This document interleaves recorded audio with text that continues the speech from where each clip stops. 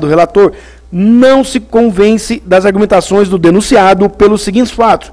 O denunciado não ter vistoriado áreas privativas do prédio, descumprimento ao decreto municipal, entender haver cumplicidade entre o arquiteto e a ex-síndica afirmando haver ciência do profissional nos atos junto à prefeitura o exíguo prazo para a elaboração da obra, má fé com a nova síndica, por receber pagamento por vistoria e revalidação no prazo de obras, estando ausente no decorrer do ano, no correr do ano, aponta como agravante o fato do denunciado não ter fornecido a devida assessoria à nova síndica.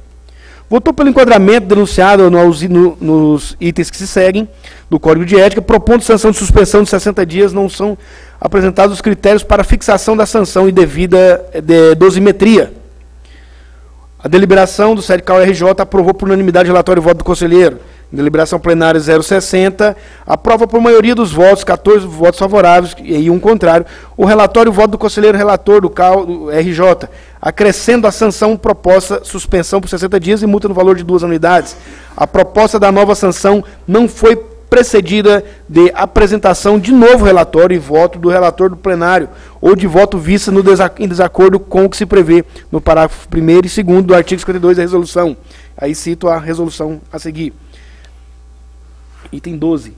Então, diante da decisão do julgamento plenário KRJ, as partes foram notificadas por correspondência eletrônica em 9 de março de 2018, em despacho 16 de abril de 2018, a assessoria jurídica do KRJ informou o recurso apresentado pelo denunciado em 7 de abril questionou a fundamentação apresentada pelo conselheiro relator, mencionou que a legislação é omissa quanto à obrigatoriedade de vistoria nas unidades autônomas, defendendo a inconstitucionalidade da obrigação de vistoriar ambientes internos sem a devida autorização, informou que alegava cumplicidade é, entre o denunciado e a ex-síndica por não realizar comunicação do laudo da prefeitura, não foi comprovada e defendeu, por meio da legislação, que a responsabilidade de comunicação do laudo à prefeitura é da síndica. Informou ainda que a ex-síndica sugeriu prorrogação do prazo mediante ao novo contrato e laudo, oportunidade em que o denunciado entendeu prudente não entender, não estender o prazo por período maior para, que a, para se responsabilizar pelos desdobramentos e consequências da inércia do condomínio. Ao final, do o denunciado solicitou a possibilidade de sustentação oral e novo julgamento devido ao flagrante falha no voto fundamentado e confirmado em plenária, fundamentando-se no, no conteúdo do, segundo, do parágrafo 2 do artigo 48, no artigo 55 da resolução do CAL-BR número 143 de 2017. Em despacho da assessoria-chefe jurídica ao CAL-EJ de 28 de maio de 2018, certificou-se a remoção da anotação de sanção ao denunciado, Correspondências eletrônicas no âmbito do CAURJ informaram o restabelecimento do registro profissional e cancelamento das baixas RRTs. Ofício a denunciada em 5 de junho de 2018 informou o recebimento de recursos do denunciado informando o prazo para apresentação das suas contrarrazões. Em resposta ao comunicado da CAURJ, o denunciante apresentou suas contrarrazões em 22 6, alegou somente em fase recursal o denunciado, apresentou teorias para solicitar novo julgamento e oitiva, afirmou que as denúncias foram baseadas em provas presentes nos autos e requereu manutenção da decisão do CAUJ e diante da apresentação do recurso do CAUJ, encaminhou o processo ao CAUBR para análise pela sede CAUBR e julgamento do plenário CAUBR em segunda instância. Postos fatos, passo a analisá-los. O objeto, fruto do contrato entre as partes, é um laudo técnico de vistoria de edifício residencial multifamiliar, multifamiliar em uso, para fins de regularização diante ao órgão municipal. O processo de contratação e os critérios para a escolha do profissional não devem ser levados em consideração por se tratar de uma relação entre privados. Outro sim, encontra-se nos autos do processo e-mails entre o contratante e e o contratado e e-mail do contratante para seus pares explicando a escolha do menor preço. Dentro do objeto do contrato, observou-se que o trabalho proposto foi realizado e que a sua homologação e regularização diante da prefeitura dependeria de adaptações do edifício. Houve emissão de RRT de autoria dentro do prazo contratual e recolhido taxas, tendo laudo permanecido válido por um ano. Observo que, Antes de findar o contrato, o denunciado provocou seu contratante para as devidas regularizações. E mesmo não tendo havido a regularização conforme os apontamentos, um protocolo foi aberto na prefeitura municipal, está anexo aos autos. Ao findar o contrato entre as partes, houve troca de gestão condominial e em que a nova síndica, agora na pessoa de denunciante, questionou o laudo do profissional, relatando inclusive a falta de páginas do documento. A denunciante ainda acusou favorecimento na contratação do arquiteto por relação de proximidade entre profissional e a gestora anterior. Apesar de o relator do, do processo do KRJ entender ter havido favorecimento na contratação do profissional pela gestora anterior, observe-se que se trata de relação entre privados e que os orçamentos foram apresentados aos condônimos, não podendo o fato ser caracterizado como falta ético-disciplinar. Ao analisar os fatos, verifica-se datas, observar as, observar as provas, contar, constato que o profissional cumpriu com o acordo, entregou o trabalho com o RRT à primeira gestora, bem como seu laudo permaneceu vigente por um ano. Note-se que ao fim do prazo estipulado, o profissional não mais se interessou pelo trabalho antes realizado. No entanto, até 30 dias antes de findar o prazo, houve movimentação junto à prefeitura. Não há indícios de comunicação ao profissional no período vigente do laudo de que as regularizações do edifício foram executadas. Apesar do entendimento de o conselheiro relator do KRJ relatar que o profissional ficou à revelia durante o período contratual, observa-se que o trabalho do laudo técnico não exige acompanhamento regular por parte do profissional como a execução de uma obra. Observa-se que a denunciante desqualifica o laudo técnico do profissional. Ressalto que o trabalho de um profissional tem sua legitimidade garantida pela sua formação, com o devido registro no conselho competente, e que apenas novo laudo técnico seria capaz de alegar erros em um trabalho profissional e ou contestar sua metodologia. A denunciante não possui formação técnica para desqualificar e apontar erros no trabalho do profissional. Nos autos do processo, observa-se que o laudo, em poucas aparições, se apresenta completo, ora faltando páginas finais, 3 em 25, e, em outros momentos, páginas pares. Note-se o descuido na apresentação do trabalho, que não desqualifica a ponto de inviabilizar a regularização, visto que essa regularização depende de ação por parte dos contratantes. Do voto. Como parecer exposto, voto por conhecer do recurso do denunciado e, no mérito, dar-lhe provimento para declarar improcedência da denúncia e determinar o arquivamento do presente processo ético-disciplinar na origem, sem aplicação de qualquer sanção por não reconhecer falta ético-disciplinar na atuação profissional do arquiteto e urbanista. Denunciado. É como voto. Obrigado, conselheiro Nixon. Para esclarecimentos ao plenário Conselheiro Edneza. Bom dia, senhor presidente. Bom dia, demais colegas. Na verdade, não é um esclarecimento. É primeiro cumprimentar o colega Nixon pela clareza do, do seu voto, do seu parecer, tendo em vista que nós estamos eh, diante de um item chamado laudo de inspeção predial, né, que nós, eh, conselho, para com os nossos colegas e para com a sociedade, devemos fazer um trabalho de explicar e divulgar muito bem eh, todo esse trâmite que é e que envolve o profissional nessa área. Então, eu só queria cumprimentar o Nixon pela clareza e propor à, à presidência que nós possamos nos deter nesse tema e trabalharmos isso a nível de esclarecimento para a sociedade, o que envolve um laudo de inspeção predial a nível de prédios residenciais ou outro tipo, né, outra, outra edilícia, a qual nós temos que mostrar eh, todo o, o emaranhado de legislação que envolve e os procedimentos que cada prefeitura, que cada órgão público hoje tem em função do laudo de inspeção predial. Então, era só um lembrete para que a casa possa trabalhar nessa questão mais tarde. Obrigado, Obrigado e parabéns, Nixon, muito bom. Obrigado, conselheira Ednese. Eu já vou sugerir a conselheira Josimir para colocar na pauta da Comissão de Política Profissional essa sugestão do conselheiro Ednese. Mais alguma alguma manifestação?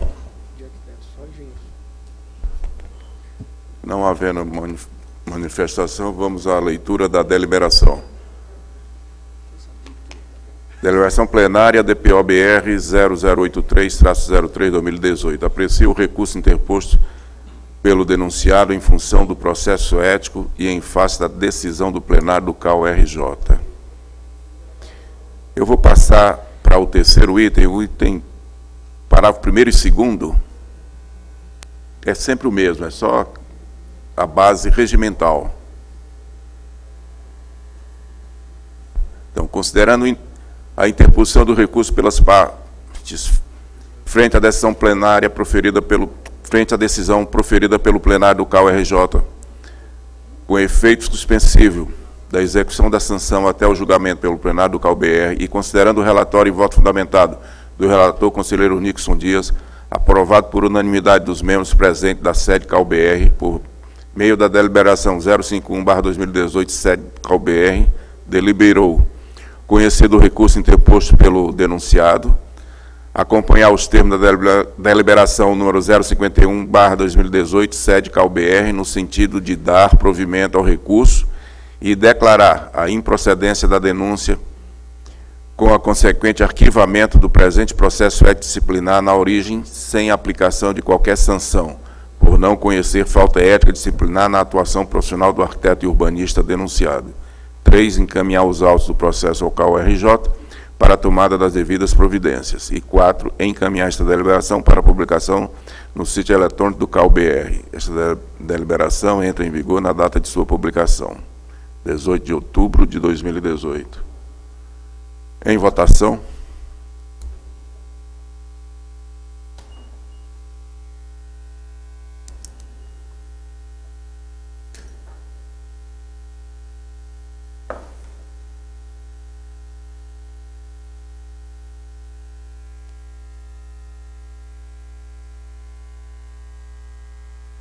Todos os presentes votaram. Fechada a votação. Aprovado por unanimidade com 23 votos. Muito obrigado. Passamos agora ao item 5.4, projeto de, de deliberação plenária de julgamento em grau de recurso do processo disciplinar número 362057/2016, Cal Santa Catarina. Relator o conselheiro Matos Além Santana. Por favor, conselheiro Matos Além.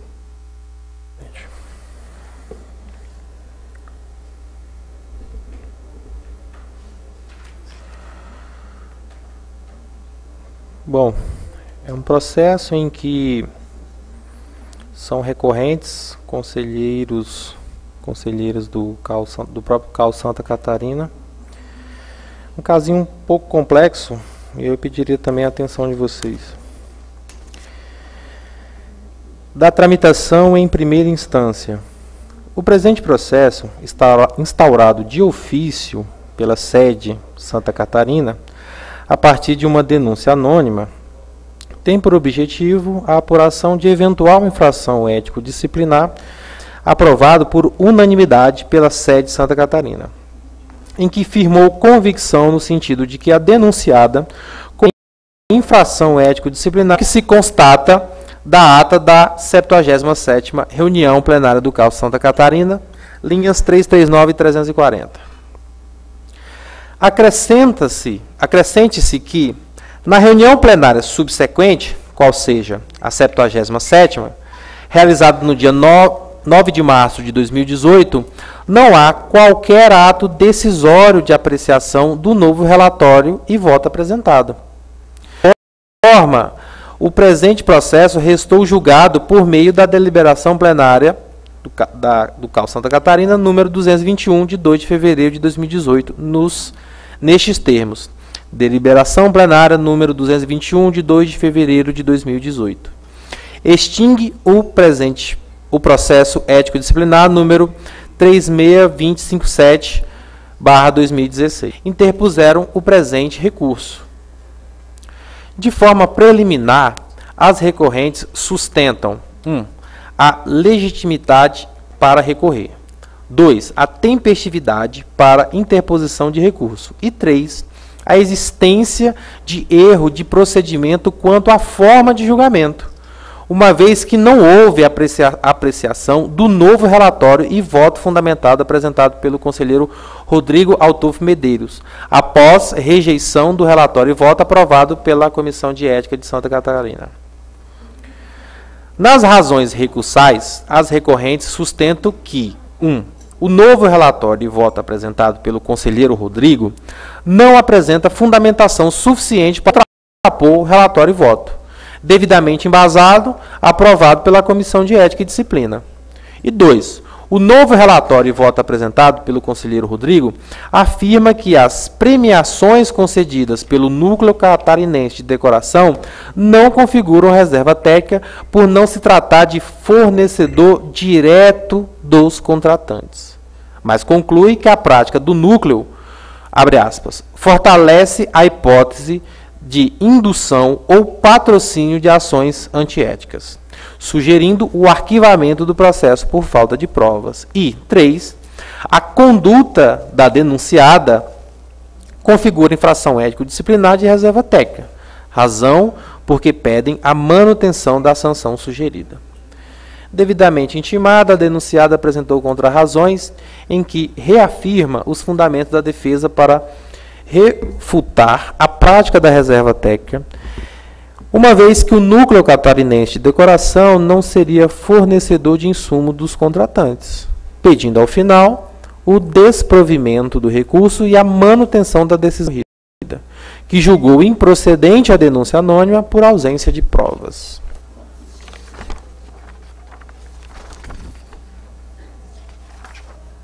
Acho que eu me perdi aqui. Do juiz, é, brevemente posta as razões e contra as razões recursais, passam ao exame do presente recurso. 3. Do juízo de admissibilidade recursal.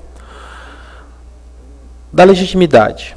O parágrafo único do artigo 22, 22 da Lei 12.378 de 2010 confere legitimidade para recorrer em processo ético-disciplinares não só às partes, como também ao presidente e aos conselheiros dos CAUF, nestes termos. Artigo 22. Caberá recurso ao CalBR de todas as decisões definidas proferidas pelos CAUS, que decidirá em última instância administrativa. Parágrafo único. Além do acusado e do acusador, o presidente e os conselheiros dos CAU são legitimados para interpor o recurso previsto neste artigo. Destacou-se. Nesse sentido, acolho a preliminar de legitimidade das recorrentes para interposição do presente recurso. Da tempestividade. Quanto à tempestividade, deve ser ressaltado que a decisão recorrida aprovou a apresentação do novo relatório e voto na reunião plenária subsequente, qual seja a 77ª, ocorrida em 9 de março de 2018. Dessa forma, a contagem do prazo para interposição de recurso deve considerar, de início, essa data, uma vez que, somente após o conhecimento do teor do novo relatório e voto, as recorrentes poderiam articular adequadamente o recurso. Considerando que o presente recurso foi inter, interposto em 16 de março de 2018 e que o início da contagem do prazo recursal se deu em 9 de março de 2018, acolho a preliminar da tempestividade para declarar a tempestivo. Presentes os critérios de admissibilidade recursal, conhe, reconheço do recurso. Da alegação de erro de procedimento de julgamento. As recorrentes alegam a existência de erro de procedimento quanto à forma de julgamento, uma vez que não houve apreciação do novo relatório e voto fundamentado apresentado pelo conselheiro Rodrigo após rejeição do relatório e voto aprovado pela Comissão de Ética e Disciplina de Santa Catarina. Nesse ponto, assiste razão às recorrentes. Em, do, em 2 de fevereiro de 2018, durante a 76ª reunião plenária ordinária do CAL Santa Catarina, o plenário do CAL Santa Catarina rejeitou o relatório e voto fundamentado elaborado pelo relator Miguel Ângel Pousadella e aprovado por unanimidade pela sede de Santa Catarina. Em seguida, o conselheiro Rodrigo foi designado novo relator a presidente do CAL Santa Catarina, para apresentação de novo relatório e voto na reunião plenária subsequente. Tudo em consonância com o disposto no artigo 52, parágrafo 2 da resolução do CalBR 143 de 2017, nestes termos. Parágrafo 2 Caso não tenha havido pedido de vista e o voto do relator não seja aprovado pela maioria, o presidente do CAUF deverá designar novo relator para o processo ético disciplinar dentre os conselheiros do respectivo plenário, que apresentará relatório e voto fundamentado na reunião plenária subsequente. Ocorre, entretanto, que a deliberação plenária número 222, ao mesmo tempo em que determinou a apresentação de relatório e voto fundamentado na reunião plenária subsequente para julgamento, de forma contraditória, já julgou por extinguir o processo ético disciplinar e determinar o arquivamento definitivo dos respectivos autos, ante a ausência de elementos probatórios. Deve ser esclarecido que a designação de novo relator para apresentação de novo relatório e voto fundamentado na reunião plenária subsequente, na forma do artigo 52, parágrafo 2 da Resolução 143, adia o julgamento do processo para essa reunião subsequente, de modo que, no caso em análise, a deliberação plenária do CAL Santa Catarina não poderia ter avançado sobre o mérito de, de julgar improcedente a denúncia anônima por ausência de provas e determinar a extinção do processo. O, dia, o adiamento do julgamento do processo ético disciplinar para a reunião plenária subsequente, quando da rejeição do relatório e voto fundamentado aprovado pela sede UF, na forma do artigo 52, parágrafo 2 da Resolução 143, tem por objetivo garantir que o novo relator designado pelo presidente do CAUF terá tempo razoável para apropriar de informações constantes dos autos e, adequadamente, formar sua convicção sobre os fatos e os encaminhamentos decorrentes. Por essa mesma razão, caso haja pedido de vista em processo ético-disciplinar, o voto vista não pode ser apresentado na mesma reunião plenária de julgamento, adiando-se a decisão para a reunião plenária subsequente, justamente para que o relator de vista conheça com segurança dos detalhes do processo e forme adequadamente sua convicção. Com essas considerações, a deliberação plenária, editada na 76ª reunião plenária ordinária do CAU-SC, não poderia ter julgado o presente processo, mas tão somente rejeitado o relatório e voto fundamentado aprovado pela Comissão de Ética, como de fato ocorreu, adiando-se o julgamento do processo para a reunião plenária subsequente, por meio de nova deliberação após relato do conselheiro Rodrigo. Evidenciado o erro de procedimento na forma de julgamento, a análise de eventual questão de mérito ligada aos fatos propriamente ditos, existência ou não de infração ético-disciplinar de reserva técnica, fica prejudicada, uma vez que o vício procedimental reclama sua correção na própria instância de origem. Não há dúvidas, a meu juízo, de que o plenário do CAL Santa Catarina, ao analisar o presente processo durante a 76ª reunião plenária, rejeitou o relatório e voto aprovado pela Comissão de Ética, o que se constata dos considerandos da decisão recorrida e da data e da ata da reunião plenária.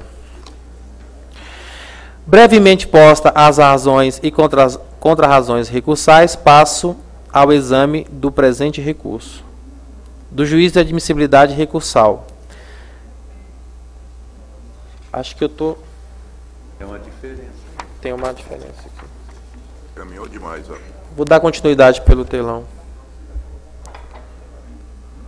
Não se justifica, portanto, declarar a nulidade integral da deliberação plenária, mas apenas das disposições que determinaram o julgamento antecipado do presente processo ético-disciplinar, antes mesmo da apreciação do novo relatório e voto apresentado pelo conselheiro Rodrigo. Em homenagem aos princípios da celeridade e da economicidade processuais, estes autos devem ser restituídos à instância de origem para que o plenário do CAL Santa Catarina delibere e julgue o presente processo ético disciplinar por meio da apreciação do novo relatório e voto apresentado pelo conselheiro Rodrigo. Por óbvio, a futura decisão da instância de origem que efetivamente julgará o processo ético disciplinar poderá ser objeto de interposição de novos recursos ao plenário do CalBR, em que os legitimados poderão apresentar suas razões de forma ampla quanto aos aspectos de procedimento e de julgamento dos fatos propriamente ditos, podendo inclusive reiterar as peças processuais já juntadas aos presentes autos do voto. Por todo o exposto, voto por conhecer do recurso e no mérito por dar-lhe provimento para 1. Um, declarar a rejeição do relatório e voto aprovado pela sede Santa Catarina, por meio da deliberação plenária CAU-SC número 221, de 2 de fevereiro de 2018. 2. Declarar nulos a emenda e o item 1 da deliberação plenária CAU Santa Catarina, número 221, de 2018, que julgou antecipada e indevidamente o presente processo disciplinar e 3. Determinar o retorno dos autos à instância de origem para que o presente processo ético disciplinar seja julgado por meio de apreciação do novo relatório e voto elaborado pelo conselheiro relator Rodrigo Altov Medeiros. É como voto. Obrigado, conselheiro Matusalém. Está aberto para esclarecimentos ao plenário.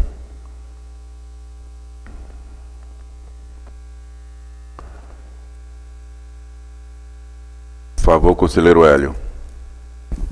É,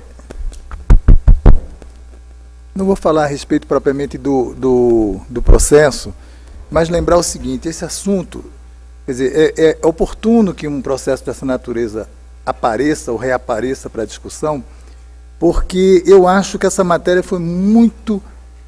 Ela não foi nem sequer discutida propriamente pelo, pelo CAL, né? sobretudo pelo CAL-BR, para orientar os demais. Na, é, na gestão passada, o que ocorreu, na minha opinião, é que esse assunto, que se tornou incômodo até por é, razões que todos conhecem, né? pela forma como que se deu, o tratamento que se deu ao assunto, houve uma discussão bastante acalorada aqui, que eu participei, e que eu fiz a proposta, inclusive, de uma comissão provisória para é, é, estudo do assunto e posicionamento definitivo e embasado né, em estudos e, enfim, em debates sobre o assunto. E o assunto, na realidade, foi varrido para debaixo do tapete. Né? E eu acho que ele deve ser trazido à pauta, à discussão pelo CalBR. Né?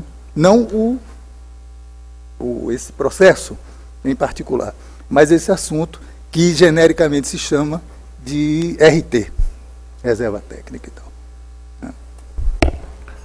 Obrigado. O Matusalém. relator Matusalém para manifestar-se. Hélio, é, agradeço a sua manifestação em, em ressaltar é, a importância de se, de se, discutir esse tema da reserva técnica.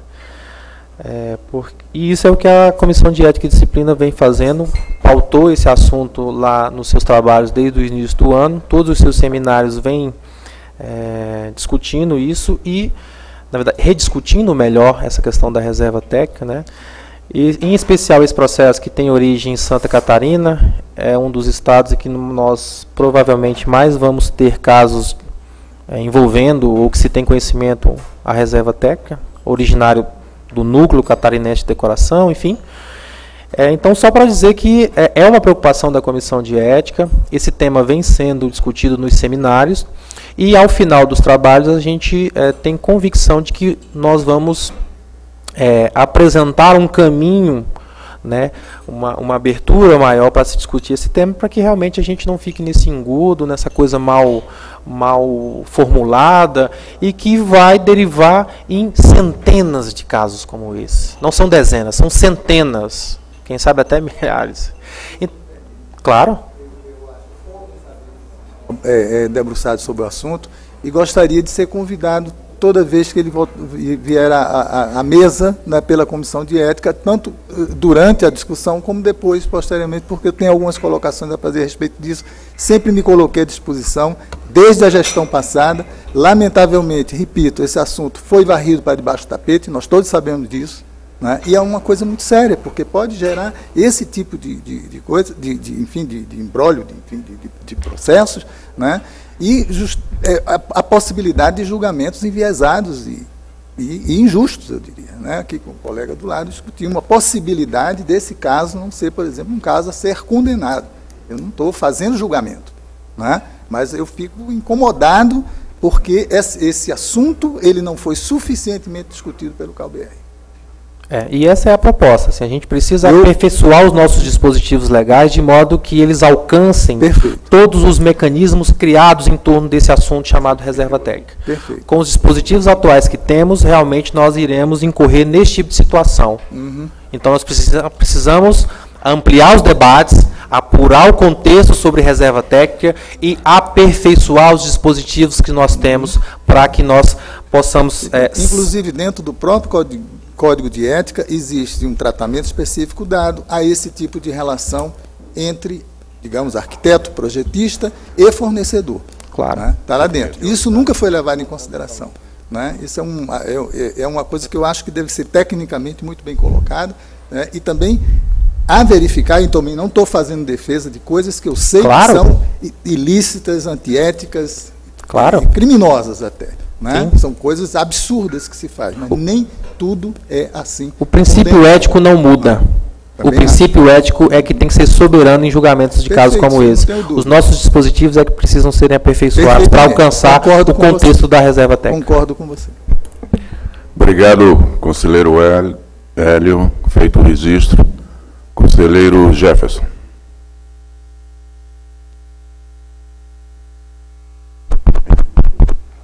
Bom dia a todos. Primeiro uma, um- uma questão, Matusalém, é, não, não- sei a data que isto teve a origem, mas eu gostaria de, de trazer a, a essa plenária um trabalho que foi organizado em especial pelas comissões de ética do Paraná, Santa Catarina Rio Grande do Sul, que tinha objetivos eh, muito claros em relação à aplicação do nosso código. Primeiro, tirar a- a- a- o voto pessoal, a análise pessoal em relação à interpretação dos códigos. Foi feito um trabalho item por item em relação especialmente a essa questão da RT, onde se citava o artigo e se tomava uma decisão, o grupo tomou essa decisão. Sim ou não, sim ou não, sim ou não. No Paraná tomamos ah, o cuidado de fazer disso uma deliberação de plenária. E a partir daquele instante, Matusalém, os relatores passaram a se referir ao item da deliberação de plenária, deixando de ser um voto pessoal, que talvez, talvez seja uma das maiores dificuldades que a gente tem em fazer a interpretação. Então, e salvo engano, presidente, esta tabela, ou esta, esse trabalho, e eu insisto dos três UF, apesar de ter sido iniciado pela Comissão de Ética do Paraná, foi aprovada por esta plenária. Aí vai a minha pergunta. Eh, esta tabela ou esse trabalho chegou a ser aprovado nessa plenária, mas os, os colegas que, que nos antecederam ah, na comissão de ética, porque se isso foi, é, é um trabalho que deveria voltar, talvez uma revisão, uma complementação. E se não o foi, faço aqui a proposta à comissão que traga à tona este estudo, no sentido fundamentalmente sairmos da abstração, da interpretação pessoal e tirarmos de novo a responsabilidade do voto e sim remeter a uma deliberação de plenária que se tornou um ato é, repetitivo, inclusive, no sentido de mantermos votos iguais para questões iguais. Esta foi uma, talvez a maior virtude em relação a esse trabalho. Obrigado. Não sei se a comissão de ética pode nos ajudar, enfim. Obrigado, conselheiro Jefferson. Feito o registro. Conselheiro Matusalém, o conselheiro Guivaldo está pedindo, como co- coordenador da Comissão de Ética, está pedindo para se manifestar.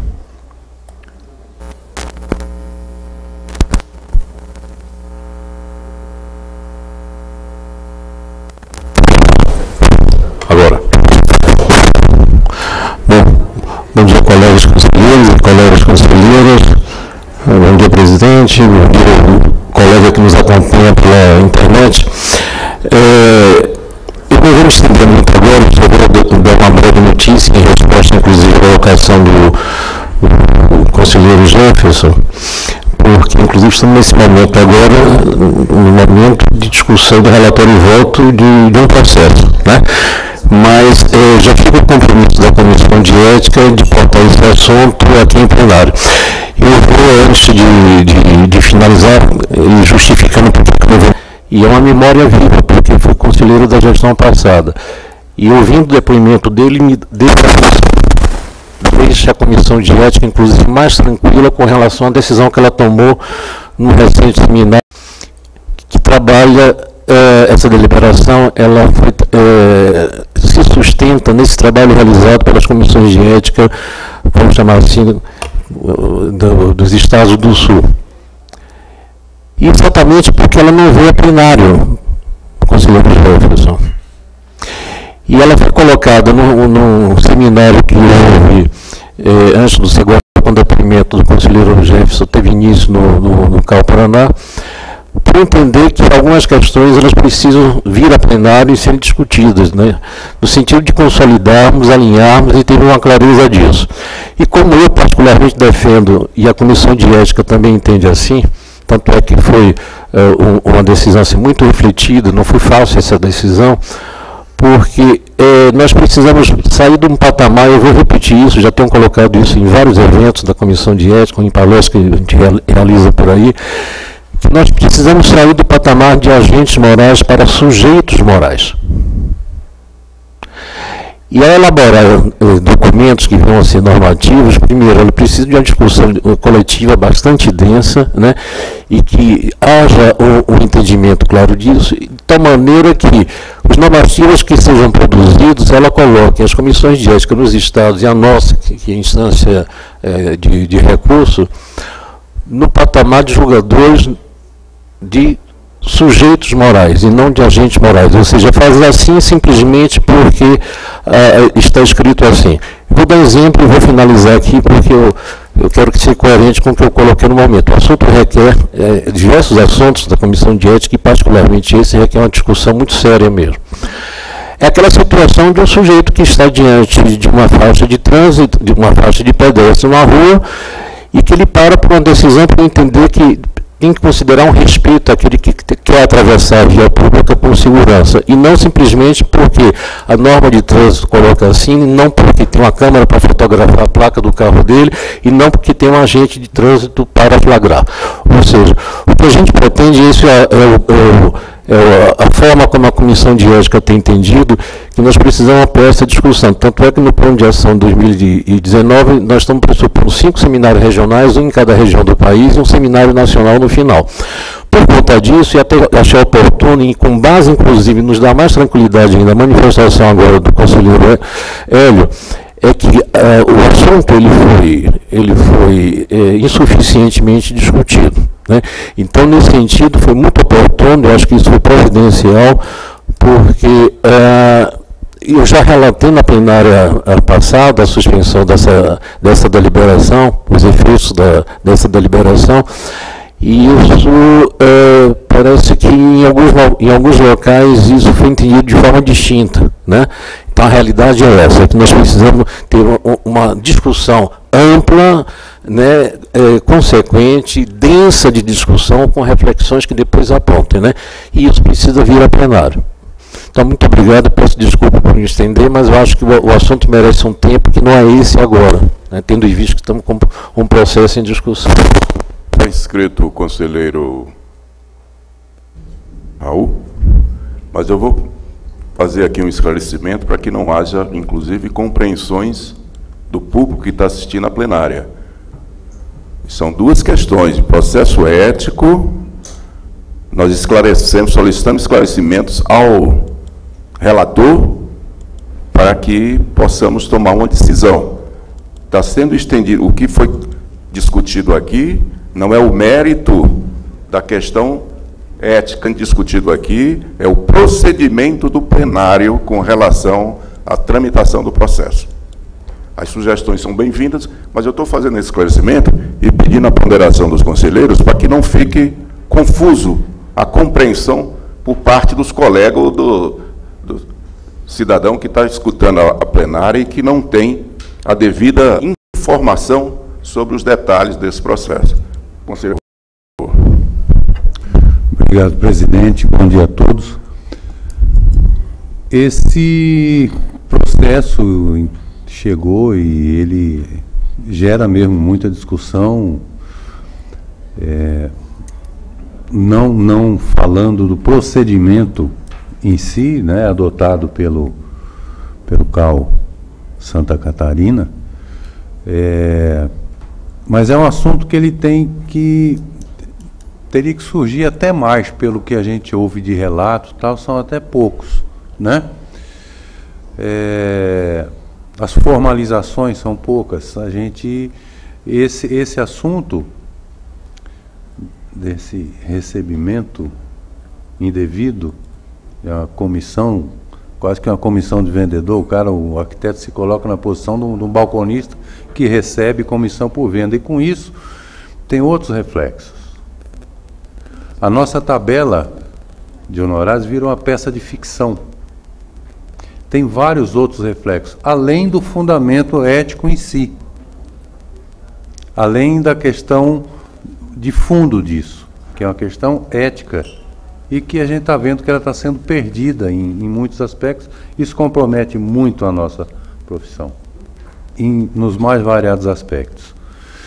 É, eu poderia me estender mais, mas vou acatar bem, bem bastante mesmo a o alerta do nosso presidente Luciano e dizer para o Hélio que nem todos conhecem o porquê foi para Bar Tapete, eu até gostaria de saber depois, particularmente conversaremos. Tá? Nem todos conhecem. É, obrigado e, e obrigado, é, parabéns pelo relato que está muito bem encaminhado também. Obrigado. Obrigado, conselheiro Raul. Conselheiro Eduardo.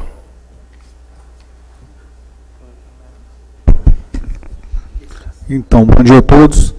É, o que a gente percebe nessa história toda é que fica muito difícil a gente conversar isso abertamente enquanto não houver uma campanha do Conselho de Arquitetura junto às indústrias, né, junto às, ao comércio de, de de revestimentos, porque eles é que incitam esse tipo de relação. Entendeu?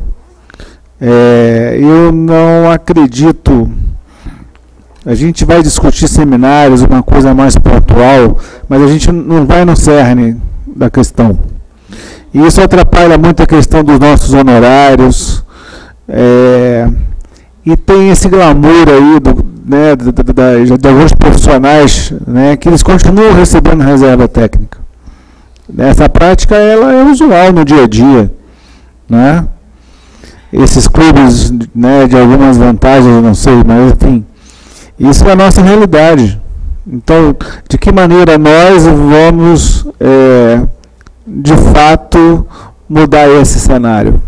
É complicadíssimo, porque do outro lado lá, os arquitetos, eles, eles de alguma forma, eles se acostumaram, algum nicho de mercado, se acostumaram a receber aquela verba de tanto e tantos meses ou mensalmente que ajuda a pagar as contas dele, ele também precisa daquilo para viver. Então ele mesmo não se enquadra com que aquilo é antiético. Né? E ele, nesse momento, ele vai contra o CAL. Porque o CAL está atrapalhando o dia a dia dele, o trabalho dele. É o entendimento dele, a gente tem que prestar atenção nisso para que a gente tenha ações que de fato mudem o cenário. Eu sou contra a RT, né? mas eu penso que essa política ela tem que ser mais bem elaborada e tem que acontecer nessa gestão. Eu penso que não dá para. Mas tem que ser. É lógico que você tem que estudar bastante. Que não estamos julgando RT. Por favor, Fernando Márcio, conselheiro Fernando Márcio. É, voltando aqui para o pro processo, quero parabenizar a comissão pela, pela coragem. Julgado no CAL Santa Catarina, 2 de fevereiro, é isso? Isso. É, a comissão deve ter sido eleita em janeiro. Isso. É? E de janeiro esse relato já tinha sido aprovado na comissão anterior, eu fiquei na dúvida sobre isso. Ou se eles, durante o janeiro. O processo é de 2016. É, então já, o relato já estava pronto, é isso? A, É, a deliberação de de- comissão Já estava. é da gestão. Houve uma transição de gestões aí. Então, a, a- o- a comissão eh, de ética apresentou o relato e aí em plenário já foi em 2018 na nova gestão. Tá, é, liberação da, da, da gestão anterior. Da comissão. é, Não, a gestão em ple- a, a, desculpa, comissão a de decisão de ética- plenário da atual gestão. Sim. A decisão plenária, a decisão de comissão é da anterior, da Ah, comissão tá. formada anteriormente. tá, Tá? tá, tá, tá bom. Isso, da Tá primeira. bom. Obrigado. Mais algum esclarecimento? Não havendo em votação o parecer e voto do conselheiro Matusalém. Vamos ler. Vou fazer a, a leitura da deliberação plenária DPO-BR número 0083-04-2018. Aprecio o recurso interposto pelos recorrentes em função de processo ético em face da decisão plenária do CAL Santa Catarina. Da mesma forma, vou passar ali para o terceiro parágrafo. Terceiro, baixa um pouquinho. Só para ficar registrado que é considerando a interposição de recurso pelas partes frente à decisão proferida pelo plenário de Santa Catarina, com efeito suspensivo da execução da sanção de até o julgamento pelo plenário do CalBR e, considerando o relatório e voto fundamentado do relator, conselheiro Matusalém Santana, aprovado por unanimidade dos membros presentes da sede CalBR, por meio da deliberação número 054-2018, sede CalBR, deliberou. Conhecer do recurso interposto pelas recorrentes. 2. Acompanhar os termos da deliberação número 054/2018, sede CalBR, no sentido de dar provimento ao recurso para a declarar a rejeição do relatório e voto aprovado pelo SED Santa Catarina, folhas 85 a 92, por meio da deliberação plenária CAL Santa Catarina, número 221, de 2 de fevereiro de 2018. B. Declarar nulos a ementa e o item 1 da deliberação plenária CAL Santa Catarina, número 221 de 2018, que julgou antecipada e indevidamente o presente processo disciplinar e determinar o retorno dos autos à instância de origem, para que o presente processo disciplinar seja julgado por meio da apreciação do novo relatório e voto elaborado pelo conselheiro relator Rodrigo Atol Medeiros, folha 100 a 102. 3. Encaminhar os autos do processo ao CAL Santa Catarina para a tomada das devidas providências e encaminhar esta deliberação para publicação no sítio eletrônico do CalBR. Esta deliberação entra em vigor na data de sua publicação, 18 de outubro de 2018. Em votação.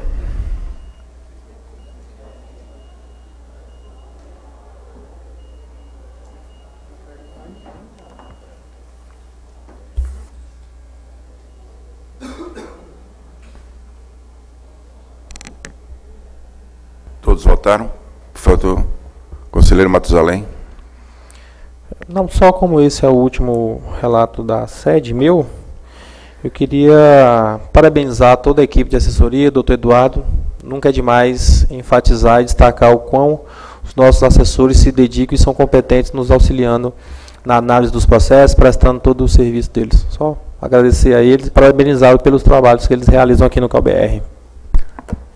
Obrigado, conselheiro Matusalém. Por favor. a-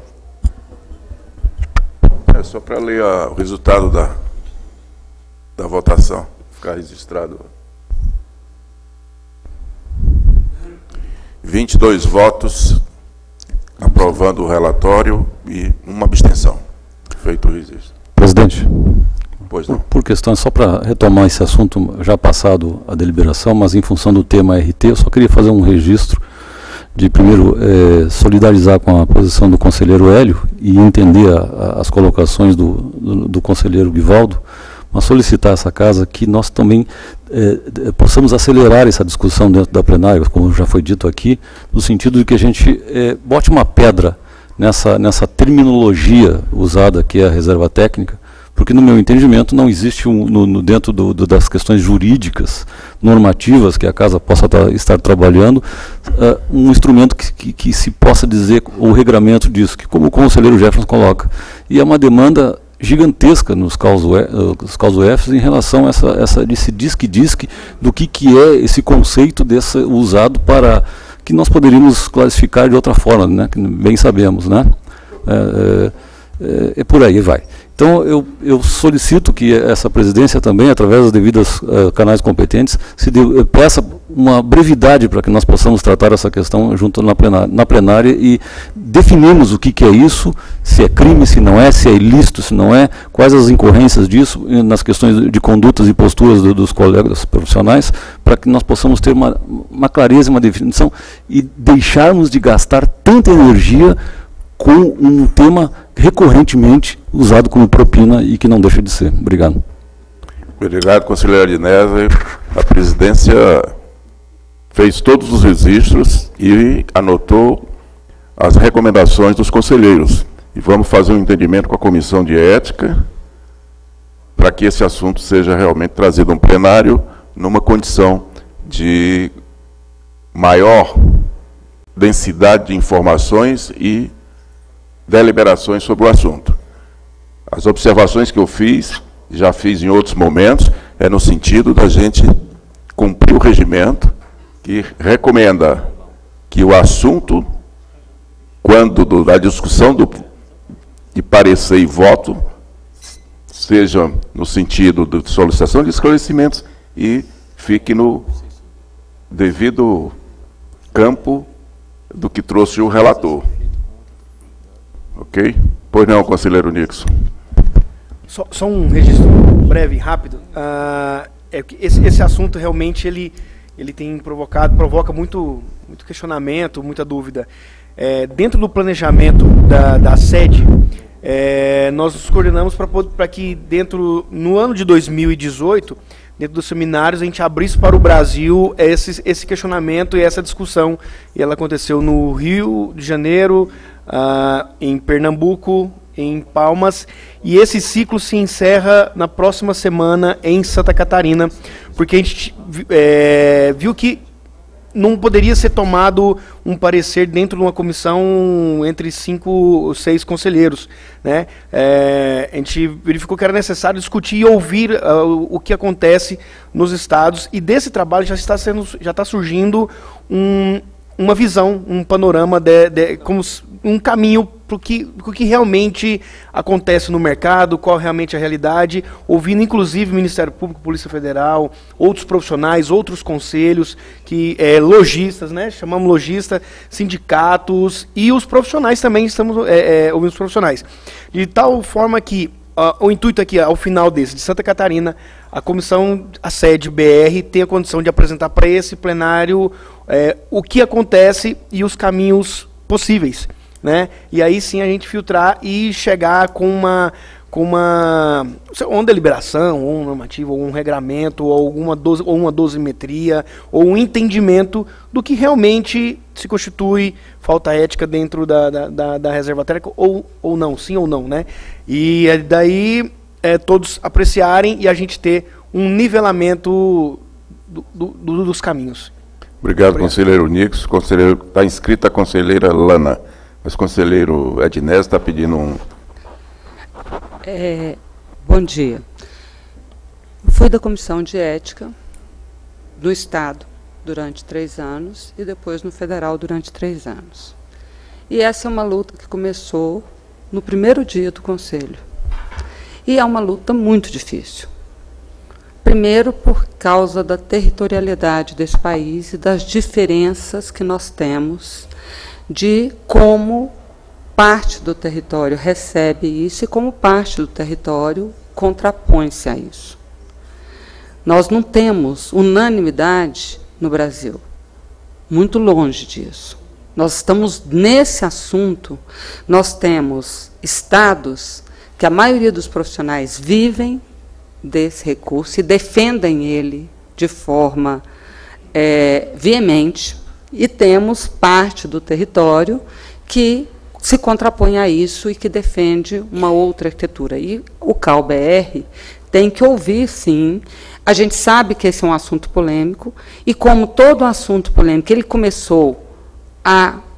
Quando, é, quando essa prática começou, ela tem mais de 50 anos que começou, e a gente sabe que a gente não acaba com uma prática que está arraigada do dia para a noite. É uma coisa que depende de debate constante para mudar uma cultura, em qualquer cultura, se a gente for estudar, ela não muda do dia para a noite, não muda por decreto. Não adianta a gente fazer um decreto aqui achando que vai mudar, porque a gente não vai mudar. E tem mais uma coisa que a gente tem que ter consciência de algumas falas que foram feitas aqui, doutor Eduardo, que é jurista, me corrija se eu estiver errada. O conselho de arquitetura, como qualquer outro conselho, ele pode pena, é, julgar os seus pares, e ele que tem essa, essa função, mas ele pode penalizar os seus pares por falta ética. Mas ele não pode de, de, é, dizer, ele não julga crime.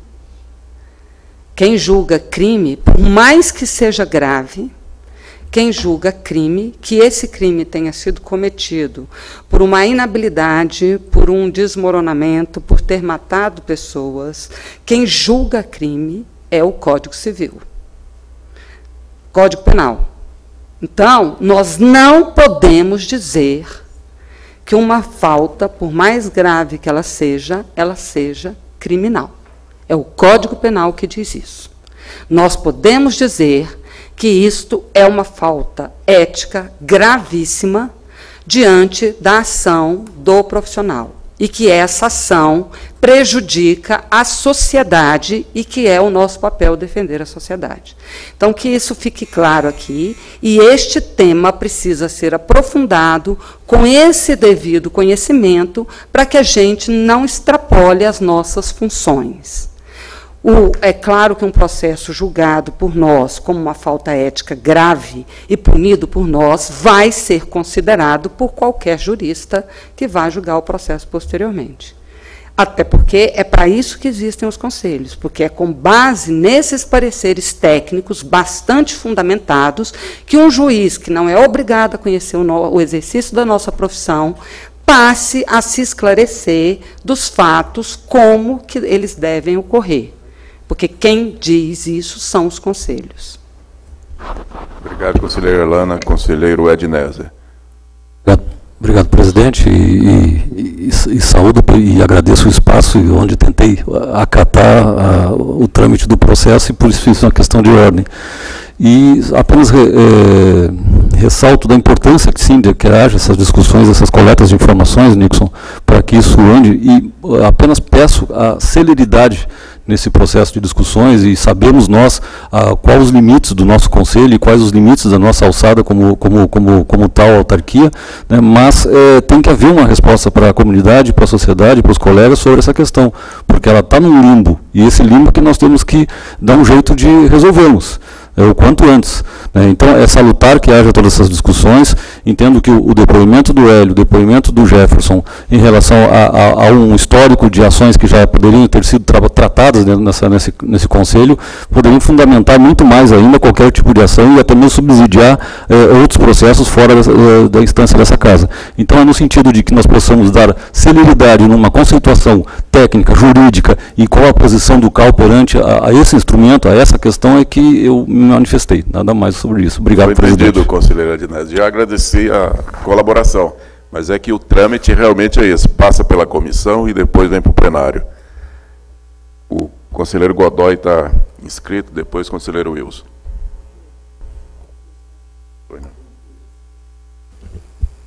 Bom dia a todos e a todas. A todos, né?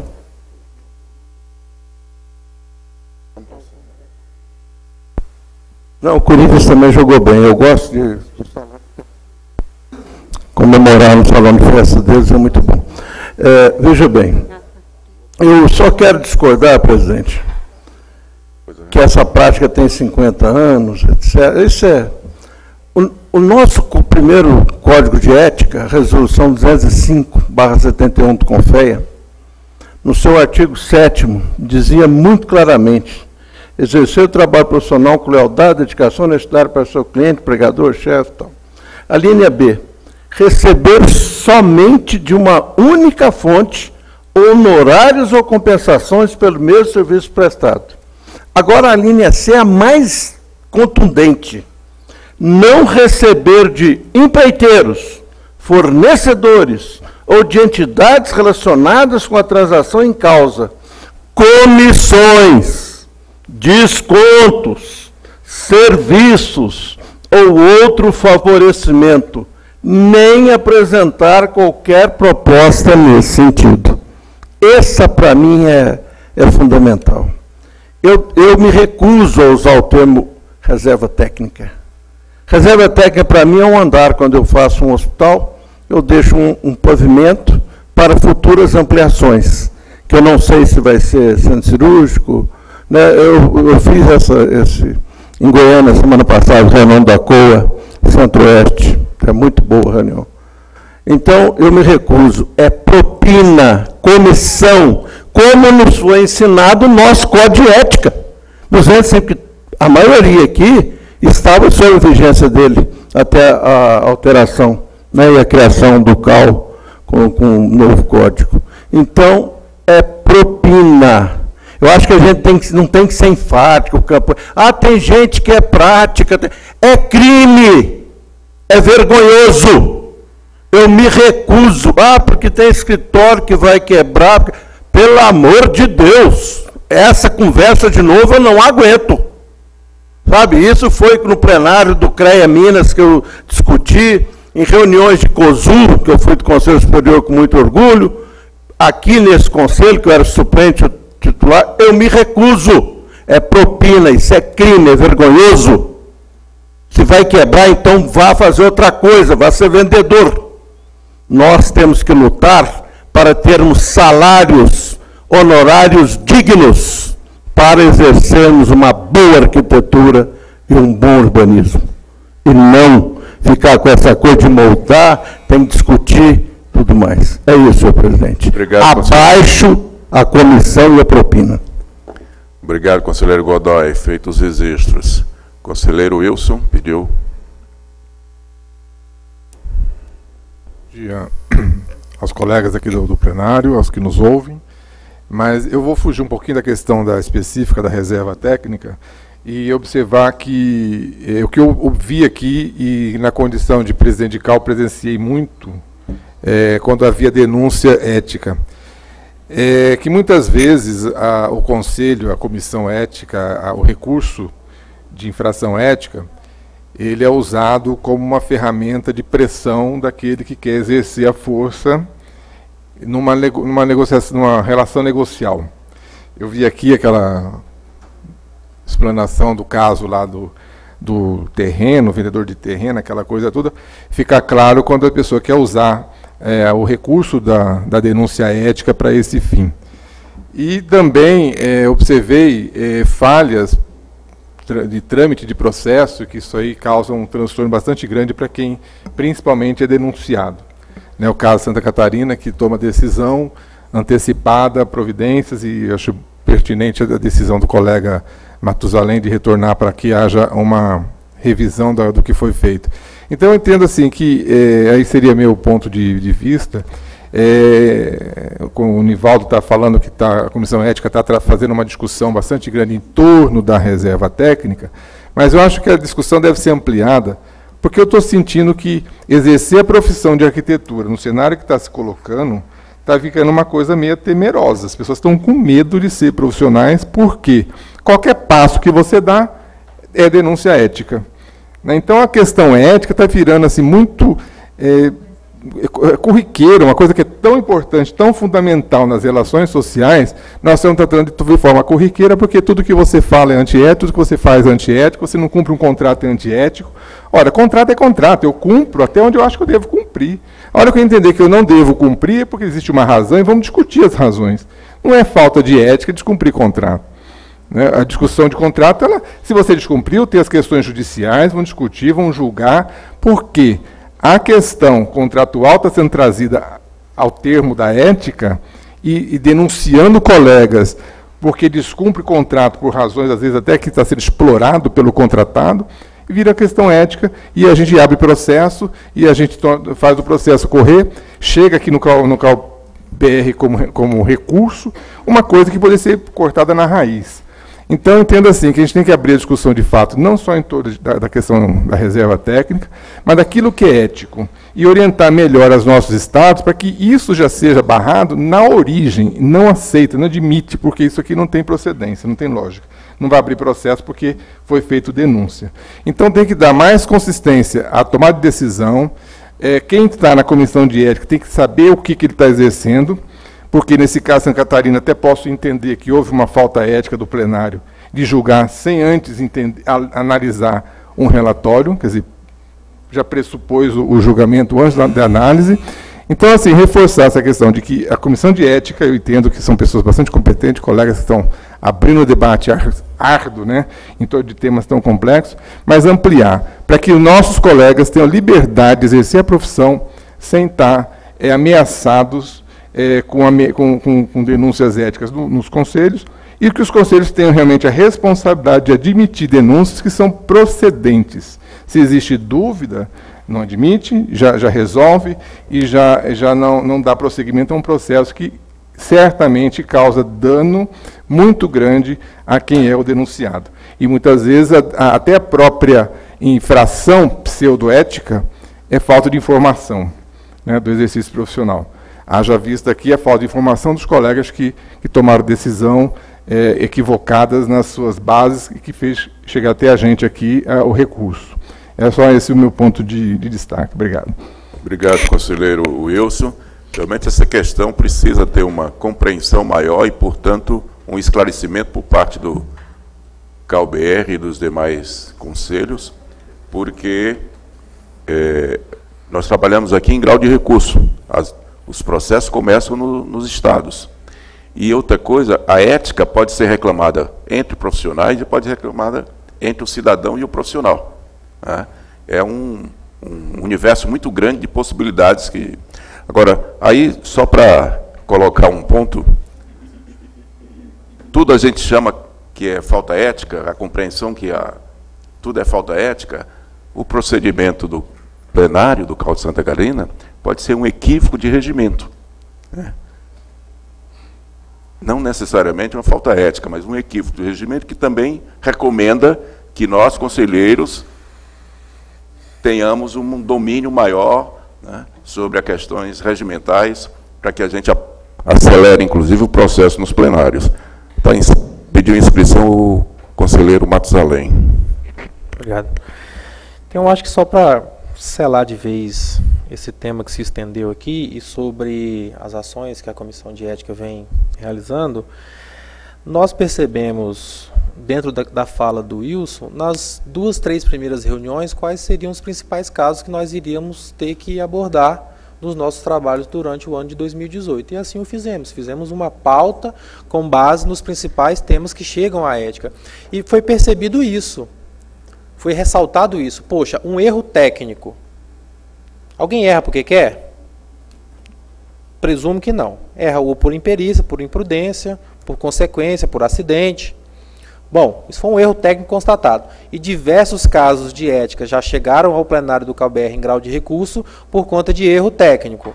Ora, então nós temos que distinguir ou aperfeiçoar melhor o nosso código de ética de modo a separar o que é uma postura antiética ou inadequada de algo consequente da nossa prática profissional. Descumprir um contrato, como colocou o Wilson. Bom, ele tem as razões de descumprimento do contrato, de prejudicar ou não, de seguir ou não com aquele acordo firmado. Isso é antiético ou não? Então, hoje o que nós vemos é o seguinte: ninguém aqui quer desconstituir aquilo que alcançamos até aqui no nosso, nos nossos dispositivos legais. O que queremos nesse momento é fazer uma avaliação, mensurar se os nossos dispositivos legais realmente, realmente eles estão condicionando o CAL a fazer com que os seus profissionais tenham comportamento ético. Então, esse, essa é a razão pela qual nós, lá no início, estabelecemos uma planilha de trabalho e estamos, como já foi dito pelo coordenador, pelo Nixo, até o final deste ano, trabalhando com relação a esses assuntos para, no momento oportuno, maduro, trazer ao plenário essas questões. Obrigado, conselheiro Matusalém. Não havendo mais manifestação sobre esse primeiro grupo de processos que tratou da questão de, da comissão de ética, passamos então ao item 5.5 e desde já agradecendo a participação de todos os membros da comissão e desse plenário sobre o assunto. O item 5.5 é o projeto de elaboração plenária que homologa a reprogramação do Plano de Ação e Orçamento do exercício 2018 do CAL-RJ. Comissão de Planejamento e Finanças. Conselheiro Raul para relatar. É, a reprogramação foi apreciada e encaminhada favoravelmente dentro da CPFI. Eu vou, desculpe, eu vou pedir então para Tânia, da nossa assessoria de planejamento, que faça a apresentação para todos tomarem conhecimento, mas já dentro da CPFI foi encaminhado favoravelmente para aprovação aqui do plenário, tá? Tânia, por favor, você pode fazer? Obrigado. Bom dia a todos. É, estou aqui em da Filomena, que é a nossa assessora-chefe, que está hoje no Fórum de Presidentes. Então, o CAL-RJ apresentou frente à análise do planejamento é, com as seguintes bases. Ele teve as premissas, o mapa estratégico que ele escolheu, as destinações é, estratégicas, que são os limites, e o plano reprogramado pelo CAL-RJ. Então, como premissa, ele utilizou uma revisão e adequação do plano frente aos projetos e atividades e as metas previstas, tanto quanto os resultados e a correção de rumos da programação aprovada para o alcance dos resultados estabelecidos e a inclusão de novas é, prioridades de atuação do aquele conselho. Foi feita uma adequação na destinação dos recursos estratégicos face a essas alterações, além de exclusão ou criação de novos projetos e atividades. É, ocorreu uma, uma redução de 5,3% das receitas de arrecadação do exercício, na forma reestimada pelaquele CAL, para o exercício de 2018. Ocorreu ainda uma incorporação dos recursos de anuidade de exercícios anteriores, houve um ressarcimento ao CalBR frente ao TAC 0800 e uma incorporação dos recursos decorrentes de ressarcimento de taxas bancárias no valor de 38.600. É, o CAL-RJ, frente às suas expectativas para o ano, adotou como objetivos locais é, influenciar as diretrizes do ensino da arquitetura e do urbanismo como formação continuada, além de garantir a participação dos arquitetos e urbanistas no planejamento territorial e gestão urbana, além dos objetivos de promover o exercício ético e o fomento ao acesso da sociedade à arquitetura e urbanismo. É, diante dessa nova proposta, os limites que foram adotados pelos, pelo CAUF foram para a fiscalização, é, 21,7%, ocorreu um incremento de 0,5 pontos percentuais, ou seja, ele, é, eles irão utilizar 2 milhões e 18 é, de projetos ligados à fiscalização. Ao atendimento, eles destinaram 15,3%, ocorreu um incremento de 5,3 pontos percentuais frente à proposta inicial, ou seja, 1,54 milhão, milhões, milhão, perdão, de, e foram destinados em quatro, em três é, iniciativas estratégicas. Na comunicação foi mantido os 3% da proposta inicial, no valor de 301,7 mil e para uma única é, iniciativa. Para patrocínio, ele teve um incremento de 0,1 ponto percentual, ou seja, ficou no limite de 2,1%, ou seja, 206,4 mil destinados a patrocínio. É, dos quatro objetivos estratégicos escolhidos pelo CAUF, é, foi, foram destinados 7,1% é, ou seja, ocorreu uma redução de 2,4 pontos percentuais frente à programação inicial. Nesses quatro objetivos serão utilizados 718,2 mil, é, uma quantidade de oito iniciativas. Para a área de desenvolvimento das competências, ou seja, capacitação dos funcionários e, e conselheiros, foi destinado 2%, ocorreu uma redução de 0,1% frente à proposta inicial. Para o ATIS, que é vinculado ao objetivo de fomentar o acesso à sociedade, à arquitetura e urbanismo, foram, foi desti foram destinados 2% da receita de arrecadação líquida, ou seja, foi mantido o, frente ao valor inicial da proposta.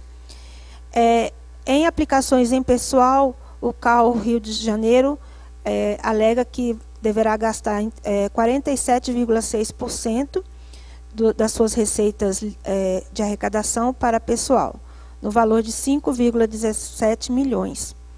E destinou uma reserva de contingência de 0,9%, que teve uma redução de 1 ponto percentual, 1,1 percentual, frente à proposta inicial. É, em resumo, o plano do CAL Rio de Janeiro teve como é, ficou com uma proposta de 21 iniciativas, no total de 11,85 milhões. Desse, desse montante de recurso, serão 10 projetos, no valor de 4,68 milhões, e 11 atividades, no valor de 7,17 milhões. Frente à proposta inicial, ocorreram, então, uma inclusão de três novas iniciativas, que são os projetos de equidade de gênero, acessibilidade e assistência técnica. Essa nova proposta é, causou uma redução de 400 mil reais frente à proposta inicial, que era de 12,25 milhões. Então, em resumo, a reprogramação ficou em 11,85 milhões frente à proposta inicial de 12,25 é, milhões, ou seja, uma redução de 3,3 pontos frente à aprovada. É, a, o público-alvo do CAL Rio de Janeiro foi estimada em 14, perdão, 14.668 arquitetos é, pagantes, 2.185 empresas é, pagantes e uma quantidade de 54.554 ITs. Então, a nova proposta foi do CAL Rio de Janeiro é, foi baseada nas metas de profissionais, empresas e RRTs é, levantadas pelo CAL à época, previsto no cenário atual do CAL Rio de Janeiro. Essa foi a proposta apresentada pelo CAL Rio de Janeiro, que foi devidamente analisada pela assessoria de planejamento e encaminhada à CPFI para é, verificações e aprovações.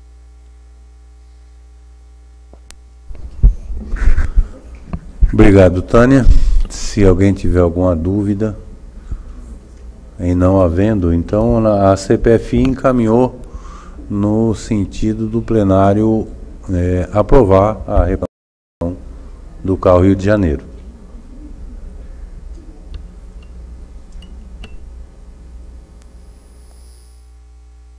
Peço então a mesa para. Ah, obrigado.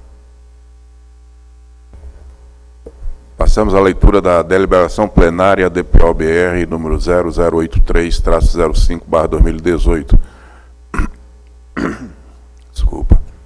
Aprova o projeto de resolução que homologa a reprogramação do plano de ação e orçamento do CAURJ no exercício 2018 plenário do Conselho de Arquitetura e Urbanismo do Brasil, CalBR, no exercício das competências e prerrogativas de que trata os artigos 2 4 e 30 do regimento interno do CalBR, é unido ordinariamente em Brasília, DF, no dia 18 e 19 de outubro de 2018, após análise do assunto em epígrafe, considerando que compete ao plenário do CalBR estabelecer diretrizes orçamentárias e contábeis para formulação do orçamento dos CAUS UF, Considerando que compete ao plenário do CalBR aprovar o plano de ação e orçamento do CalBR e homologar os dos caos UF e as reformulações daquele e destes, e considerando a delibera- deliberação número 42, barra 2018, CPFI CalBR, a qual propõe ao plenário do CalBR a homologação da reprogramação do plano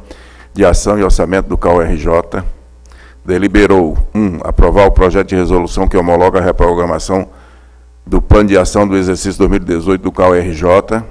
2. Remeter esta del- deliberação ao CalRJ para as devidas providências e encaminhar esta deliberação para publicação no sítio eletrônico do CalBR. Esta, esta deliberação entra em vigor na data de sua publicação.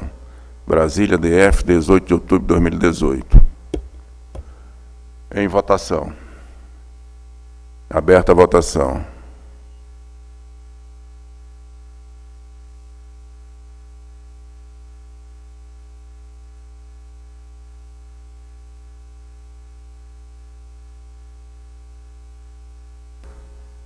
Presentes votaram. Fechada a votação. Aprovado com 22 votos. Totalidade dos presentes. Muito obrigado. Passamos agora ao item 5.6.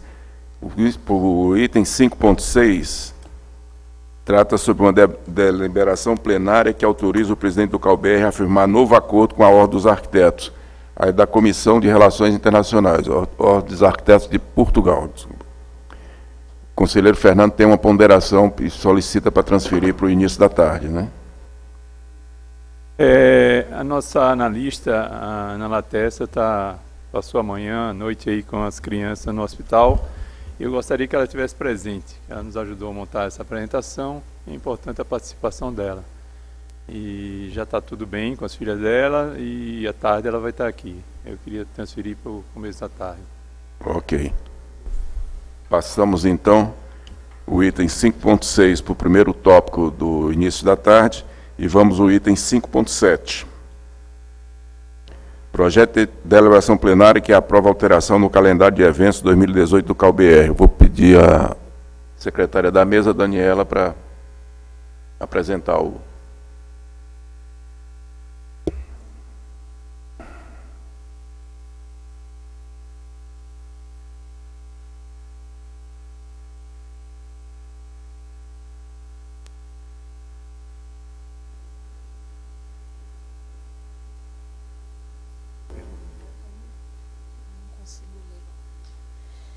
É, como o regimento é, interno do CalBR determina mudanças do calendário de evento em relação às comissões, é, tanto de data quanto de local, elas precisam ser aprovadas pelo plenário. É, nessa deliberação tem a mudança da reunião da CPP, que vai para o dia 1º de outubro em Palmas,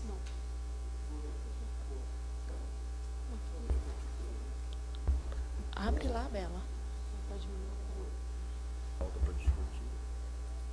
Não, destrava lá. Essa não foi? Não, sobe. Bela, vai lá pra cima. Aqui.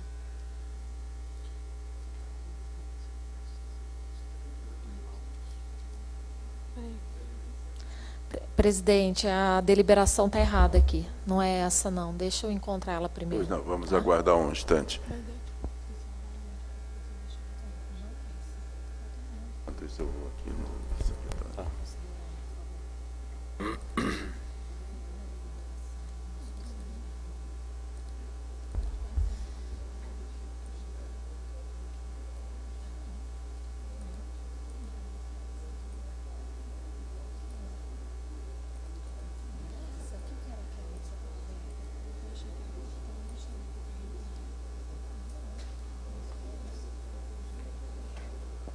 Verdade, cara.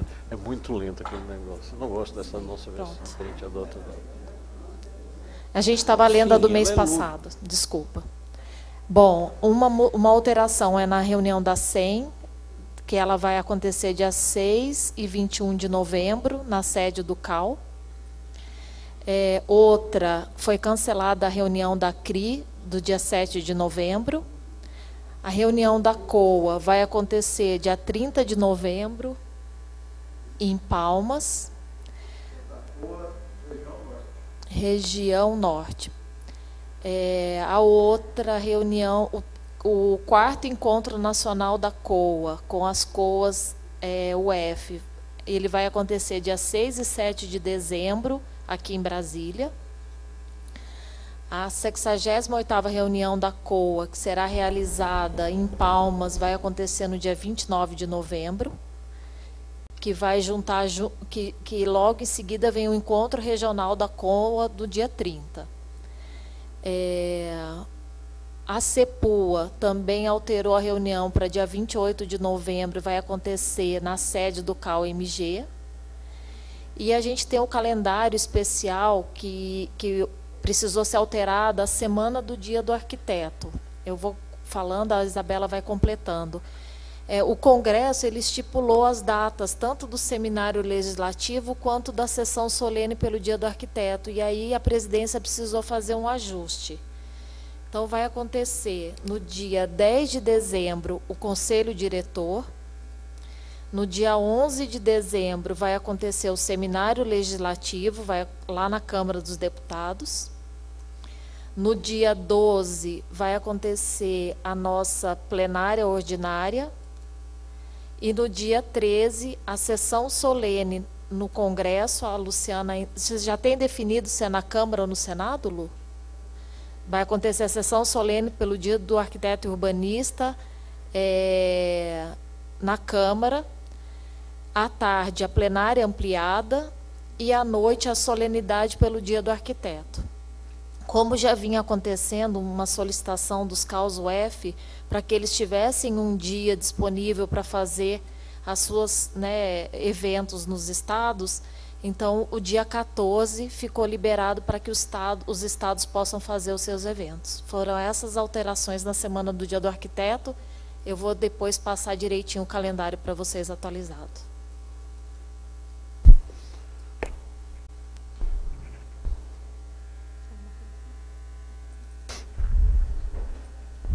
Pronto, Daniela? Pronto. Bom, ah, o presidente Luciano já retornou. Deu. Para tudo. Obrigado, Daniela.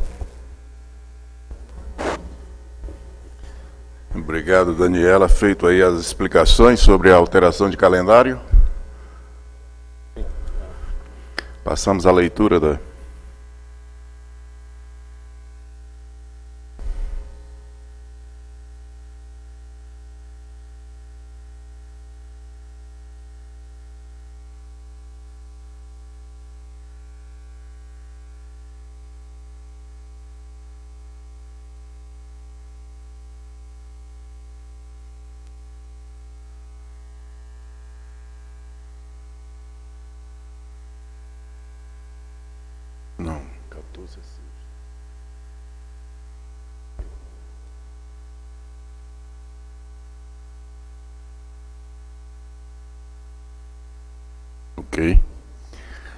Passamos à leitura da deliberação plenária DPOBR número 0083-07-2018. Altera o calendário anual de eventos e reuniões 2018 do CalBR. O plenário do Conselho de Arquitetura e Urbanismo do Brasil, CalBR, no exercício das competências prerrogativas de que trata os artigos 2 4 e 30 do Regimento Interno do CalBR, reunido ordinariamente em Brasília, DF, no dia 18 e 19 de outubro de 2018, após análise do assunto em epígrafe e, considerando o disposto no artigo 97 do regimento interno do CalBR, que define em seu inciso 5 que compete às comissões ordinárias e especiais do CalBR, propor, apreciar e deliberar sobre o que compete às comissões ordinárias e propor, desculpa, propor, apreciar e deliberar sobre o calendário anual de eventos e reuniões e respectivas alterações para apreciação do Conselho Diretor, considerando o disposto no artigo 116 do Regimento Interno do CalBR, que define em parágrafo 2 que as reuniões ordinárias das comissões ordinárias e das especiais serão realizadas na cidade de Brasília, Distrito Federal, onde se localiza a sede do CalBR, ou excepcionalmente em outro local, mediante decisão do plenário, considerando a deliberação número 015/2018 CEN CalBR de 3 de outubro de 2018, que aprova a realização de reuniões extraordinárias da CEN CalBR, considerando a deliberação 055/2018 da CRI CalBR de 3 de outubro de 2018, que solicita ao Conselho Diretor o cancelamento da reunião ordinária da CRI CalBR, considerando a deliberação número 065/2018 da COA CalBR de 3 de outubro de 2018 que solicita ao Conselho Diretor a alteração do calendário de atividades do CalBR e, considerando a deliberação número 020, barra 2018, da CPUA CalBR de 18 de outubro de 2018, que alterou o local da 73ª reunião ordinária da CEPUA CalBR, e considerando as datas estipuladas pelo Congresso Nacional para a sessão solene pelo Dia do Arquiteto e Urbanista e para o Seminário Legislativo, deliberou aprovar a realização de duas reuniões extraordinárias da SEM CalBR no dia 16 e 21 de novembro de 2018 na sede do CalBR em Brasília, DF. Desculpa, de 6 e 21 de novembro de 2018 na sede do CalBR em Brasília, DF. Aprovar o cancelamento da reunião ordinária da CRI CalBR prevista no dia 7 de novembro de 2018 3. Aprovar a realização do Encontro Nacional da COA CalBR com as COA CalUF, região norte, no dia 30 de novembro de 2018, em Palmas, Tocantins. Aprovar o quarto Encontro Nacional da COA CalBR com as COA CalUF, no dia 6 e 7 de dezembro de 2018, em Brasília, DF. Aprovar a alteração do local da data da 78ª reunião ordinária da COA CalBR, que será realizada apenas no dia 29 de novembro de 2018, em Palmas, Tocantins. 6. Aprovar a alteração do local da 73ª reunião ordinária da CPUA, no dia 28 de, no... de novembro de 2018, para a sede do CAL-MG em Belo Horizonte. E aprovar as alterações dos eventos da semana do Dia do Arquiteto e Urbanista para a. No dia 10 de dezembro, Reunião do Conselho Diretor, dia 11 de dezembro, seminário legislativo na Câmara dos Deputados. No dia 12 de dezembro, reunião plenária ordinária, né? 13 de dezembro, na sessão solene, em decorrência do Dia do Arquiteto, durante a manhã, a realizar-se no plenário, na Câmara Federal. Não é isso?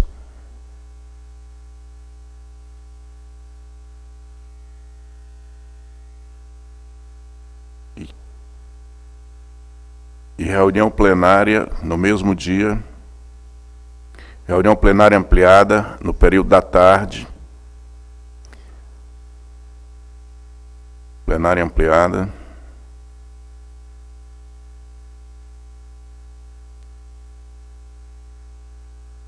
E sessão solene. Oh, desculpa, e solenidade do dia do arquiteto na noite do mesmo dia.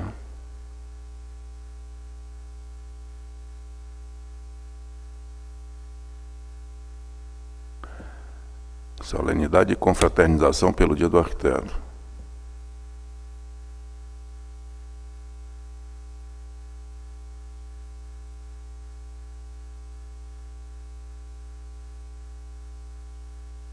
Ok. Dia 13 aí tá pesado, hein? Vai. Oito, encaminhar esta deliberação para publicação no sítio eletrônico do CalBR. Esta deliberação entra em vigor na data de sua publicação. Brasília, DF, 18 de outubro de 2018. Aberta a votação.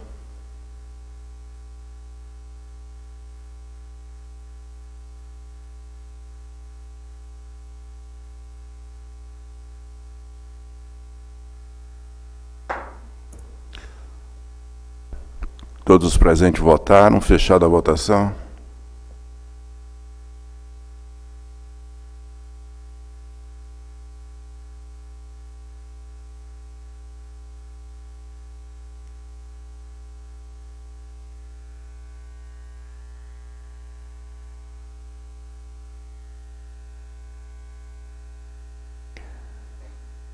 aprovado com 23 votos pela totalidade dos presentes.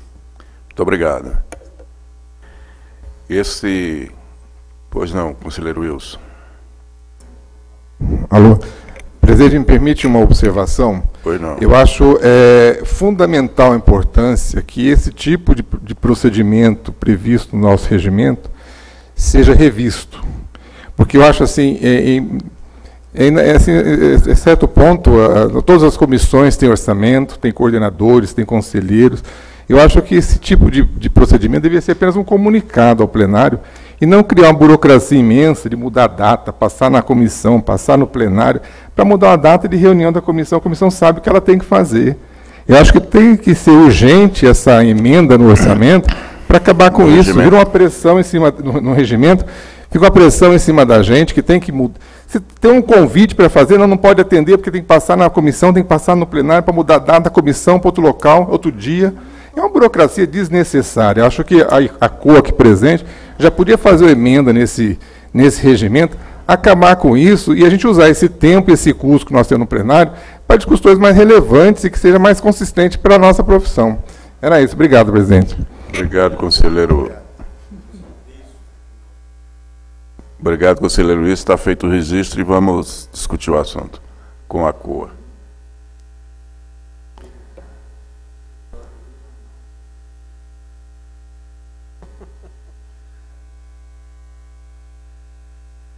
Colegas, nós estamos. Concluímos o, o item 5, com a exceção do item 5.6, que, que foi transferido para o período da tarde. Pela, pela agenda, pela pauta, ordem do dia, nós temos agora as comunicações.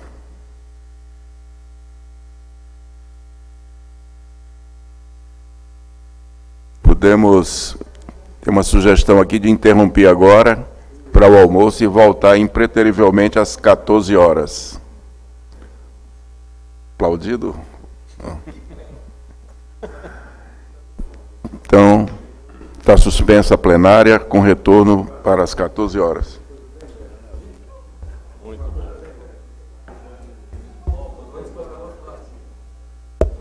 Tudo por conta do Celeste. Esse cara aí tem escorpião no bolso, rapaz. Enfia a mão no bolso, tem jeito Rapaz, eu só pago é, é galo frito. Sou cruzeirense, só pago galo frito. Tem escorpião no bolso. Enfia a mão no bolso.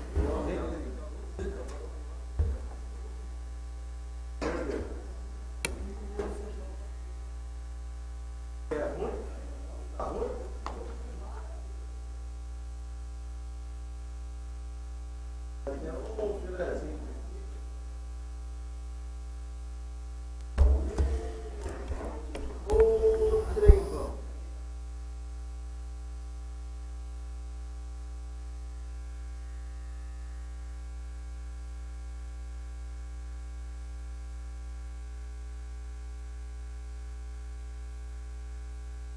Plenária ordinária.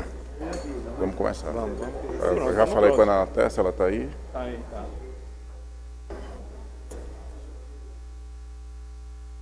Conselheiros, reiniciamos a plenária com o item 5.6. Projeto de deliberação plenária que autoriza o presidente do CalBR a firmar novo acordo com a Ordem dos Arquitetos de Portugal. Esse novo acordo quer dizer é, prorrogar as bases, porque já existe um acordo que vence agora. Não? Convido o conselheiro Fernando Márcio, coordenador da Comissão de Relações Internacionais, para iniciar o, o assunto. Boa tarde, conselheiros. É, vou pedir um pouco de paciência aí com vocês, que a apresentação acabou ficando um pouco longa. Como a gente, é, como a gente tem tempo, né? Então, tinha uns slides ali ocultos, eu mandei a todos, né? Vamos lá. Como o, o presidente falou, esse acordo está vencendo agora no final do ano. E bom, vou fazer um histórico aqui para vocês entenderem melhor. Por favor, você passa. É, em 2001 houve um tratado de amizade entre Brasil e Portugal. Né? de presidente para presidente. Pode passar.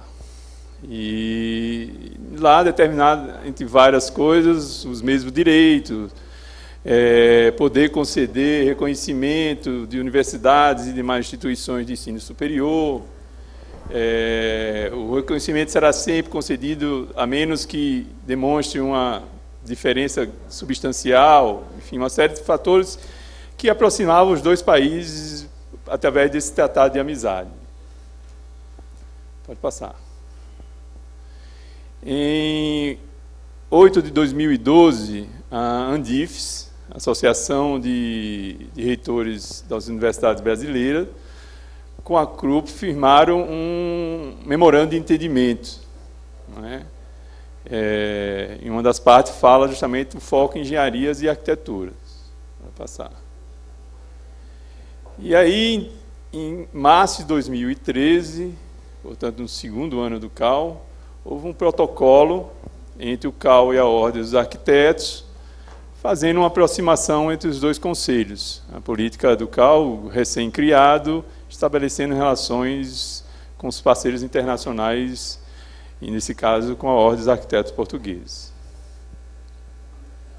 É, em junho de 2013, a Andifes com a, com a CRUP é, fez um reconhecimento, um, um, acordo que tratava do reconhecimento e revalidação de diploma de graduação nas áreas de arquiteturas e engenharia. Pode passar. É, em 12, em dezembro de 2013, assinamos um acordo de cooperação com a Ordem dos Arquitetos, CAL e a Ordem dos Arquitetos,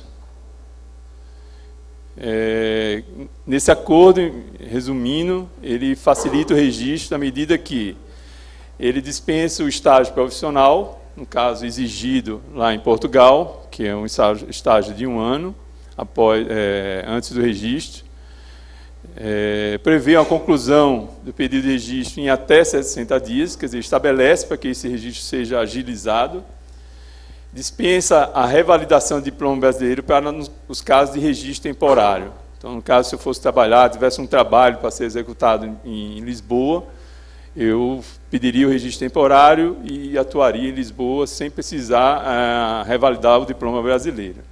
Pode passar. Em 2016, firmamos um aditivo com, com a Ordem dos Arquitetos, né? pode passar, que diria que, que disse né, que é, criamos um, um, formulário único para solicitação de registro, diminuímos essa burocracia, né, incluímos um funcionário de carreira em cada entidade na comissão de acompanhamento desse acordo. Então, é, já no primeiro acordo existia uma comissão de acompanhamento, e aí nessa comissão foi incluso um funcionário de carreira e previsão para que semestralmente fosse enviado informações sobre essa mobilidade, sobre quem estava vindo para cá e quem estava indo para lá, além de outras questões. E aí o acordo, como eu falei, expira em, em janeiro, né? expira, na verdade, em final de dezembro. Pode passar. E aí um balanço desse acordo. Tá? É, durante todo esse tempo, sete brasileiros conseguiram o registro via acordo na Ordem dos Arquitetos. E 45 portugueses conseguiram o registro aqui no Brasil. É, se a gente for considerar o número de arquitetos que tem aqui, na faixa de 165 mil, e o que tem lá, 22 mil, essa diferença se torna mais desproporcional ainda. Mas, e aí, e aí depois... Só uma explicação. Sete, mas quantos solicitaram? É, a gente não tem esse. Porque, na, na, verdade, o, a solicitação não está chegando na ordem. Está parando antes, que eu vou explicar daqui a pouco. Ah. Tá? É, como o presidente falou, muitos outros arquitetos também estão tentaram, estão tentando esse registro na ordem dos arquitetos, mas estão sendo barrados antes. Mas enfim, pode passar. Ah, volte só um pouquinho aí, por favor. É, eles têm uma proporção de 2,1 arquitetos por pessoa, a cada mil habitantes, nós temos 1,26. Eles têm 20 escolas de arquitetura, cursos, nós temos 754 hoje, né? Ontem, né? Então, é, para a gente entender essa relação é, que está acontecendo. Pode, pode passar. E aí pegamos esses arquitetos que se inscreveram lá, pegamos esses portugueses que escreveram aqui, é, planilhamos isso, organizamos. Pode passar. É, esses são os profissionais registrados via o acordo. Na verdade, foram sete, né? E 45 portugueses. Passe, por favor. E pelo trâmite normal que não usaram o acordo, dois brasileiros e 21 portugueses. Pode passar. No total, 9 a 66. Quase um, um 7 a 1 aí. Pode passar. É, quando estivemos em Portugal, e no começo do ano, a gente conversou com, com os arquitetos, marcamos uma reunião e fomos conversar com os arquitetos que estavam tendo problema lá e com os que tinham registro também. Né? E uma das questões que, que nós solicitamos que cada um enviasse por e-mail da CRI um relato do que aconteceu, para que a gente pudesse planilhar isso e ter uma noção geral do que acontece lá, isso em dados, porque já tem uma comunidade no Facebook, aqui através da ouvidoria, enfim, diversas formas, é, essa reclamação chega a nós. Então, planilhamos isso para ver quais são os problemas que estavam realmente acontecendo. Pode ir. E aí, assim, a grande maioria dos problemas é dificuldades e obstáculos na revalidação do diploma brasileiro por falta de equivalência das formações. Se juntar isso à morosidade, isso são as reclamações que eles fazem, tá? São as palavras deles que a gente planilhou e colocou aí. Se juntar com a demora e o alto custo, vai dar aí quase, vai dar 65%. Né? E, e, aí eles reclamam também do atendimento no, dos arquitetos, que o acordo é ineficiente, que não há reciprocidade, enfim, outras questões, além dessa, desse eixo principal aí, que é a dificuldade em, em registrar na ordem. Pode passar. E aí pegamos todas as reclamações, meu diploma de bacharel de cinco anos obteria no máximo o grau de licenciatura português, que é de três anos. É, cinco anos de Arquitetura Brasil são equivalentes a três anos lá. É, para que ocorra a validação do diploma é necessário cursar um mestrado, que são dois anos. Isso, isso é uma realidade lá. Eles têm que fazer dois anos na, naquela, na faculdade portuguesa, que é o equivalente ao mestrado deles, e isso custa aí em torno de mil a dois mil euros, pelo menos, né? porque são universidades pagas. Pode passar. E aí, ó, alguns falam aí em 7 mil euros por ano, enfim. Aí, aí surgiu, o CRE permite a filiação na ordem dos, na, dos engenheiros diretamente, e aí eu ouvi falar também lá que a OAB, os arquitetos têm uma, uma, uma, uma mobilidade muito mais facilitada, e aí... Desculpe, os advogados. É, é, enfim, aí ouvimos esse pessoal, catalogamos isso, Pode passar. É, pode passar. Pode passar. E aí também tem alguns comentários positivos, que o acordo é importantíssimo, que conseguiu autorização na OA em 15 dias, o acordo ainda é útil, isso não pode ser um retrocesso, enfim, uma série de coisas. Enfim, a reclamação é maior, normalmente quem quem está com prejuízo reclama mais né, do que quem elogia. Né? Mas, enfim, existe realmente isso um, um barulho aí muito grande entre os profissionais que estão tentando se registrar lá em Portugal. Pode passar. E aí fomos pesquisar como é feito, como é que foi feito esse acordo dos, dos engenheiros, né, entre o Confea e a Ordem dos Engenheiros lá. É, eles criaram um termo de reciprocidade entre Confea e a Ordem dos Engenheiros de Portugal, que teve início em 2016, em caráter experimental. Inicial, ele, inicialmente, eles limitavam o número de profissionais para fazer uma, uma, experiência. Já, mas em 2017 eles viram que não tinham tanto problema e abriram, não tem limite de profissional. face aos bons resultados obtidos e a procura que se verificou e que já permitiu o pedido de reconhecimento mútuo é, de um número significativo de engenheiros portugueses e brasileiros. Né? E aí esse aditivo foi feito em 2017 e hoje funciona, é, digamos, bem para a, o ramo da engenharia. O engenheiro brasileiro com autorização para residência ou com proposta de trabalho, ele vai e registra diretamente na ordem dos engenheiros lá. Tá? E o português no Brasil, a mesma coisa, e o caminho é facilitado, não passa pelaquela bolinha ali, que passa justamente o arquiteto brasileiro, que ele precisa revalidar o diploma na Universidade Portuguesa. Esse é o grande entrave, porque o nosso diploma é diferenciado com relação aos portugueses que aderiram ao, ao Acordo de Bolonha. E aí o pessoal da, da, da CEF pode até me ajudar mais. Então, eles não reconhecem o nosso diploma como igual deles. Lá no, no, na Universidade Portuguesa tem um primeiro ciclo de três anos, depois tem um segundo ciclo de dois anos, que é um mestrado integrado. E aí o nosso diploma equivale ao primeiro ciclo. Pode, aí, é, pronto, pode passar. E aí os advogados, é, que têm a formação acadêmica, isso é, isso é a inscrição, né, como é que eles é, dispensa a realização de estágio e a obrigatoriedade de realizar prova de agregação, ou seja, a ordem dos advogados portugueses reconhece o registro dado pela ordem dos, dos advogados brasileiros e vice-versa. De, de, entidade profissional para entidade profissional. Então, se eu estou registrado como advogado aqui, eu tenho a, a, a minha mobilidade facilitada lá e vice-versa. Pode passar. Pode passar. Enfim, o exame de ordem. Bom, pode ir. Aquilo que eu estava falando é o ensino superior em Portugal, pós-Bolonha, que tem o primeiro ciclo de licenciatura, e depois o segundo ciclo do mestrado. Então, mesmo hoje, é, eu com a graduação aqui no Brasil e com o título de mestre aqui no Brasil, eu não consigo o registro em Portugal.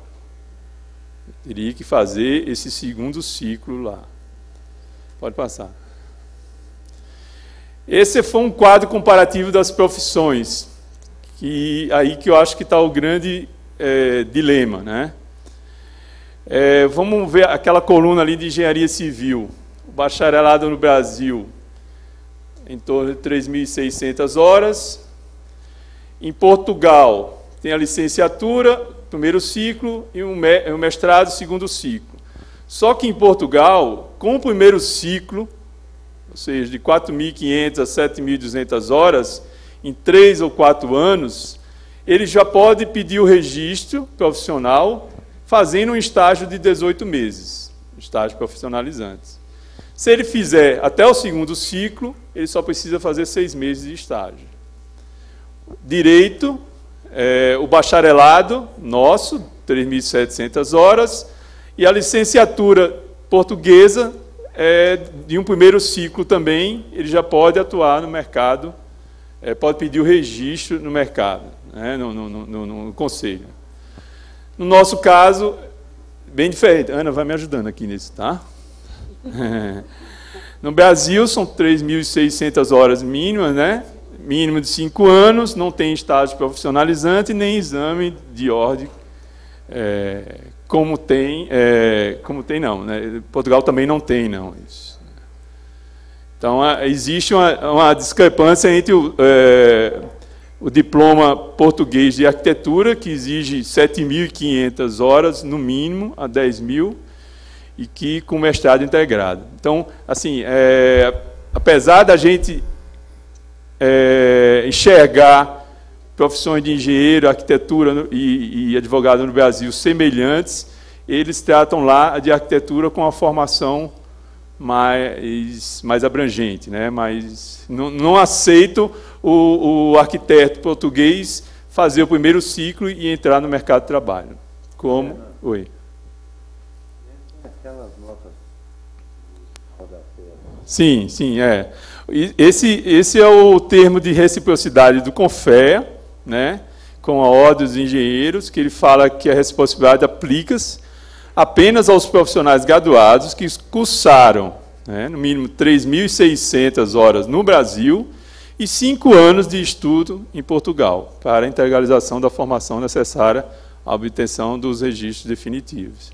É mais ou menos nessa nota de rodapé que a gente está tá, tá se apegando para o que a gente vai pleitear. Porque quando você vê a nota 2, está falando, considerando horas em sala de aula de estudos em casa e organização. Então, se for fazer uma comparação Sim. de 3,600 é, é, a gente não, é, a gente não consegue fazer, realmente a gente não conseguiu fazer essa, essa equiparação direta, realmente. Você, você levantou um ponto importante, né? Comparando, estamos comparando coisas coisa diferente. isso, é verdade. Eles consideram, nós consideramos aula, horas em sala de aula. Eles consideram sala de aula, mais estudos em casa e de orientação. E o bacalhau com vinho português. Pode passar, por favor. E aí, esse ano, desde o início, buscamos resolver essa questão que já vem um ano, dois anos de, de, de reclamação. Né? Desde que o nosso mercado piorou, depois de Copa do Mundo, Olimpíada, que houve uma procura maior por, por morar fora, né? e Portugal é um alvo é, por conta da língua, das facilidades, enfim, do progresso que está lá, da situação que está lá começaram ações de reclamações, enfim, aquelas reclamações que a gente viu tudo. É, no começo do ano, definimos a comissão de acompanhamento, no caso sou eu, o conselheiro Hélio Costa e Ana Latesa. Por favor. Em março, enviamos ofício à Ordem dos Arquitetos, comunicamos não só a Ordem dos Arquitetos, mas outros, os conselhos, a Ordem também. Em abril eles não responderam, insistimos, eu, contamos com a ajuda do Simon, inclusive, para ligar, conversamos com o presidente do, da Ordem dos Arquitetos Portugueses, o Pedreirinha, conversamos por telefone, foi muito simpático, muito receptivo, disse que não tinha recebido e-mail, não tinha achado, enfim. É, restabelecemos, é, restabelecemos a comunicação entre os dois conselhos, isso foi em abril desse ano. Em maio, aproveitando a viagem à China, paramos lá, conversamos, como eu falei, com os arquitetos, em, em, torno de 10 a 12 arquitetos conseguimos marcar, porque foi definido em cima da hora, mas fomos lá, conversamos, eles gostaram muito, se sentiram atendidos, né, ouvidos. É, conversei com o vogal João Daniel, que é o, o responsável por essa relação internacional na Ordem dos Arquitetos, é a pessoa que os arquitetos brasileiros procuram lá, e a pessoa que eles enfim, que ele se relaciona lá, por favor. Em julho tivemos uma reunião técnica com assessoria jurídica para discutir um novo, uma nova minuta de, de, de acordo, como melhorar isso, como fazer para que isso pudesse facilitar, resolver esses problemas. E, e aí colocamos claramente, a, o, o doutor Medeiros não está aqui não, né? Colocamos... Está aqui. Pronto. Tivemos assessoria do doutor Medeiros, insistimos com eles em equiparação, o doutor Medeiros retocou, enfim, tinha dúvidas sobre a procedência, sobre a constitucionalidade desse acordo dos, dos outros conselhos. É, fizemos videoconferência com a Ordem dos, dos Arquitetos, tratamos de vários assuntos, inclusive da, da intenção de renovar o acordo, de uma aproximação maior com, com os, os com o Conselho Português. Pode passar. Em agosto, tivemos é, uma reunião no Ministério das Relações Exteriores.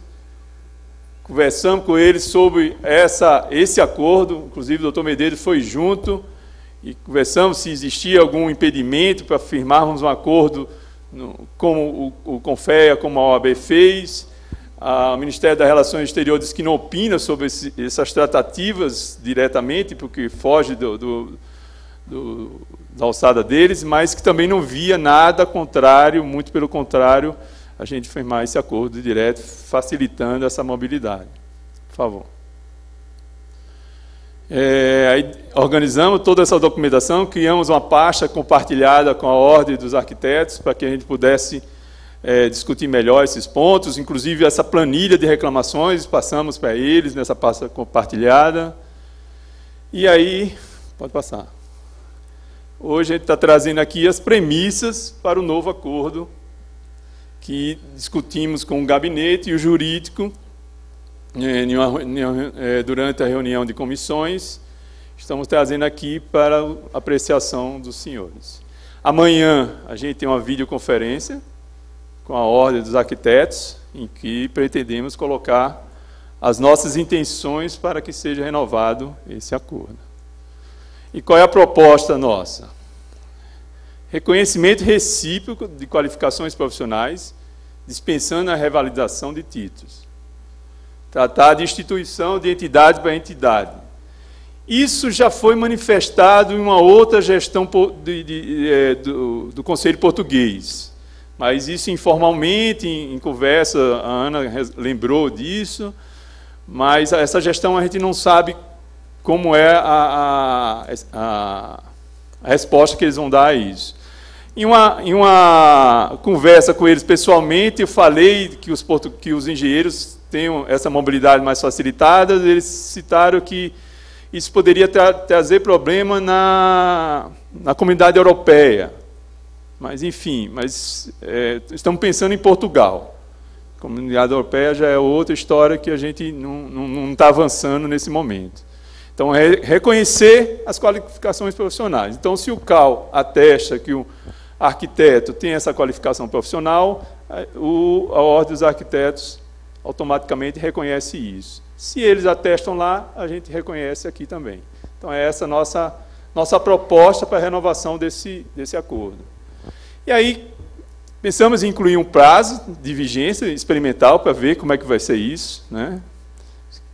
como é que vai ser isso, ficar acompanhando isso de perto, como é que vai ser inclusão de dispositivo que determine uma, é, uma obrigatoriedade de se manter o registro em ambos os países, para que os profissionais sejam amparados por esse instrumento. A ideia é que, se você quiser é, trabalhar em Portugal, você teria que manter o, o título aqui e o título de lá. Enfim, pode passar. E aí, também, né, implementação do protocolo firmado em 2013, que é realmente uma aproximação entre conselhos, uma troca de experiência, troca de cultura, enfim, uma, uma, um diálogo mais próximo com os, com os nossos colegas portugueses. Pode passar. Bom, era isso que temos, estamos à disposição aí dos senhores. Obrigado, conselheiro Fernando Márcio. Com a palavra o plenário para pedido de esclarecimentos. Conselheiro Raul. Fernando, me chamou a atenção a questão das, da, da carga horária. 3.600 aqui, dentro de sala de aula. É isso que está ali na planilha. E lá tem 7.500 em, em, em sala. sala, estudo em casa e orientação. O que seria pensando na, na, na, na reciprocidade, né? O que seria lá o, o, o tempo em, em, sala de aula, como é aqui? Porque senão a gente não tem como comparar, não tem, vai ficar sempre essa dúvida e sempre uma, uma não é desvantagem, mas é uma, é uma comparação mal feita de coisas. O que seria o tempo em sala de aula lá? 3.600 horas? Mais de 3.600? Porque tem o dobro do tempo. Se aqui a gente for considerar o que se faz fora de sala de aula, rapaz, é capaz da gente ter mais. É capaz da gente ter mais do que 7.500. Então, assim, eu acho que a gente precisava dar uma, buscar um, um, um detalhamento melhor disso aí. Não sei como. Tá, eu acho que a conselheira André pode da CEF pode ajudar aí nessa discussão.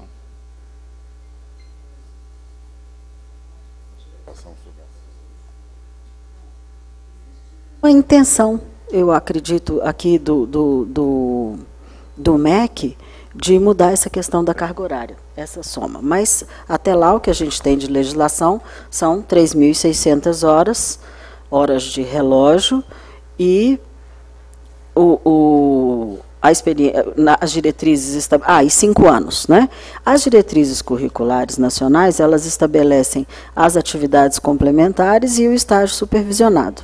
Então eu acho que um argumento que a gente pode utilizar é que a gente. É verdade que boa parte das instituições, Raul, infelizmente, 3.600 horas soma tudo. Soma a sala de aula, soma o estágio supervisionado, soma as atividades complementares. É, é, há um tempo atrás, eu diria que 30%, 40% dos cursos estavam nessa categoria aí de carga horária mínima, e hoje esse número com certeza é maior. Mas eu acho que é isso, a gente falar dessas, dessas atividades extra-classe. E lá é, é, eu não sei, a gente não vai ter acesso a essa carga horária de sala de aula, porque o, o histórico deles, quando vem a carga horária, vem já embutida dentro e fora da sala. Então, eles não têm separado hora-aula. Eles têm? É. Eles têm horas ou créditos. Então, eles não têm isso quantificado. Bom, e aí vale só uma observação em relação à validação do diploma, que quando eles vêm com os cinco anos, aqui o diploma é revalidado como bacharel. Então ele é mestre lá em Portugal e quando ele vem para o Brasil ele é bacharel. Por quê? Porque nós precisamos dos cinco anos. E para eles bastam três anos. Essa é a diferença.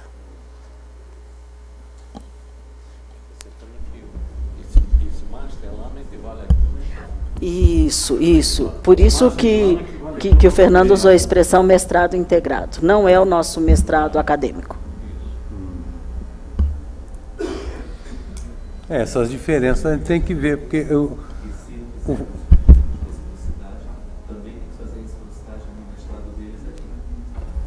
Por favor, conselheiro Humberto, no microfone.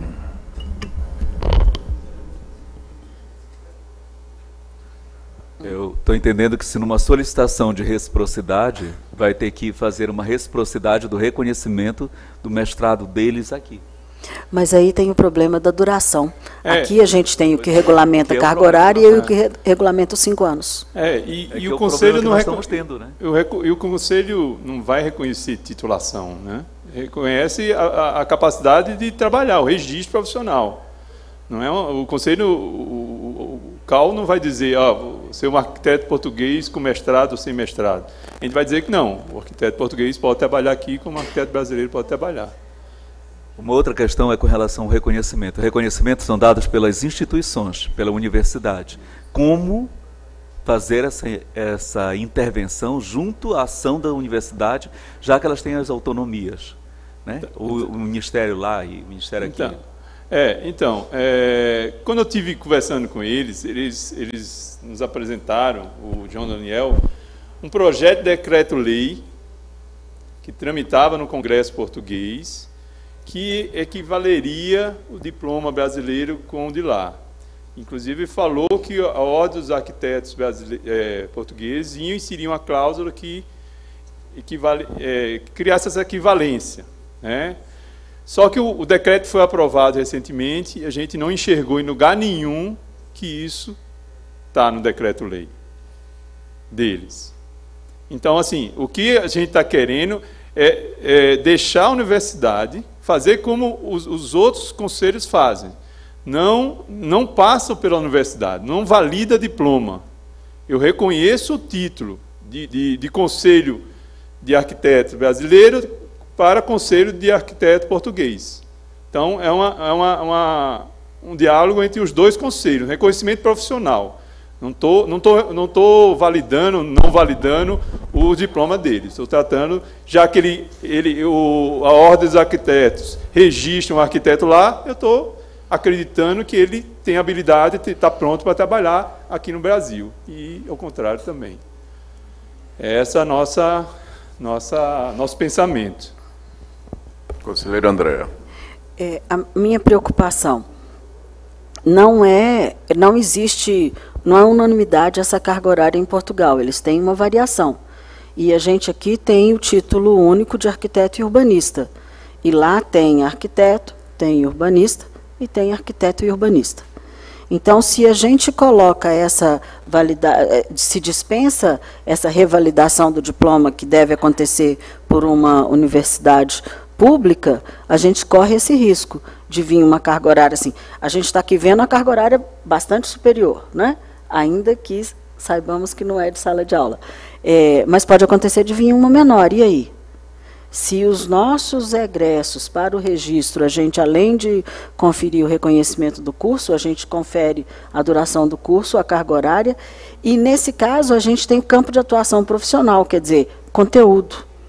Então a gente tem que ser cuidadoso. A gente pode receber um diploma sem a revalidação, desde que cumpra o campo de atuação profissional. Posso, é, posso falar? Só, só, só respondendo a Andréa, até hoje não houve nenhum arquiteto português né, que houve problema de revalidação de diploma aqui. Todos que foram pleiteados, a princípio, chegaram e foram é, registrados. E, e, na nossa conferência aqui, Ana, também todos o conteúdo. Então, quer dizer, a gente tem um indício de tranquilidade. É, isso. Tá, melhor.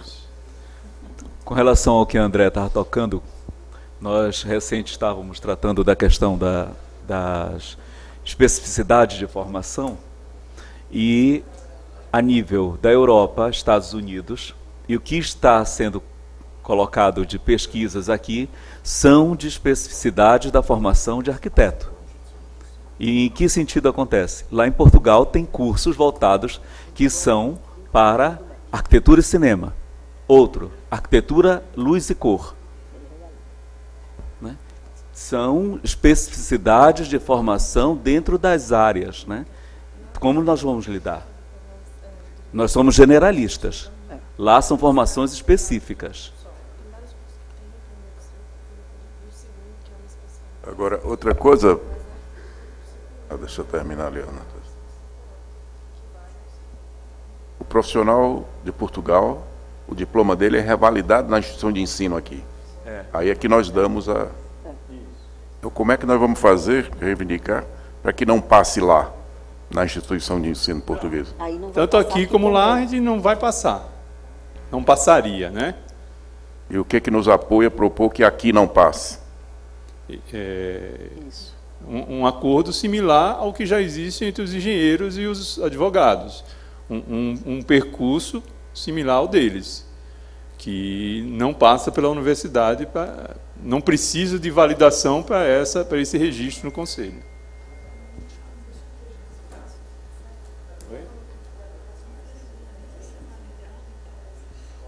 A gente não tem nenhuma legislação federal tem que falar com os russos que, que obriga a revalidação do diploma. É obrigado. É, pois é, deixa eu Fernando. É, é, Fernando e, e, e Ana, com, com que base os conselhos dispensam a revalidação? Porque quem estabelece a necessidade da revalidação não é a nossa regulamentação CAL. Ou eu estou enganada, Ana? Você está certa.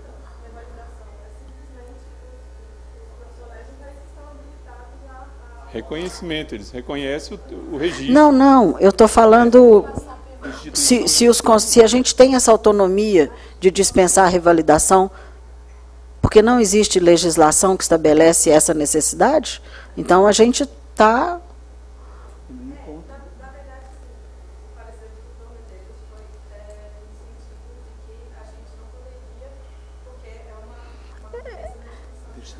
É.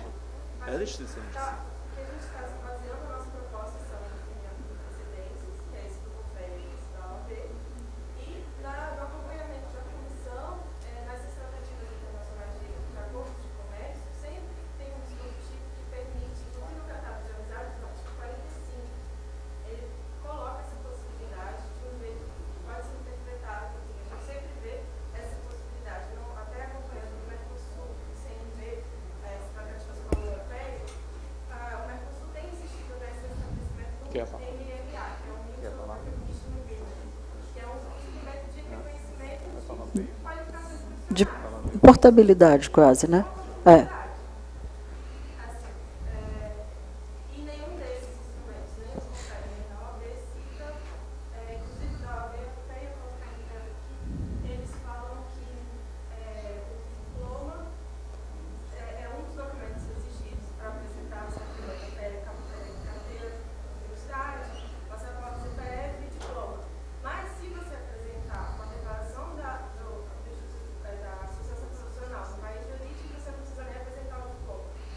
Aí parte do pressuposto que isso já foi conferido por eles.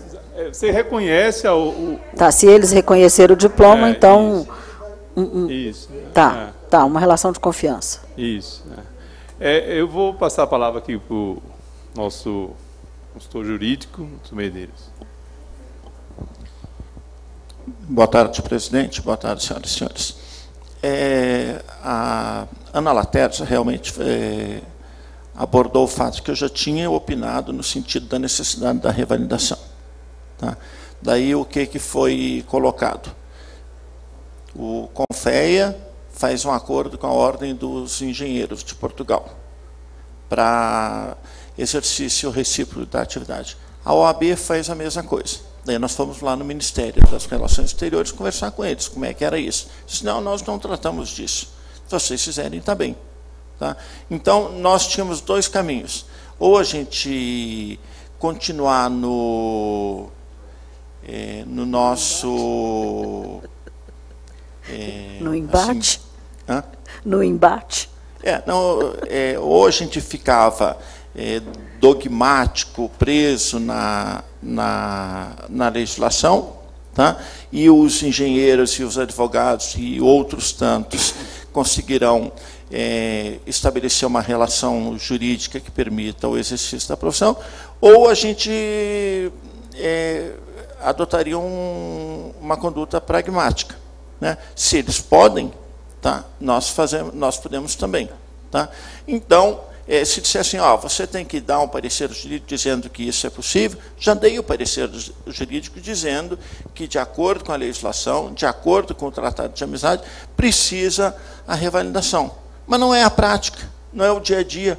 Se, eles, se os engenheiros estão fazendo, se os advogados estão fazendo, tá? É, nós podemos fazer também. Se der errado para nós, vai dar errado para eles também. Tá? Então, nós não podemos é ficar tá, insistindo numa, é, numa posição que não está não tá sendo a, a, a vencedora, não está sendo a prática do, nessa área de exercício profissional. É, e em cima dessa nossa conversa, eu, eu vejo com bons olhos, então. Eu acho imprescindível essa, essa necessidade do vínculo com o conselho lá e o vínculo aqui, porque aí a legalidade foi conferida lá e a gente só está honrando. Eu a- acho. Estou convencida. É nesse sentido. Inclusive o acompanhamento de processo ético, enfim, de exercício entre os dois conselhos. A comissão vai existir por causa disso.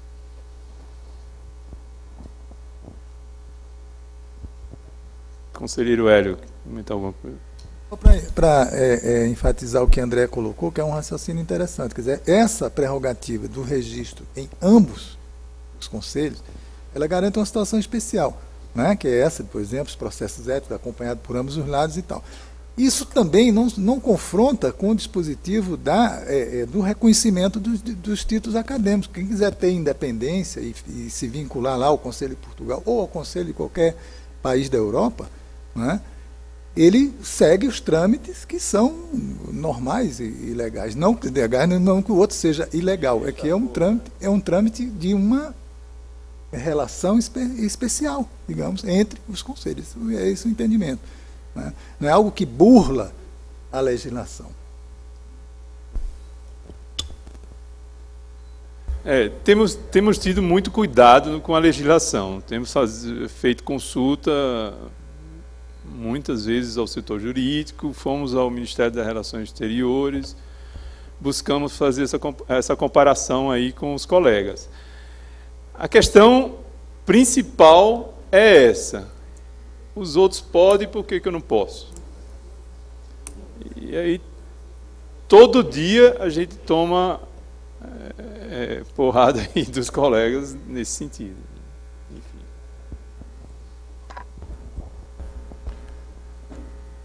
Mais alguma manifestação? É esclarecido o assunto?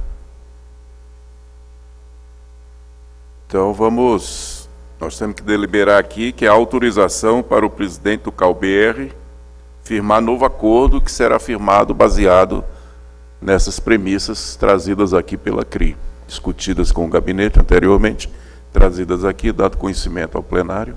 Ô, presidente. Pois não. Na verdade, a gente vai negociar com eles. né? Sim, negociar com É. eles, claro.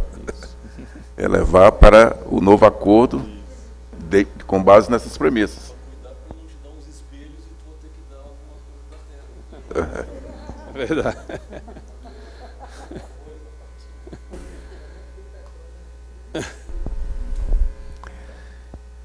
Então passamos a ler a deliberação plenária DPO BR número 0083-08-2018. Autoriza o presidente do CalBR a firmar acordo de cooperação com a Ordem dos Arquitetos de Portugal.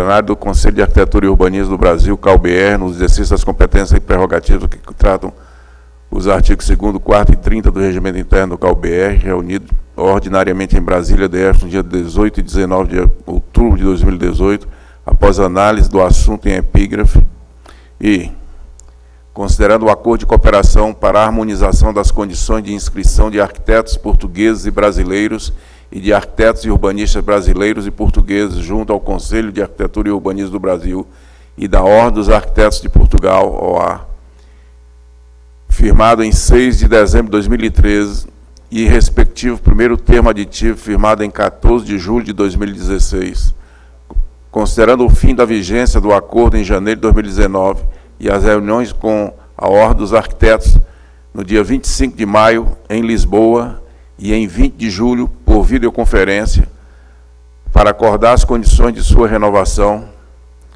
Ali tem que botar o ano, né? 20 de maio e 20 de 2018.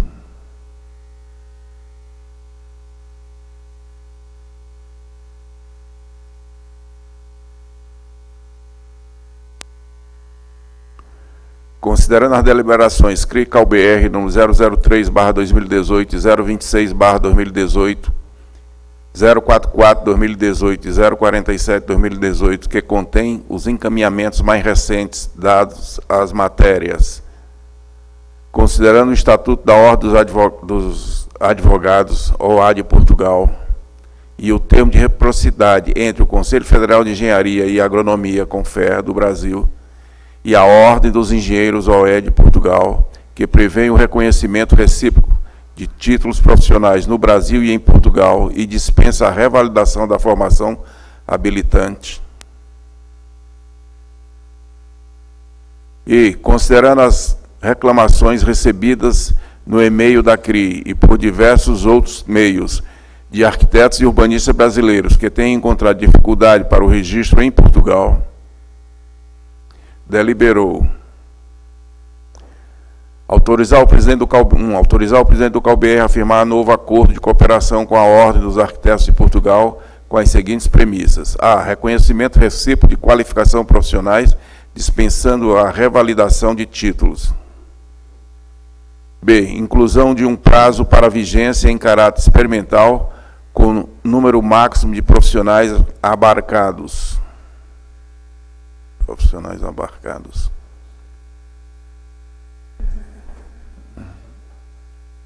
Quase igual É a uma- rolar. É português de Portugal. Inclusão de dispositivo que determine a obrigatoriedade de se manter o registro ativo em ambos os países para os profissionais amparados pelo instrumento.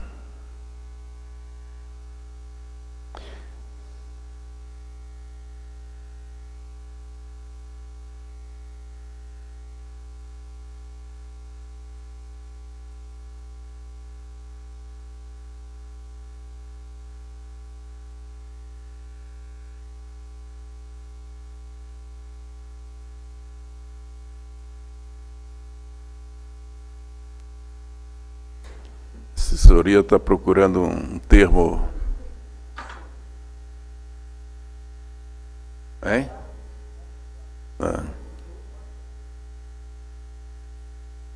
Tá bom. Obrigado, conselheiro. C. Inclusão de dispositivo que determine a obrigatoriedade de se manter o registro ativo em ambos os países para os profissionais amparados pelo instrumento, contemplados pelo instrumento também. Dois, encaminhar esta deliberação para publicação no sítio eletrônico do CalBR. Esta deliberação entra em vigor na data de sua publicação, Brasília, DF, 18 de outubro de 2018. Pois não, conselheiro Hélio.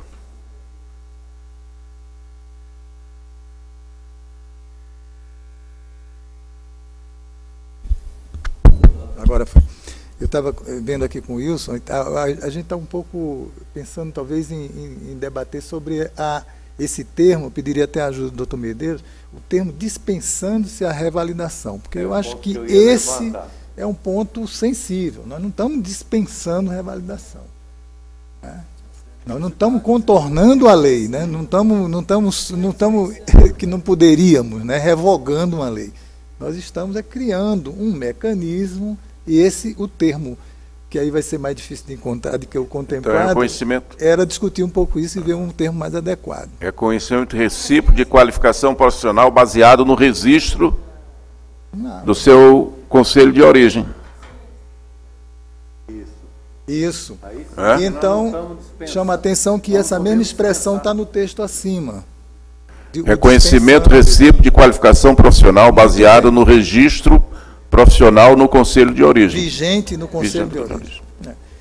E, e então, veja, ter o cuidado de que essa expressão está no texto acima também. O dispensando está Nos considerando, é.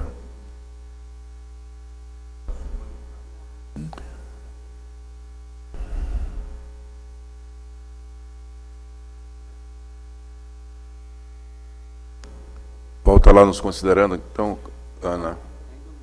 Hein? Só um instante, ainda o conselheiro Guivaldo quer fazer uma, uma uma observação no item A. Ainda no, ainda no item A, vigente no conselho de origem, é, ou, no, vigente no conselho ou ordem de origem, porque a- a- em Portugal não é conselho, é uma ordem. Né? Tá. Ok. Então vamos agora nos considerar.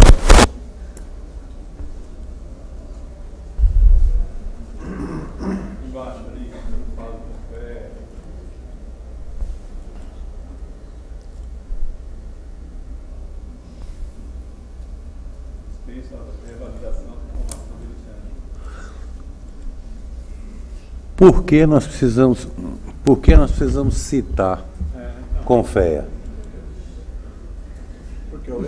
Não, foi um dado que foi se buscar. Nós não temos que ir para a resolução nossa do CAL está citando Confea, não? Eu acho que isso aí não tem. O resto, o resto já está suficientemente. Deixa eles para lá. É, da- é valorizar demais. Isso aí se usa em argumentação, não em sugestão. Use-se como argumentação, tal, mas em documento nosso, citá-los? Não. Sugestão. Só uma sugestão.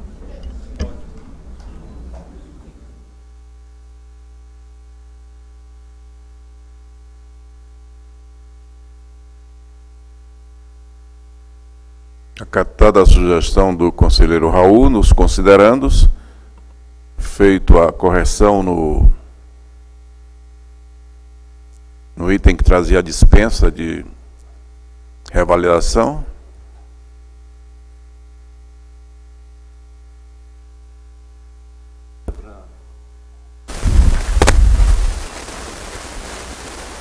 Por favor.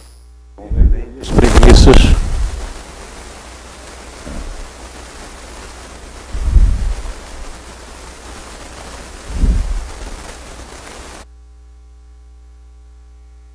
É, é, me permito também sugerir, diante das notícias, não só com esse, o acordo com a Ordem dos Arquitetos de Portugal, com de Espanha, etc., eh, vem me preocupando muito a questão da reciprocidade. Eu acho que não seria eh, demasiado colocar ali eh, mais uma premissa que seria considerar os princípios universais da reciprocidade. Uma sugestão que eu faço.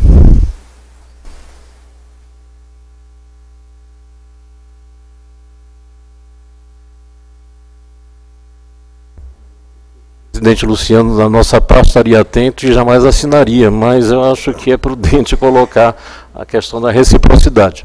Nunca é demais. Agora vamos voltar lá para o. Vamos fazer a releitura a partir daqueles considerandos que nós alteramos o. Considerando o fim da vigência de acordo do acordo em janeiro de 2019 e as reuniões com a OA no dia 25 de maio de 2018 em Lisboa e em 20 de julho de 2018 por videoconferência para acordar as condições de sua renovação, considerando as deliberações CRICAL-BR 00318, 026 2018, 044 2018 e 047 0 e tem um I a mais ali também, né?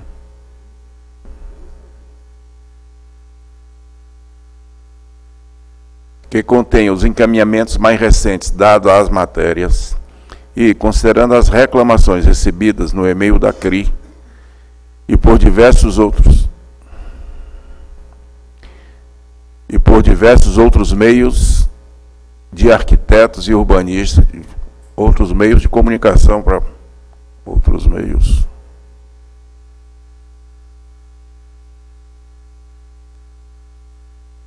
De arquitetos e urbanistas brasileiros que têm encontrado dificuldades para o registro em Portugal. Deliberou autorizar o presidente do CalBR a firmar novo acordo de cooperação com a Ordem dos Arquitetos de Portugal, com as seguintes premissas: A. Reconhecimento recíproco de qualificações profissionais baseado no registro profissional vigente no conselho ou ordem de origem. Inclusão de um prazo para vigência em caráter experimental com o número máximo de profissionais contemplados. C. Inclusão de dispositivo que determine a obrigatoriedade de se manter o registro ativo em ambos os países para os profissionais amparados pelo instrumento. E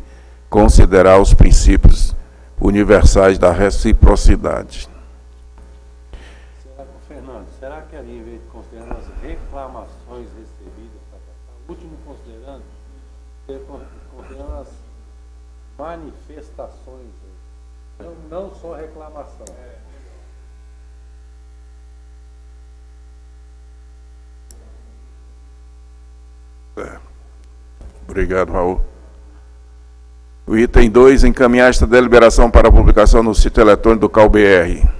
Esta deliberação entra em vigor na data de sua publicação, Brasília, 18 de outubro de 2018.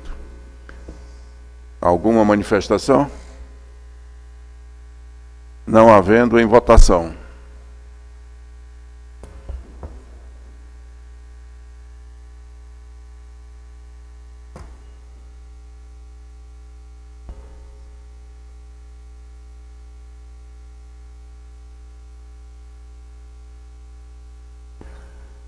Todos os presentes votaram.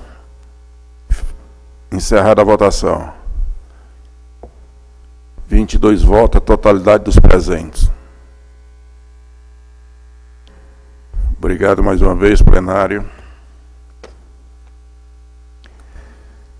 Continuando, passamos para o item 6, comunicação das comissões.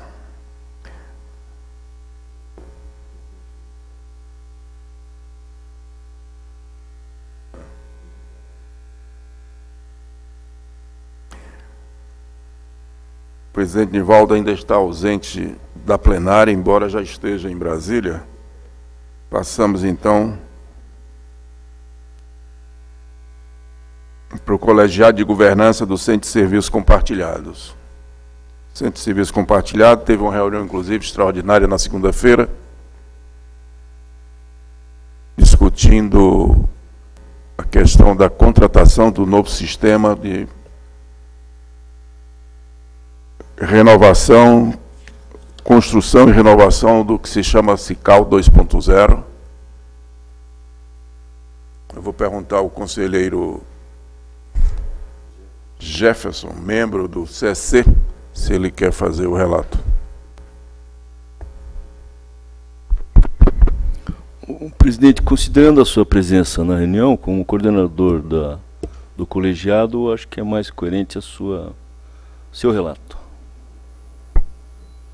Estava pedindo a colaboração do conselheiro para tomar um copo d'água.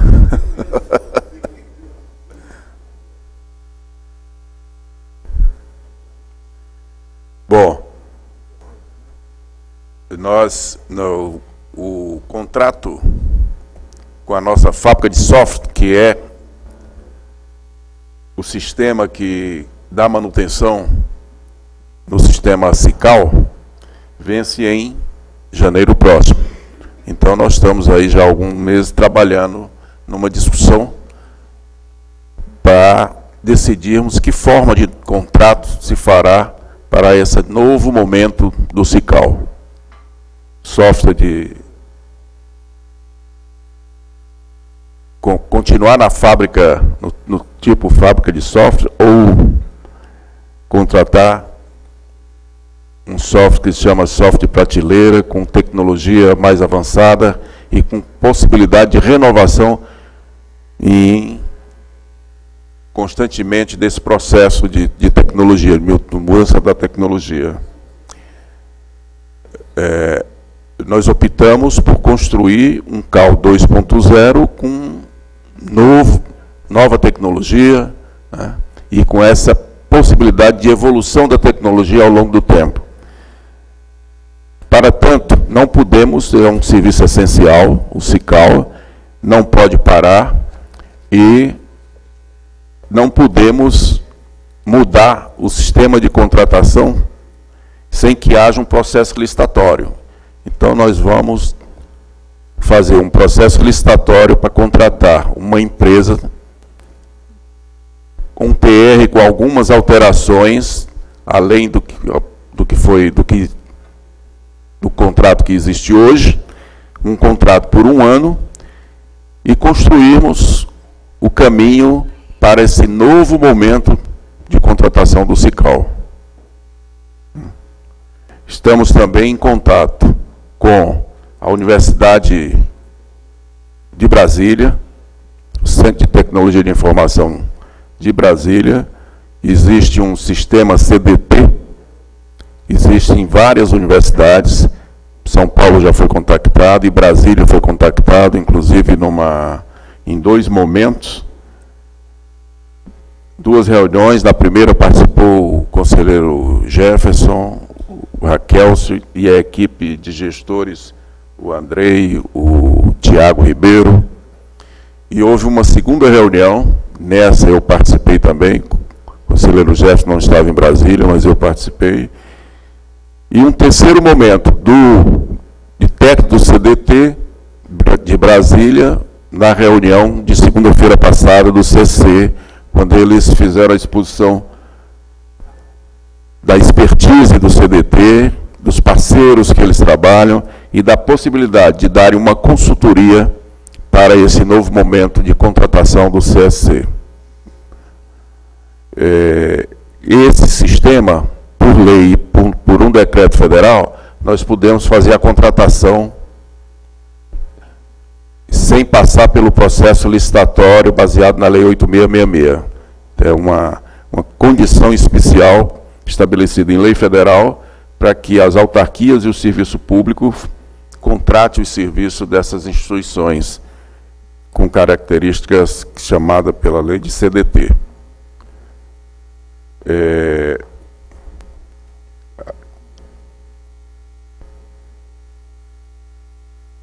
Bom,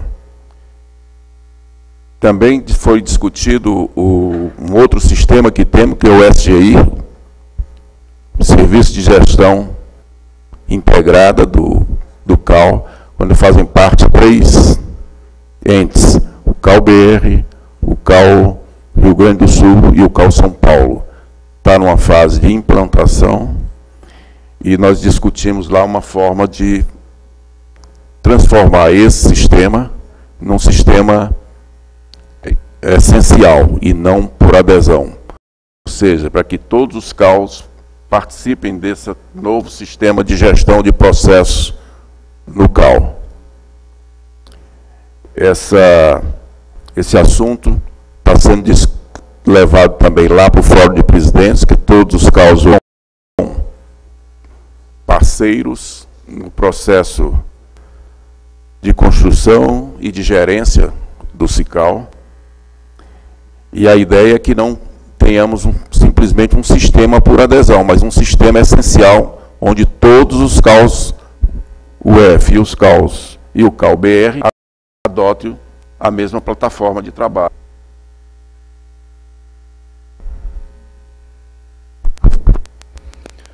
Recordando aos colegas, este contrato de SGI é um contrato que envolve São Paulo, Rio Grande do Sul e CalBR. O meu ponto de vista foi um equívoco essa, essa iniciativa. E a tentativa que feito com a presidência, com o apoio do CSC, com o apoio dos atuais presidentes dessas UF, é que isso se torne um, um, um projeto único estamos em desenvolvimento de um CICAL estamos numa contratação à parte de um outro sistema é, que, em tese, dá uma duplicidade aí de gestão, uma duplicidade de, de investimentos. Esse esforço é um esforço que tem tentado reduzir essa distância entre essas duas ferramentas. É, é, uma, é, uma, é uma estrutura que envolve contratos, que envolve empresas, mas é uma tentativa. Essa plenária tem sido informada sobre essa tentativa é, e assim estamos à busca dela. A solução de termos uma outra opção, além desta de contratação de fornecedores, os senhores sabem, já foi aqui também várias vezes manifestado, a presidência também já citou, é a perspectiva que a lei nos permite de termos de cooperação com instituições de pesquisa, né, principalmente em TI. Então, vemos sim essa perspectiva como uma perspectiva de redução de custos, de aumento de velocidade, de soluções mais rápidas em relação aos sistemas que estão utilizando. Esta, esta plenária, este, esse mandato tem colocado como prioridade essa, esse deslanchar aí nessa promessa que fizemos aos colegas e que as velocidades, às vezes, dos, das empresas não têm correspondido o vínculo com instituições de pesquisa nos dá, ao meu ver, mais velocidade, mais agilidade, mais opções nas nossas soluções, presidente. Eu acho que é essa abertura que nós estamos tendo no sentido de termos, sim, a busca de soluções mais rápidas e mais baratas.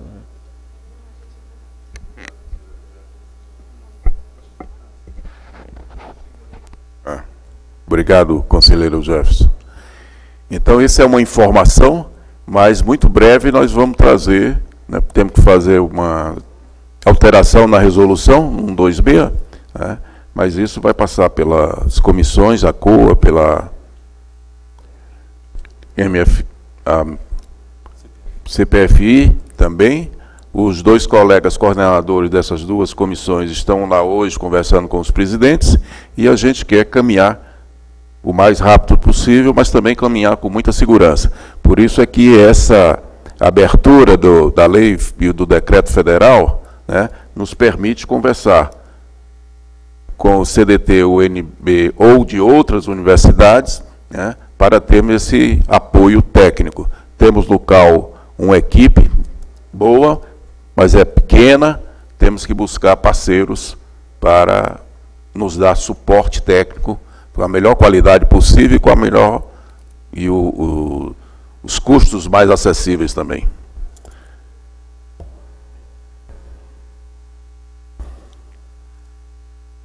Feitos os esclarecimentos, sim, é, é, com o SGI também foi feita uma visita a uma, ao município de Pinhais, no Paraná, região metropolitana do, de Curitiba, que tem adota esse sistema, essa mesma plataforma de trabalho. Né? Foram lá é, alguns conselheiros, o chefe de gabinete, a equipe técnica toda do CAL, e viram na prática o funcionamento dessa plataforma de SGI.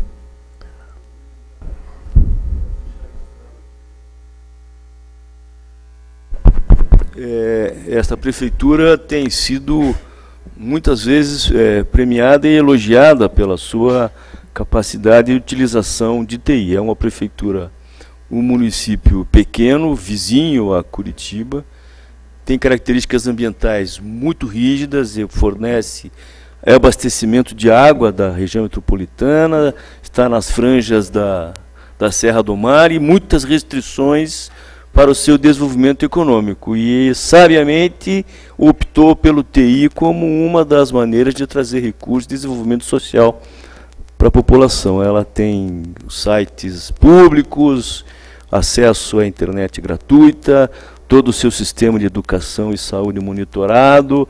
Então, é, um, é uma boa dica essa de saber que, é uma boa informação essa, saber que esta prefeitura que é reconhecida como referência na área de, de informações sociais públicas, pode vir a ser aí o, o, um agente nosso de melhoria do nosso sistema. Muito bem lembrado aí, presidente.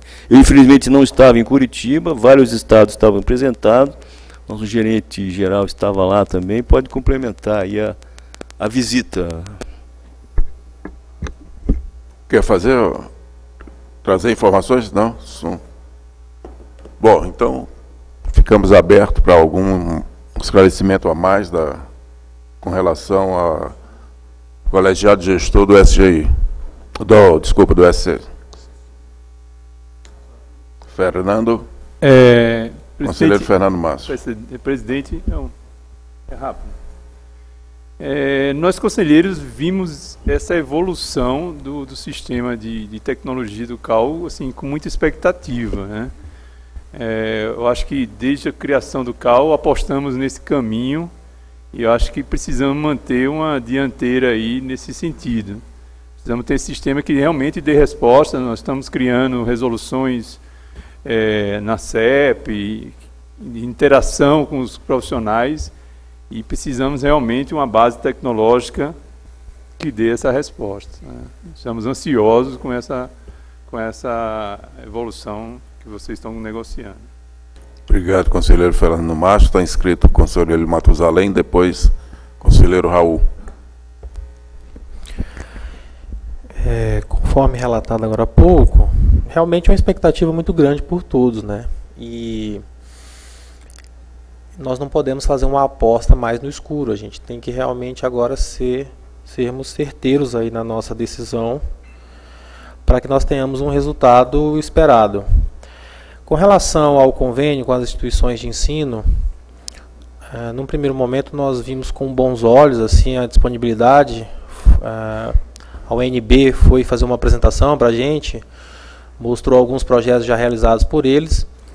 É, ao final da apresentação, numa conversa que tivemos, foi repassada nossa, essa nossa preocupação de que não, não podemos mais errar na escolha e na criação do CICAL 2.0 e uh, nós apresentamos a nossa preocupação com relação à nossa demanda. A demanda que temos e a capacidade de entrega que uma instituição de ensino está disposta a ofertar. É, esse, esse, essa relação nossa com a instituição de ensino é por meio de um convênio. Uh, o Jefferson foi um dos que é, trouxe essa possibilidade através de uma legislação específica que permite isso mas é, nos trouxe também essa preocupação de que, como é mediante esse convênio, as exigências elas, elas são limitadas, então nós precisamos ter uma certeza da capacidade de entrega da instituição de ensino para não ficar à mercê de um convênio colaborativo. A partir do momento que você contrata uma empresa, você tem condições de cobrar, você tem um contrato, você tem situações de pagamento ou não pela cobrança dos serviços prestados. Com a instituição de ensino é um pouco diferente. Então nós fizemos questão de frisar isso a eles, né, dessa nossa preocupação, e ficou acordado de que eles fariam, é, tomariam conhecimento da nossa plataforma atual, eles é, fariam é, um primeiro diagnóstico da nossa situação atual, é, numa vinda ao CalBR e eu também sugeri que fosse feita uma visita por uma questão de território no CalDF para ver um funcionamento diferente num CAL executivo, não só é, das ações de, é, de gestão maior do CalBR, mas que fosse, num primeiro momento, feita essa. Com a universidade. E vamos começar por um convênio, é um para fazer uma avaliação. Né? E aí discutirmos nesse processo, discutirmos como que é a gestão do, de um possível contrato, né, justamente com essa preocupação de atender né, com qualidade e no tempo que nós precisamos ser atendidos para responder às demandas da sociedade e dos profissionais. Tá? E a semana que entra nós já vamos com a assessoria de TI, com a assessoria jurídica e com o CDT sentar para estabelecer esse convênio. E aí discutir toda a forma de, de, de gestão de um futuro contrato. Mas esse, esse primeiro convênio seria para fazer a análise da assessoria, né? Porque depois a, o próprio decreto, esse, essa legislação foi discutida inicialmente de, de, se trabalhar com os institutos das universidades, foi discutida no próprio Ministério de Ciência e Tecnologia, eu e o Medeiros fomos lá e conversamos com o, o departamento específico especializado em, em contratação de tecnologia do Ministério de Ciência e Tecnologia. Conselheiro Raul, depois conselheiro Nixon. Com relação à expectativa, e eu vou pegar aqui uma citação, um pedaço aí da manifestação aí do Fernando, que assim, todos têm uma demandas a fazer e tal, né? Um assunto que é, retomar aqui, que nós já conversamos no, no, no colegiado do CSC, é que o sistema, o que nós dispomos hoje, ele tem é, uma limitação grande de, da forma, do próprio sistema, enfim, existem vários condicionantes limitantes.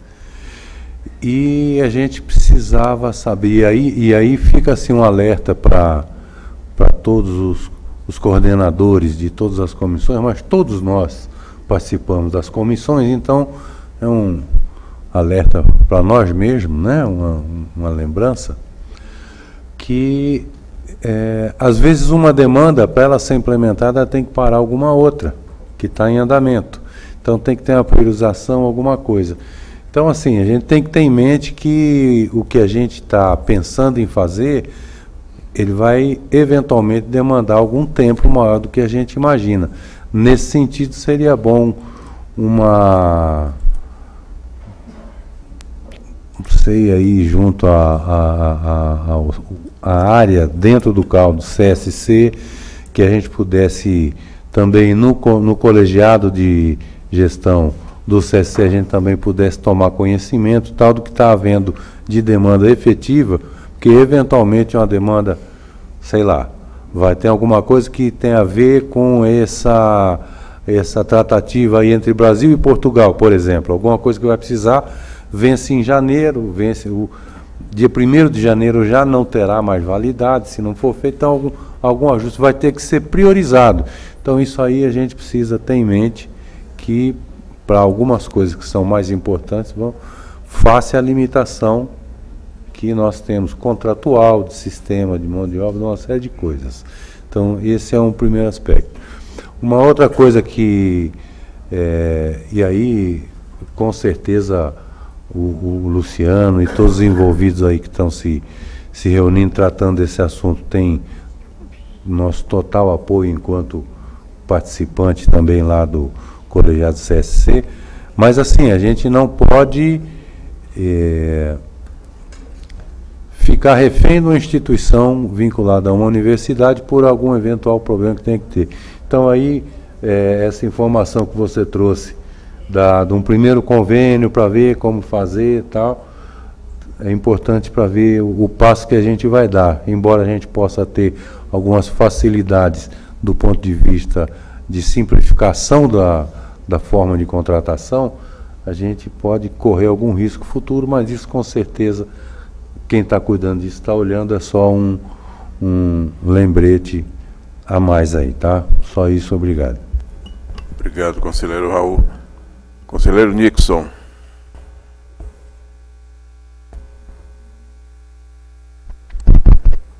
Oi. É, bom, presidente, é, boa parte do que eu queria manifestar foi colocado aqui pelo próprio Matusalém e conselheiro Raul, que é quanto a, a, essas problemáticas, essas atualizações e verificação em loco do que, do que realmente acontece.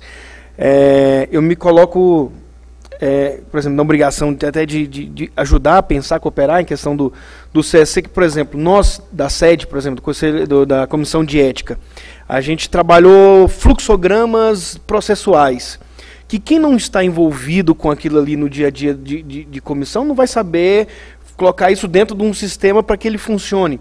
Né? É, eu acho que a gente tem que colocar em cada sugestão minha, cada comissão, até mesmo é, parte do orçamento e parte do tempo, pensar como operacionalizar isso dentro do sistema para poder é, é, fazer essa troca com quem for formatar isso, porque quem quem está criando não sabe esses procedimentos, é, esses estudos que a gente tem debruçado e, e, e tudo mais. É, então, é, essa sugestão, mas essa novidade que o Suzane colocou, deles virem conhecer um CalDF, um CAL o, o, trabalhando, né, eu estenderia ela para, para as comissões. Na CEPU a gente tem necessidades que quem não, não vivenciou a CEPU, por exemplo, não, não, não saberia colocar.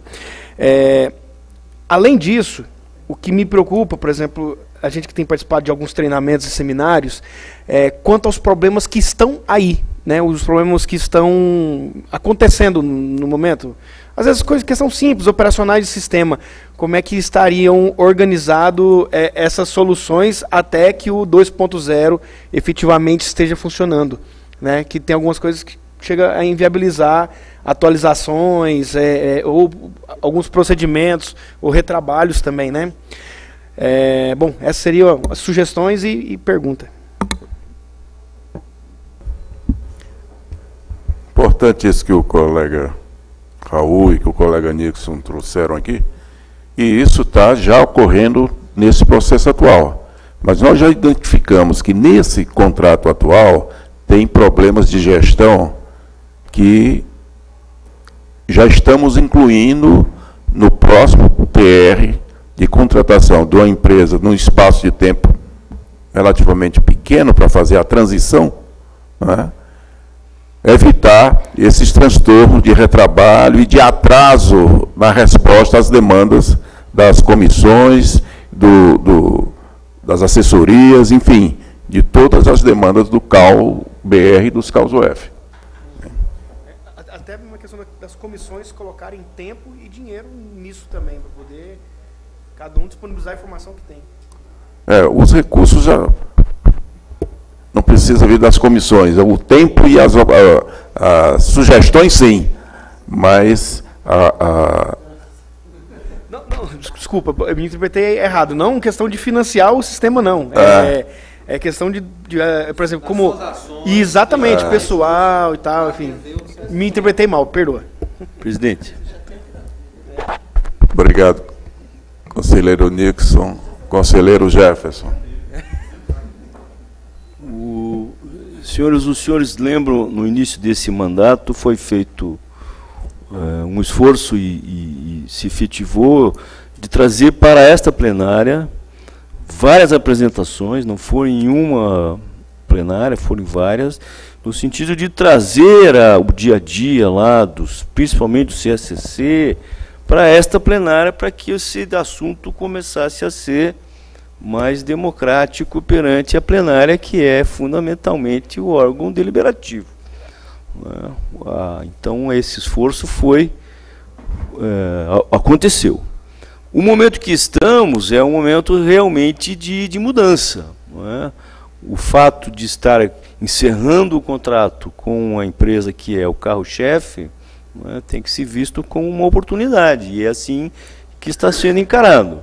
Né, questões jurídicas, questões financeiras, elas são óbvias, né, mas elas acabam, de uma certa forma, norteando o tamanho da nossa, do nosso pulo. Que tamanho vai ter esse CICAL 2.0? Né, é, a gente vai saber é, em breve. Agora, que o processo tem, tem, tem sido mais democrático, mais horizontal, essa plenária também já concordou, aprovou recentemente a constituição de um fórum permanente de consulta aos UF, é? que, que é quem contribui com 80% dos recursos da, do sistema. É uma, uma demanda antiga né, e que agora está efetivada. Então, é, o ideal seria que nós já estivéssemos agora, pelo menos no CICAL 4.0, 5.0, 6.0, não é? Mas ainda estamos no 1.0, vírgula 1, vírgula alguma coisa, que ele não ficou parado, evoluiu. Mas evoluiu muito lentamente, é a nossa realidade.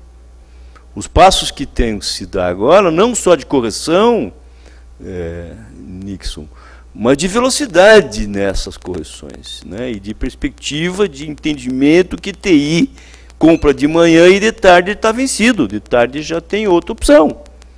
Esta velocidade é que nós queremos incorporar no processo.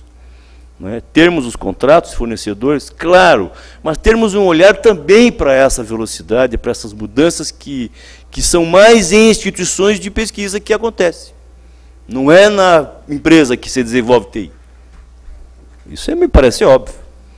É? Ela põe dinheiro, ela compra expertise. Agora, onde é que desenvolve expertise? São instituições de pesquisa, no mundo inteiro é assim. A IBM tem o seu Linux, que são centenas de milhares de profissionais pagos para ficar em casa desenvolvendo TI. E não são funcionários. E, é, é, é esta sistemática que a gente tem que incorporar ter quem faça o dia a dia, mas ter também quem pense o dia a dia, todo dia, sobre quais as melhorias que a gente pode pôr no sistema. E para complementar, se me permite, presidente, a audácia é muito grande nesse momento. Também já foi dito aqui, a relação CAL-arquiteto, ela é representada pelo CICAL. A relação CAL-sociedade, nós ainda não enfrentamos.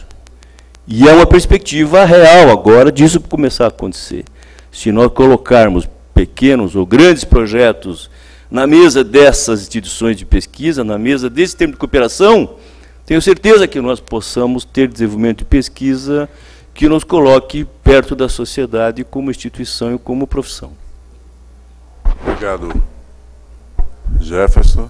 Mas essa, isso é justamente as possibilidades que temos e o caminho que está traçado para chegarmos a um sistema realmente que seja que atenda nossas demandas muito melhor do que vem atendendo o atual e que possibilite a construção constante de renovação tecnológica e ampliação de dispositivos que nos façam conversar né, com os profissionais, as empresas, a, a sociedade. Bom, vamos dar vez às outras comissões. Colegiado de Governança do Fundo de Apoio. Conselheiro Raul, por favor.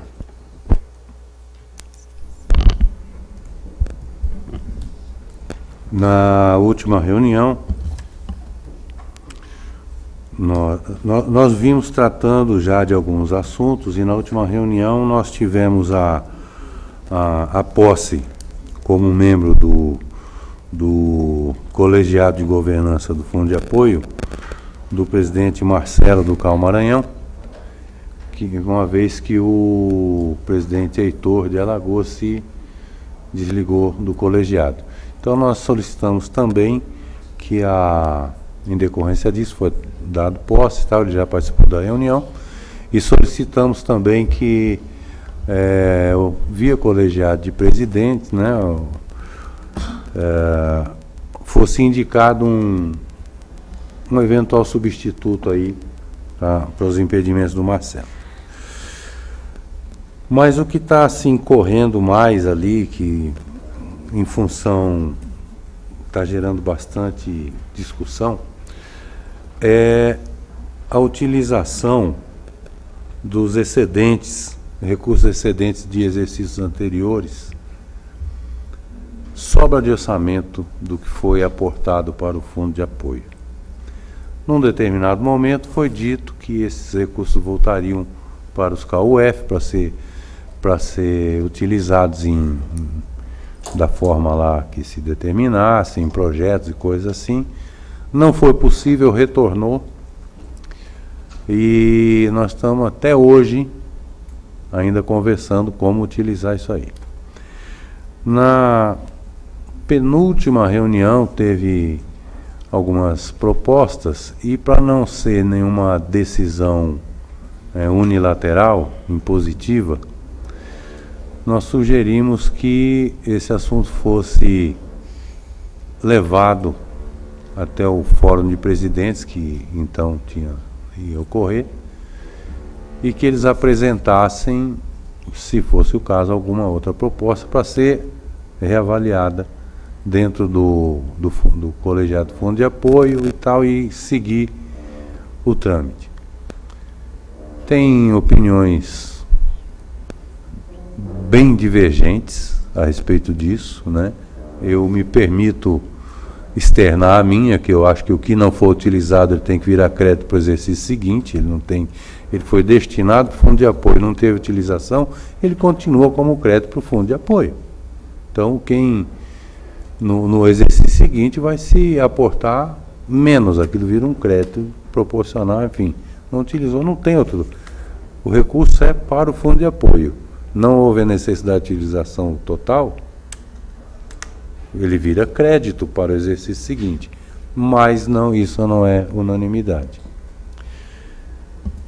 E na última reunião também não houve consenso, porque é, por força de, de uma questão de saúde do, do presidente do CAL Rio de Janeiro, ele teve a questão de saúde, não pôde participar da reunião, nós ficamos com o número par.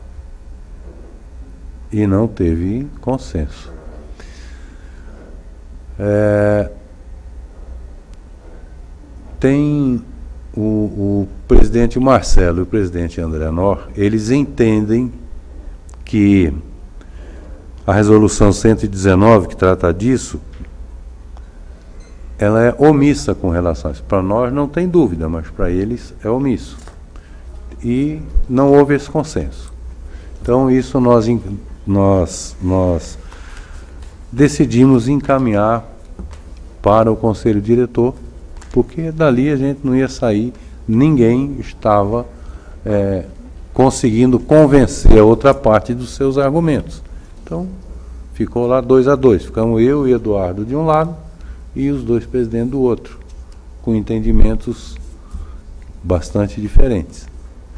Então, isso foi, não sei se já chegou, se foi tratado, enfim, mas dentro do fundo de apoio, esse assunto foi para o, o, o Conselho Diretor é, avaliar. Vai retornar e nós vamos refazer e tal. E pretendemos, assim, todas as decisões, como a gente já vem fazendo, é, dar conhecimento aos presidentes, aos conselheiros, titulares e suplentes, para que todos estejam acompanhando o que está acontecendo nas comissões. É, também em função de, das contribuições, dos aportes para fundos, fundo de apoio, falando dos CAL básico, é, nós decidimos lá, em função até de um de um é, estudo, um levantamento na realidade que o André trouxe, o presidente André Nor trouxe, é que ele vai ficar com, ficou responsável por fazer um estudo sobre portes de cal. Não basta ser cal básico. Um cal básico não é igual ao outro cal básico, em termos de necessidade, de recursos, de como gasta, de como faz e enfim, são coisas diferentes. Então nós estamos tratando, nós estamos tratando igual coisas diferentes. Daí possivelmente tem sobra de recursos, possivelmente tem outros assuntos aí. Então nós vamos iniciar, apenas iniciar isso aí. Até brinquei com o André, falei, faça uma proposta, entrega e desapega, porque isso aí vai ter que ser, é um início mesmo, é um kickoff aí de um estudo, né? É, tem, tinha também uma proposta do, do presidente André de que fosse analisada a possibilidade de o fundo de apoio é, auxiliar de alguma forma, e de alguma forma é financeira, né? É, ver com, qual, como seria isso aí, de um cal que deixou de ser básico nesse período de transição, que ele ainda tivesse algum suporte para eventual desequilíbrio tal. Mas isso nós entendemos, desculpe, que nesse estudo que ele vai propor já vai estar abrangido também, então vai então, limpando a pauta. E em função também da, dessas visões diferentes que nós temos a respeito do, da utilização de fundos, de que é, alguma coisa foi para o colegiado de o colegiado, o colégio de presidentes e, e aí era para ser ampliado. Não, nós, nós não tivemos a mesma leitura. Então existia uma proposta é, aliás, não foi bem uma proposta, foi uma sugestão para eliminar essas interpretações dúbias de que todas as propostas do, do, do colegiado do fundo de apoio fossem encaminhadas e deliberadas exclusivamente pelo conselho diretor. Nós não concordamos com isso, conversamos e os ânimos jamais acalmados, esse assunto vai continuar como é hoje. Só vai para o conselho diretor o que for omisso na resolução. Até porque nós não podemos estar queimando instâncias, né? Tá? Então, é, os trabalhos estão, estão sendo. Temos uma previsão em função desse estudo aí do, do André para o dia 7 de novembro, ainda não confirmado, da gente ter uma reunião extraordinária para ver esse material que ele vai reunir para a gente analisar e repassar a todos. A nossa sugestão é fazer um, um documento colaborativo via web que todos aí possam participar.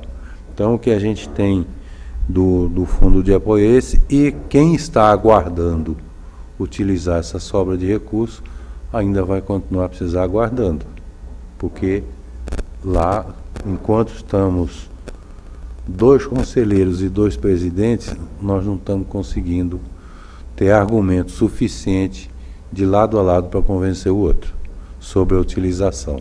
Então, mas a nossa proposta é que o que foi aportado para fundo de apoio, ele permaneça exclusivamente para uso no fundo de apoio. É o nosso entendimento, que não é unânime. Tá? Então, o que tem presidente e colegas da, de, de, de informação, de comunicação do Colegiado de Governança do Fundo de Apoio a esse, eu me coloco à disposição agora ou depois para maiores esclarecimentos. Tá? Obrigado. Obrigado, conselheiro Raul. Eu vou, antes de passar a palavra para indagações dos conselheiros, ao coordenador do CG do Fundo de Apoio, fazer a leitura do artigo 60 da nossa lei 12.378, para que seja lembrado aqui o teor das condições do fundo de apoio. Diz, não, precisa regulamentar. Precisa, mas o princípio está no artigo 60. Vou ler. O CalBR instituirá fundo especial destinado a equilibrar as receitas e despesas dos CAUS exclusivamente daqueles que não conseguirem arrecadação suficiente para a manutenção de suas estruturas administrativas, sendo obrigatória a publicação dos dados no balanço e do planejamento de cada CAL, para fins de acompanhamento e controle dos profissionais. Então, aqui está a base da construção do fundo de apoio. Cada CalBR e cada UF aporta um recurso, isso foi pactuado desde o primeiro ano, né, para constituir o fundo que vai dar sustentação aos CAUs que não têm condição de sustentação financeira para as questões administrativas. O fundo de apoio também, ele é um, um, uma legislação especial, né, não é só o fundo de apoio do CAU, tem vários fundos de de apoio a, em outras instituições, em outros órgãos governamentais, o que sobra, o recurso, né, o excesso de dinheiro que porventura tenha passado de um ano para o outro, não vira receita de capital, ou seja, pode ser utilizado na reinversão das despesas correntes do fundo de apoio. Né? Mas isso né, é de cada um que aportou o recurso lá. Não pode ser, ter outra destinação a não ser atender às demandas daqueles caos que. Então esse é o princípio, né? Por isso é que o Raul está com essa interpretação dele de que, não pode ser distribuído para outros caos, inclusive de forma inversa, como eles propuseram, né? para proporcional ao que tinham aportado inicialmente. Né? Então, só para relembrar a questão da constituição do fundo de apoio. Pois não, Conselheira Nézia. Obrigado, presidente. Eu acho que é, é, extremamente salutar ouvir as informações que o conselheiro Raul colocou, que na minha visão pessoal, e aqui não é a nível de institucional, institucional do CAL, o F, que é a qual eu acabei sendo um porta-voz muitas vezes, mas o que mais me, me impressiona e que eu acho que é extremamente salutar é esse estudo da, dos caos. Quais caos? Que tamanho? Isso tem que ser colocado. Eu várias vezes, por uma outra questão, coloquei para a comissão de que valores, percentuais, índices têm que ser adequados muitas vezes à proporcionalidade exatamente disso, da receita, do aporte de recursos que, que, que é trabalhado dentro dos CAUSWEBs. Então, essa radiografia, esse diagnóstico é de extrema importância, não só para essa questão do fundo de apoio, mas para qualquer outra deliberação de finanças que nós vamos estar lidando e trabalhando. Então, é, é, é salutar, é, é, muito bom ouvir que, que, que alguém está se debruçando nesse assunto e espero que a comissão também complemente, e nós aqui da plenária, para que possamos uh, ir aos caos UFs e, e ver uh, as questões de valores e lembrando que eles têm que sim lidar com o dinheiro com a responsabilidade necessária. Né? Não vamos que os, que os nossos colegas lá façam é, é, demagogia, mau uso do dinheiro, mal aplicação dos recursos, e nós temos que. A nossa, nosso trabalho de legisladores exatamente nessa questão. Temos diagnóstico claros de quem somos e de como vamos agir nos nossos causos Fs. Então, por uma questão de outras, nós várias vezes conversei com o conselheiro Raul sobre isto, de que haja essa, essa radiografia da proporcionalidade dos nossos caos, né, eh, não fugindo do princípio do, do, do, fundo de apoio, mas de que forma esse recurso tem que estar lá e, de, e como estar lá e, consequentemente... Como ser distribuído e como ser gasto. O bom uso, né, presidente? O bom uso, né? Com responsabilidade para os nossos colegas, seja agora ou no futuro, né? Obrigado. É isso mesmo, conselheiro Edna. Mais alguma manifestação? Conselheiro Eduardo. É, eu, eu, eu, vejo que o Raul foi muito feliz na fala dele, né, explicando o que acontece. E, e eu participei da reunião, até um determinado momento eu me exaltei, eu posso desculpar que os funcionários que estavam lá na sala vizinha. Que, que falaram sobre o tema, é, de um tema extremamente complexo que a gente está enfrentando que é esta certa guerra entre o Fórum de Presidentes, ou os conselheiros estaduais, e o Conselho Federal. Parece que a gente não está lutando pelas mesmas coisas, ou parece que o entendimento é que os conselhos estaduais têm que se sobrepor ao Conselho Federal. Não estão entendendo instâncias e nem que essas instâncias, a todo momento, elas passam por processos de consultas, de, de, de, de essas consultas elas são votadas, então que o processo de aproximação ele é muito importante. É, eu estou entendendo a fala feito com uma leitura do estágio como uma atividade extensionista, então isso pode ser bastante interessante aí no futuro próximo. Bom, também, como todas as comissões, aprovamos o nosso plano de ação 2019, onde eu destaco, além da continuidade dos projetos desse ano, a gente tem o enquadramento regulamentar dessas atividades de extensão e um programa de integração com o segmento estudantil. Espero que a gente tenha bastante fôlego para dar conta de tudo que pretendemos. confirmamos também as questões sobre a anotação da especialização em engenharia de segurança no trabalho. É, percebemos alguns equívocos em relação aos KUF sobre essa anotação. Ela, ela tem uma característica muito especial, que é a única atribuição profissional gerada por pós-graduação. E, e, a gente tem uma legislação federal que estabelece isso, da necessidade do diploma, de algumas exigências nesse curso, e a gente teve KUF fazendo registro temporário dessa especialização, e isso não existe. A gente tem, temporário não, provisório, a gente tem provisório só para os egressos que ainda não tem diploma e que tem apenas certificado de conclusão. Mas aí nós estamos falando da graduação em arquitetura e urbanismo.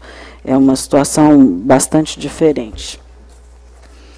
É, tivemos também uma reunião com o INEP, porque fomos consultados por alguns vários coordenadores de curso sobre uma pesquisa que o INEP estava fazendo sobre o rótulo, definição do rótulo da nossa formação, e aí, diante disso, a gente fez contato com o INEP, fomos muito bem recebidos, e eles nos explicaram que isso era para fins estatísticos, que é uma, uma classificação de padrão internacional, que ela estava em vigor desde 2000, mas que ninguém tinha ciência disso, porque nunca havia sido feita uma consulta.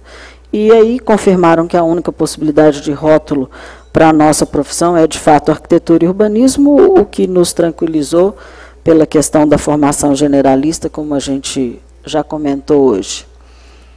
A gente segue aí no trabalho da, da construção coletiva das diretrizes curriculares nacionais. Agora a gente tem sábado, é, depois de amanhã, um seminário promovido pela CEF do Cal Minas, onde esse é um dos temas a serem tratados. Estaremos lá a, a, a comissão participando do seminário.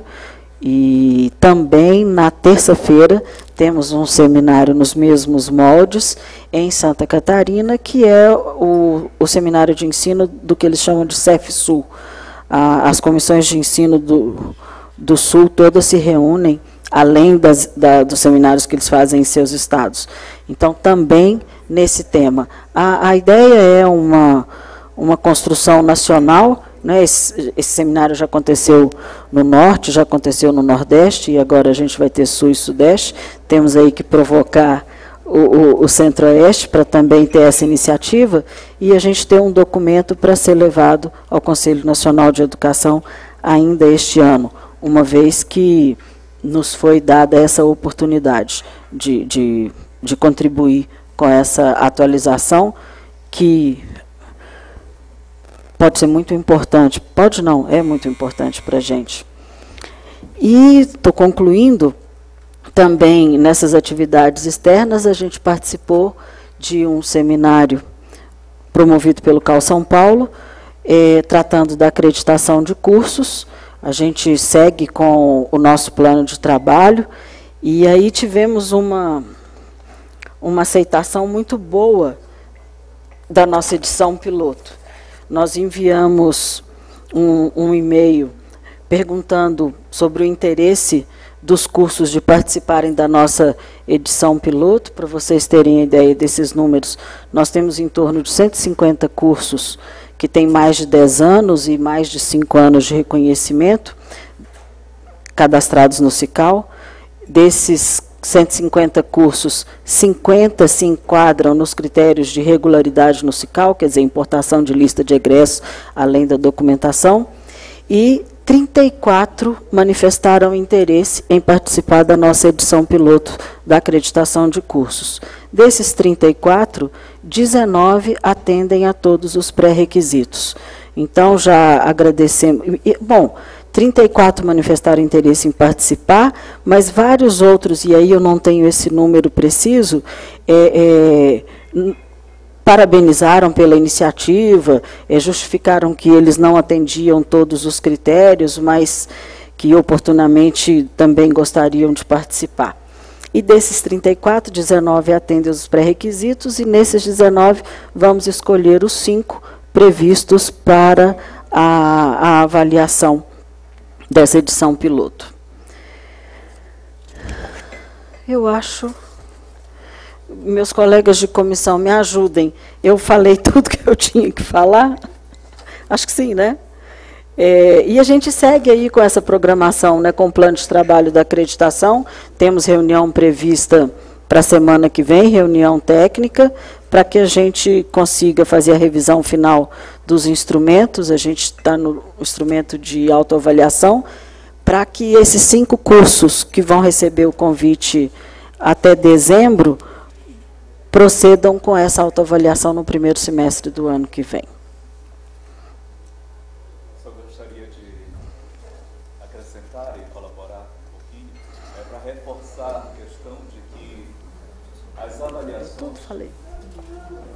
É, a pesquisa feita pelo INEP, ela é uma pesquisa, como a Andrea comentou, que é uma pesquisa a nível de um levantamento estatístico que fornece dados para os encaminhamentos das políticas junto ao MEC.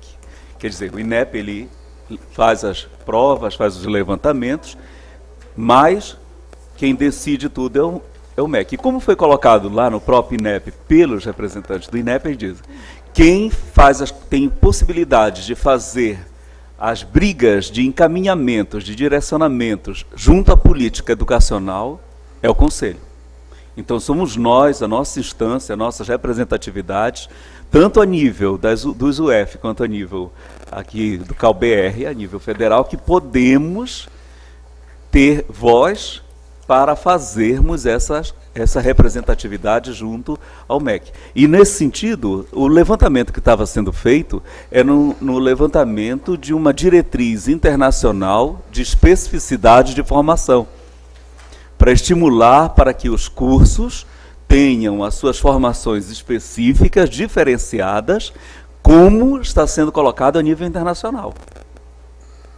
E as nossas orientações dentro daqui do CalBR, que é a legislação generalista, Estamos numa instituição que sempre forma generalista e que todo levantamento teria que ser colocado nessa ordem até que se pense e se repense as coisas no futuro. Mas é algo que se está se vislumbrando que vinha, possa vir a acontecer, não se sabe a, a que tempo. Tá? É uma pressão internacional que rebate aqui. A outra questão são os encaminhamentos do nosso é, da nossa, da nossa acreditação. Né? Temos as parcerias e as colaborações que estão nos ajudando muito, já foi colocado. Nós temos dúvidas e as propostas de encaminhamentos para caso colegas e conselheiros, assim como novos e outros como eu, né, que não, não conhecia, porque isso foi desde 2016, passem a me interar e, a, a, e participar de estudos, mas muitos que não estão exatamente na comissão não estão a par e tivessem essa necessidade de informação. Né? Aí, nesse sentido, talvez, é o que a gente tem discutido, que talvez haja necessidade da coordenação, do, da comissão, fazer uma apresentação mais minuciosa e detalhada do que foi decidido no passado e o que é acreditação de fato, para que se entenda e saiba e não, te, não, tem, não gere dúvidas nesse encaminhamento dessas questões. Isso. E como última notícia, boa notícia e má notícia, é, lamentavelmente tivemos mais uma, uma identificação de documento falso. Então, a, a, boa notícia é que Minas Gerais reagiu rapidamente, e daí isso confirma a importância da importação de lista de egressos, né, desse cadastro no CICAL, porque isso nos tranquiliza. Então, a gente está com mais um para estatística aí de documentos falsos. Mas, identificado e com a reação, com, a, com as devidas consequências. Obrigada. Conselheiro Hélio. Sobre esse último assunto, sugeri que o CAL fizesse uma ampla divulgação disso, tanto no, no, no site, digamos, diretamente de, de, dirigida aos profissionais, mas, sobretudo, diretamente às instituições de ensino. Porque as instituições ensino parecem negligenciar isso como se fosse uma exigência, digamos, apenas é uma, uma, uma, um complicador inventado pelo CAL, né? quando na realidade é um instrumento de extremo interesse para as próprias instituições. Né? Eu lembro também do caso de. Do, do, do, eh, conversei muito com, com o Guivaldo a respeito, porque isso ocorreu na Bahia, né, do falso professor. Né? A lição do, do falso professor para nós é, é, é, é, é ótima, né? porque se não houvesse a denúncia né, e se não houvesse o cal constatado que aquele senhor, na verdade, portava um registro falso, esse, esse, esses, esses estudantes poderiam ter até o seu, os seus diplomas invalidados, na medida em que isso, isso, isso pode. É, é, os, os, atos né, é, exercidos, né, as ações exercidas por, por, uma pessoa que possa um documento falso, podem ser considerados nulos de, de, de, de, de efeito. Então, tal, o prejuízo que seria para as instituições e para os egressos é uma coisa incalculável. Né? Eu acho que essa, esses, esses fatos, esses eventos, são matéria muito importante para a divulgação. Não digo divulgação a nível da sociedade, porque a sociedade realmente isso é um assunto para ser divulgado diretamente com as instituições. Acho que a gente tem que ter um tipo de comunicação mais direta, claro, é bem elaborada, etc., para não ser uma coisa extensiva e, e, e, até que repulsiva e tal, mas enfim, digo assim, que um, textos muito longos e tal, mas coisas pontuais né, que mostram isso, por exemplo, essa coisa de como é importante a importação de lixos para evitar essa coisa que é perniciosa para a profissão e para a sociedade de uma maneira geral. Só uma mais uma questão? Nessa, nessa direção. Usar mais esses eventos e fatos lamentáveis né, para fazer uma, uma, uma, uma campanha de, de alerta, né, diretamente, mas IES sobretudo.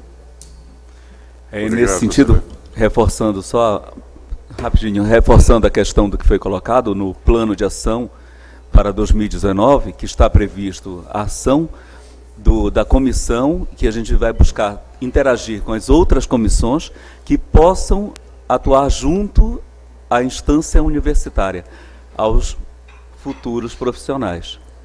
É, e nesse sentido, nós estamos com o planejamento, estamos com a proposta, a nossa comissão, e estamos trabalhando em cima disso para procurar aproximar o CAL, o CAL-BR, a partir da, das representações a nível nacional dos estudantes, com ações junto a essas instâncias, assim como procurar também estimular, que alguns já vêm fazendo, alguns CAUs UF já vêm fazendo, que outros também os façam né, nas suas respectivas é, estados com ações que a gente está buscando estudar e fazer sugestões do que sejam as melhores saídas. Ok. Conselheiro Matusalém. Em cima dos informes é, da Comissão de Ensino, André, com relação ao a especialização em engenharia de segurança do trabalho, né? eu vi que em alguns casos a legislação específica que trata disso, ela traz as, as disciplinas com uma determinada nomenclatura. E aí os cursos ofertam o mesmo conteúdo, um conteúdo semelhante, aproximado, mas com uma, uma outra nomenclatura da disciplina. O que causa um conflito quando é apresentado o certificado de conclusão do curso no UF para o UF registrar porque o documento ele é categórico lá nos nomes e cargas horárias lá. Então, uma coisa que eu ah, ia sugerir para que fossem para que fosse revisto junto aos atuais cursos com relação a essa legislação para adequar a uma só nomenclatura das disciplinas. Não pode? Autonomia universitária. Pois é, é porque ah, mas existe, mas o que o Matusalém está falando é que existe lei que estabelece isso. O nome o da disciplina fala tal. o nome da disciplina, fala a carga horária, fala o perfil do corpo docente, fala a titulação, quer dizer, é, não foi import... a gente que. O importante ah. é o conteúdo, mas quando isso chega no, no UF com uma folha dizendo o nome da disciplina e o nome da disciplina não bate com o que está na legislação, o UF não quer registrar. E aí deixa o, o, arquiteto numa situação eh, de conflito, porque a instituição não vai mudar e, e, ele precisa do registro dele, então é só nesse aspecto com relação à segurança é, do trabalho. O, o, procedimento nesse caso é fazer contato com a instituição, alertar sobre o acontecido para que eles façam a adequação. E, e já teve situação em que a, a instituição comunica que já fez o ajuste e aí a gente, então. É, é só no sentido de orientar um trabalho para que, é, informe as instituições né, dos cursos que estão em andamento para que se adeque a essa nomenclatura. Ah, o segundo ponto é com relação a esse episódio aí de um falso, eh, de um registro a partir de uma documentação falsa, né? É, nós, por mais que nós tenhamos estabelecido um sistema de segurança e tudo, sempre nós corremos o risco de é, nos depararmos com essa situação, até mesmo quando ela vem oficialmente por meio da instituição. Nós não estamos livres disso, de que alguém haja vista que nós temos uma situação de um professor com apresentação de diploma falso, por que, que não poderia existir um. Né? Então, nós nunca iremos eliminar isso.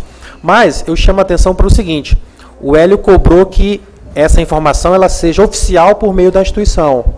Nós precisamos melhorar muito hoje o nosso sistema. O, o...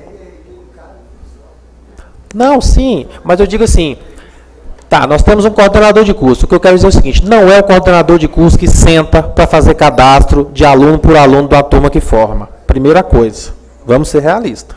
Não é esse cidadão. Segundo, é que isso não assegura, é, ele não é motivado a fazer isso, porque hoje o nosso, essa, tabela que ele tem que preencher, não dá. Ela já foi simplificada. Ela já foi simplificada. Já. Não poderia ser só nome CPF, é, eu, eu posso então, assim, buscar uma coisa simples, porque o que acontece?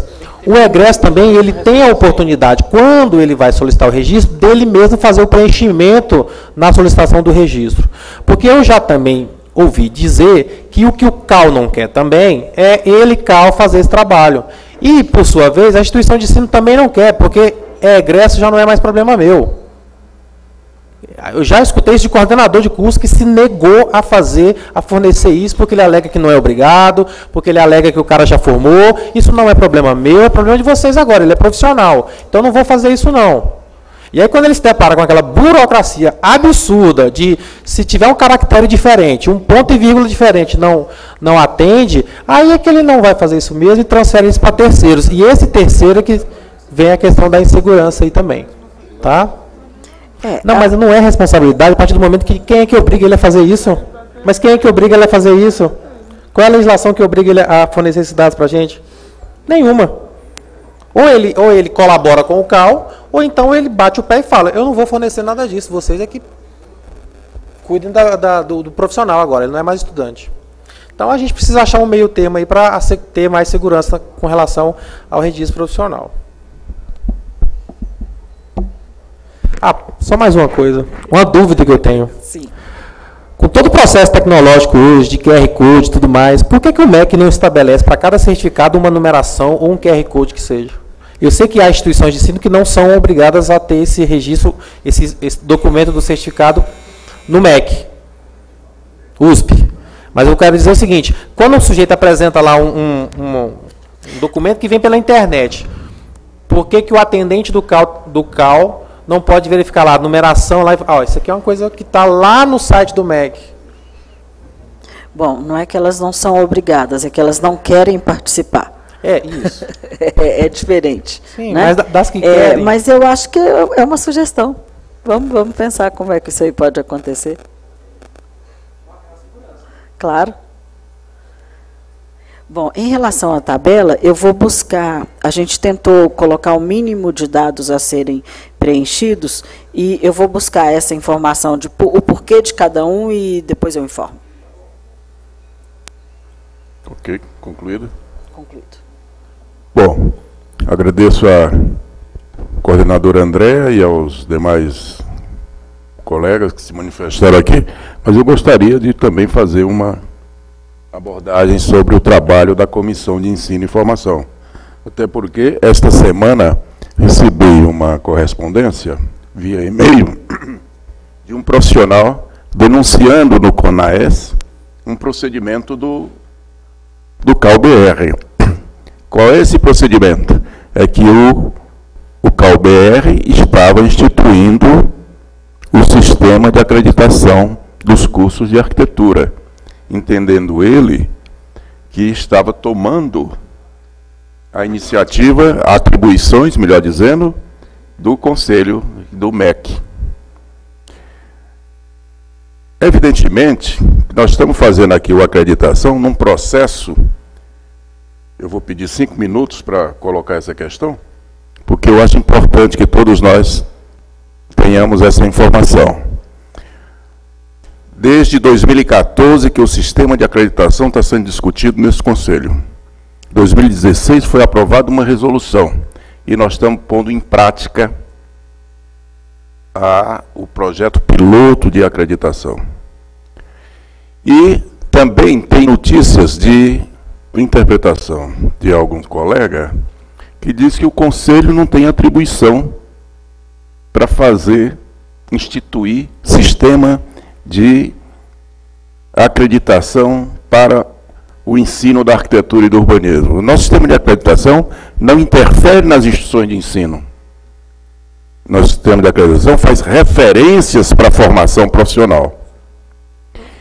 E temos, sim, condições legais de discutir isso aí, porque vamos também ver na nossa lei.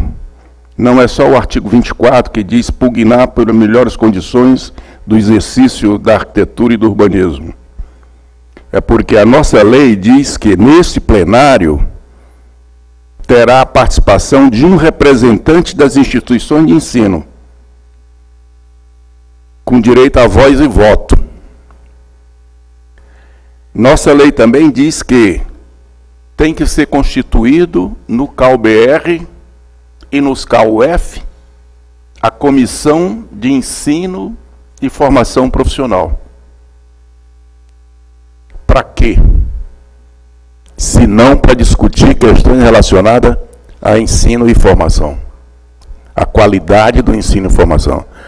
As premissas é, ideais, não vou dizer mínimas, mas são premissas ideais para a produção de arquitetura e urbanismo com qualidade. Então, sim, entendo que nós temos toda a condição legal, por esses motivos estabelecidos em lei, a criação de uma instituição, de um representante das instituições de ensino com direito à voz e voto, e a construção das comissões ordinárias específicas. Ele não fala em outras comissões, mas fala nessa de ensino. Quero deixar isso, lembrar isso aos conselheiros, porque a gente precisa informar alguns colegas que estão contrário ao nosso programa de acreditação.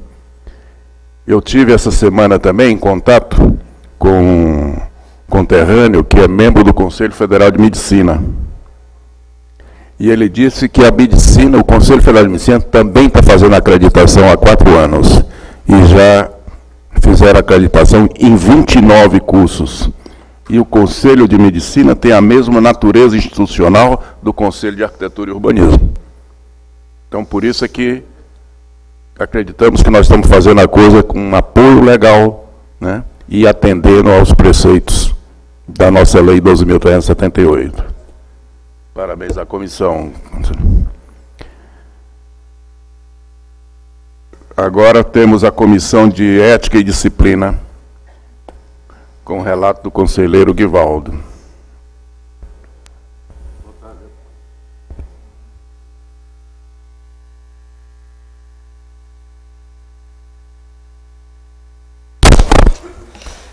Microfone está.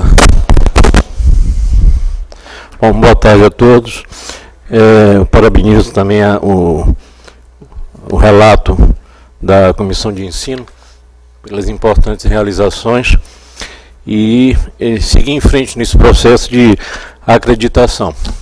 Acho que isso é uma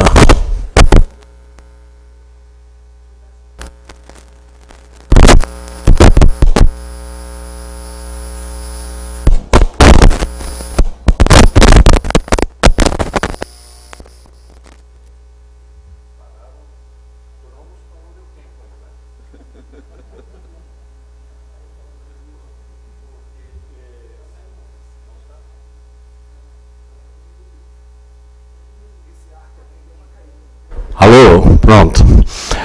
É, ações, inclusive, que tem uma convergência, inclusive, com a comissão de ética. Né? ainda há pouco a questão do, do caso lá da Bahia, do falso professor com falso diploma, etc., e que uma, resultou numa ação rápida e exitosa exatamente por conta disso, do sistema que nós temos, né? E o processo de, de, de cadastro dos cursos. E com relação a, ao processo de, de acreditação, eu sempre acreditei nele, né? E parabéns à comissão, vamos seguir em frente. Com relação ao relato da comissão de ética, me reporta aqui a reunião, a reunião realizada nos dias 4 e 5 de outubro, aqui em Brasília, é, com relação à distribuição de processos. Tivemos dois processos, um encaminhado ao conselheiro Nixon e outro ao conselheiro é, José Gerardo. Só tivemos, infelizmente, dois processos de ética, isso é uma boa notícia. Né? É, com relação aos processos já que foram relatados naquela, eh, naquela reunião, eles já foram relatados aqui hoje e aprovados, é, e o plenário encaminhou, acompanhou os votos da comissão. Com relação a, a outros assuntos, me refiro aqui agora a uma demanda do KORN, que é o, CICAL, o processo CICAL número 733811 de 2018, que solicita informações sobre processos com denúncia de reserva técnica. E aí vem aquela questão, o módulo ético ainda não tem a, a, a, a possibilidade de estabelecer essa filtragem. Volto aqui fazer um apelo ao CSC, diante de tantas demandas, né, de privilegiar é, esses procedimentos, porque são informações importantes, inclusive até para que possamos dar informações precisas com relação aos processos por, por questões. Né? Então, essa demanda do KRN é, foi apreciada do ponto de vista da demanda e solicitado ao CSC esses, esses procedimentos no sentido de estabelecer filtros de tal maneira que a comissão possa informar é, com, com precisão e de forma tempestiva. É, assim como uh, essa questão, outras ações também foram solicitadas à, sede através da deliberação 052, que outras demandas que estão lá na fila, elas tenham um, um atendimento é, com, dentro da celeridade que o sistema hoje admite, né? E que resulta é um tempo importante para a gente, né? Ainda outro protocolo eh, de número 731980, 2018, proveniente do CAL São Paulo, que faz uma consulta à assessoria jurídica da sede Calberno, que diz respeito a alguns eh, aspectos da resolução 43, que é com a finalidade de alinhamento. A questão é basicamente a seguinte: quando o processo ele não é admitido no conselho, se isso cabe é, recurso é, ao plenário do, do CalBR. Então a resposta é positiva, inclusive é, podendo ocorrer a, a apresentação de, de, de contrarrazões por parte do, do denunciado. Então essa é a deliberação sede CalBR número 055, de 2018. Bom, continuando discussões, a, a revisão da 143 a prova da necessidade disso é essa dificuldade de entendimento de alguns aspectos, há uma necessidade de alinhamento. Então, esse procedimento continua no âmbito da, da sede e ocorrendo sempre nos seminários regionais que a sede é, vem realizando. Com relação ao canal de YouTube e perguntas frequentes, isso continua também em avanço. Já temos tido, inclusive, identificado algumas questões, como, por exemplo, é, de fato, qual a diferença entre CAL, associação e entidade sindical, o que é que vem a ser e por que a razão da existência do RRT. Isso são questões, inclusive, que que pela, pela natureza dessas formulações tem a ver com estudantes de arquitetura, inclusive nos seus diversos estágios de formação. E, nesse sentido, esse canal estaria é, preparado em, em, alcançar estudantes nesses, em três níveis. O nível inicial, o nível mediano e no nível já de conclusão de curso, no sentido de começá-lo a, a aproximar do conselho. Então, questões como, por exemplo, acobertamento, exercício de quanto estudante né, simulando e transcendendo a simulação é, de atividade profissional ao nível de estágio, porque aí a chancela existe, Então, o risco disso, a questão do acobertamento, remuneração na arquitetura e ética, prática profissional do arquiteto nas redes sociais, direito autoral em arquitetura e ética, licitações em arquitetura e ética, relações de consumo na arquitetura e ética. Então são questões que vão ser tratadas né, em cada uh, oportunamente e que a comissão já vem trabalhando no sentido de criar uh, pequenos vídeos e, e, e aquele ambiente de perguntas frequentes. Para o ano de 2019, nós vamos seguir dentro desse processo de, ampli de ampliar a esfera da discussão de alguns conceitos que, haja visto o que ocorreu ainda hoje, do entendimento de alguns aspectos. Né? E aí, nesse sentido, é, além das atividades regulares, como as 12 reuniões ordinárias, as seis reuniões técnicas, é, dois é, treinamentos técnicos e a participação no seminário legislativo, nós vamos realizar cinco seminários regionais no próximo ano, um seminário nacional com, na perspectiva de conseguirmos um, um alinhamento e definição de alguns conceitos. É, na próxima semana nós vamos realizar, no dia 25 e 26, lá em Florianópolis, o 16º Seminário Regional da Sede e vamos experimentar mais um formato de seminário, distinto do que já fizemos esse ano em Recife, no Rio de Janeiro e em Palmas. Nesse seminário, eh, nós vamos eh, experimentar algumas dinâmicas, e para isso, inclusive, contando com a participação de uma facilitadora, que é arquiteta, que vai nos ajudar em algumas dinâmicas do tipo aquária, World Coffee, etc. E, lembrando é, os colegas, aqueles temas que são recorrentes, inclusive da reserva técnica, estão previstas nesse seminário mais uma vez. Né?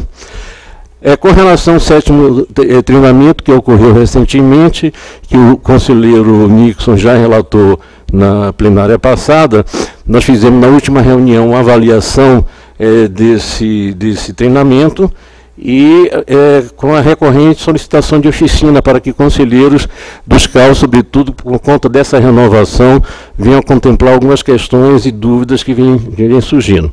Então, como lidar com diversos casos em que envolve perícia, é, a apresentação do SGI também com uma possibilidade de aplicação já com, com, com no tempo com bastante proximidade, questões como profissionais que são, estão suspensos que continuam a emitir RRT, é preciso ainda ajustar no CICAL esse problema. Né? A problemática da sistematização acerca do transitado de julgado, que envolve isso na a, a resolução 143. A questão da baixa de ofício é, feita pelo próprio CAL, desculpe a redundância, que precisa é, contactar ainda o contratante que, para informar que eles estão sem RT, né, é, e regularizar a situação. É, e, por fim, nós convidamos o ouvidor, o colega Roberto Simão, para ir à sede, à reunião da sede, e ele expor a situação do, da ouvidoria, da visita da ouvidoria àquele, àquele KUF. Né? É, foi feito um relato oral, não temos ainda esse documento.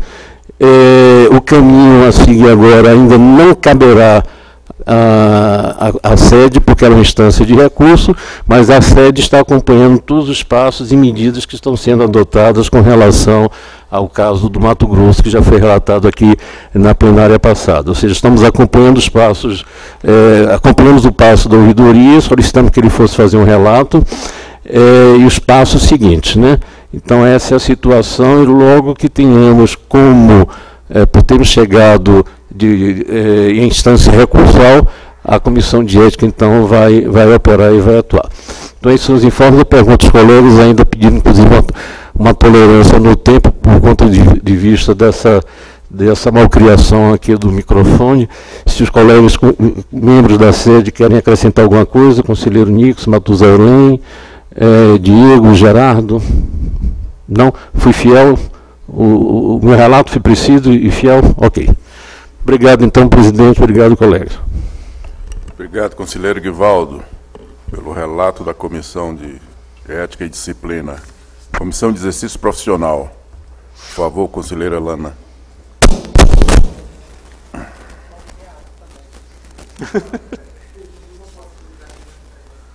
É, bom. Não, por favor. Não, tudo bem, é porque. Conselheiro Hélio. Pra... Tem, tem, sim.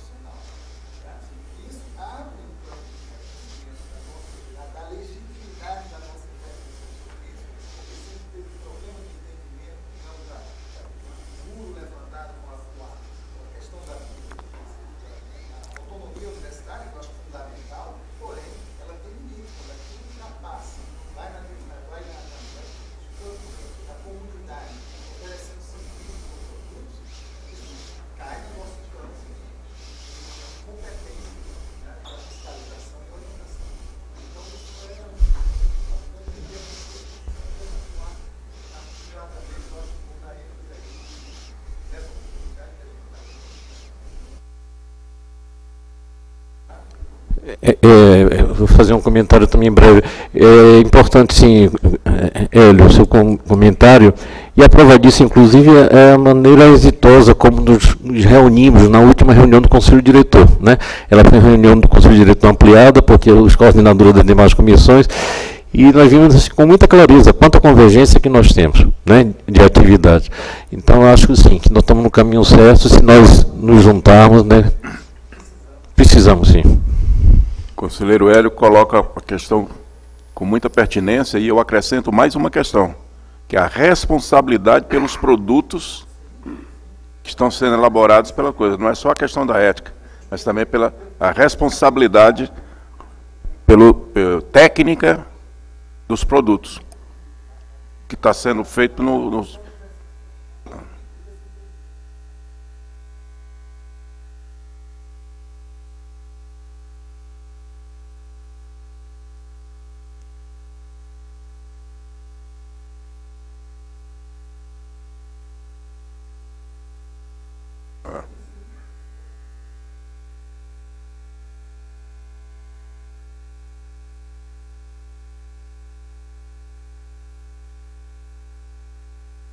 Ok, muito obrigado, conselheiro Hélio, conselheiro Guivaldo. Conselheira Lana, para relatar a comissão de exercício profissional.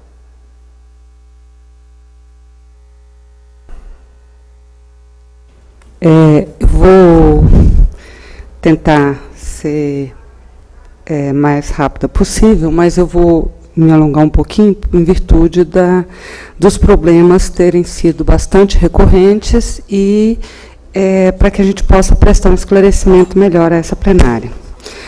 nós tivemos um encontro regional em Recife, Pernambuco, da fiscalização, dos quais participaram a conselheira Tânia e o nosso assessor Jorge, e que das tantas demandas desse conselho, uma das questões trata da nossa comissão temporária, de uma petição que não chegou ainda, mas que vai estar tá sendo encaminhada, a gente sabe, porque nós estávamos lá como convidados, é, sobre a questão da, da comissão temporária.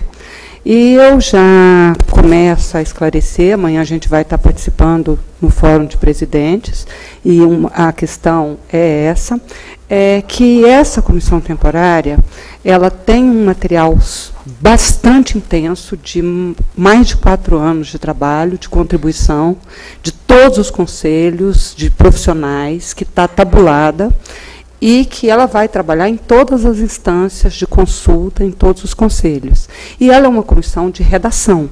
Ela é uma comissão que tem a obrigação de trazer um documento, e esse documento, ainda assim, tanto nas instâncias de construção, como nas instâncias posteriores, passar, passará por todas as instâncias de consulta e Portanto, é, quando a gente previu um representante indicado pelo Fórum de Presidentes, a gente está prevendo que esse representante não seja obrigatoriamente um presidente, mas que seja realmente uma pessoa que os presidentes elejam ali dentro dos seus conselhos fiscais para que seja uma pessoa representativa. Fora isso, nós temos convidados dos CAUS-UFs, que podem ser representantes, e temos também analistas técnicos que os CAUS-UFs podem estar encaminhando. Então, é bom deixar claro que é uma comissão absolutamente de trabalho e que vai trabalhar em cima de todo esse material. Uma outra questão, teve uma reunião da, na Cal São Paulo, que está sendo demandada por muito tempo, é, nos, na qual eu estive presente eu, é, como conselheira, e a Cláudia, nossa assessora técnica, e as demandas têm sido recorrentes, e eu vou relatar um pouquinho mais, é, as deliberações que nós tomamos, principalmente quanto a CAT, quanto baixa, quanto a notação pessoa jurídica, EI, EIRELI, então eu vou... E são coisas que a gente já tem trabalhado constantemente, inclusive tem deliberações que já, já foram tomadas nesse sentido, e a gente, inclusive, pede uma atenção especial dos conselheiros federais e dos conselheiros estaduais de estarem acessando o portal da RIA, que é um portal que está bastante completo e é quase um guia e tem tido muito pouca visitação no sentido de orientação. É, bom, nós trabalhamos também é, a conselheira Tânia é, teve uma contribuição fundamental na elaboração da, do termo de referência para a licitação que a gente vai abrir do para consultoria do guia de atividades.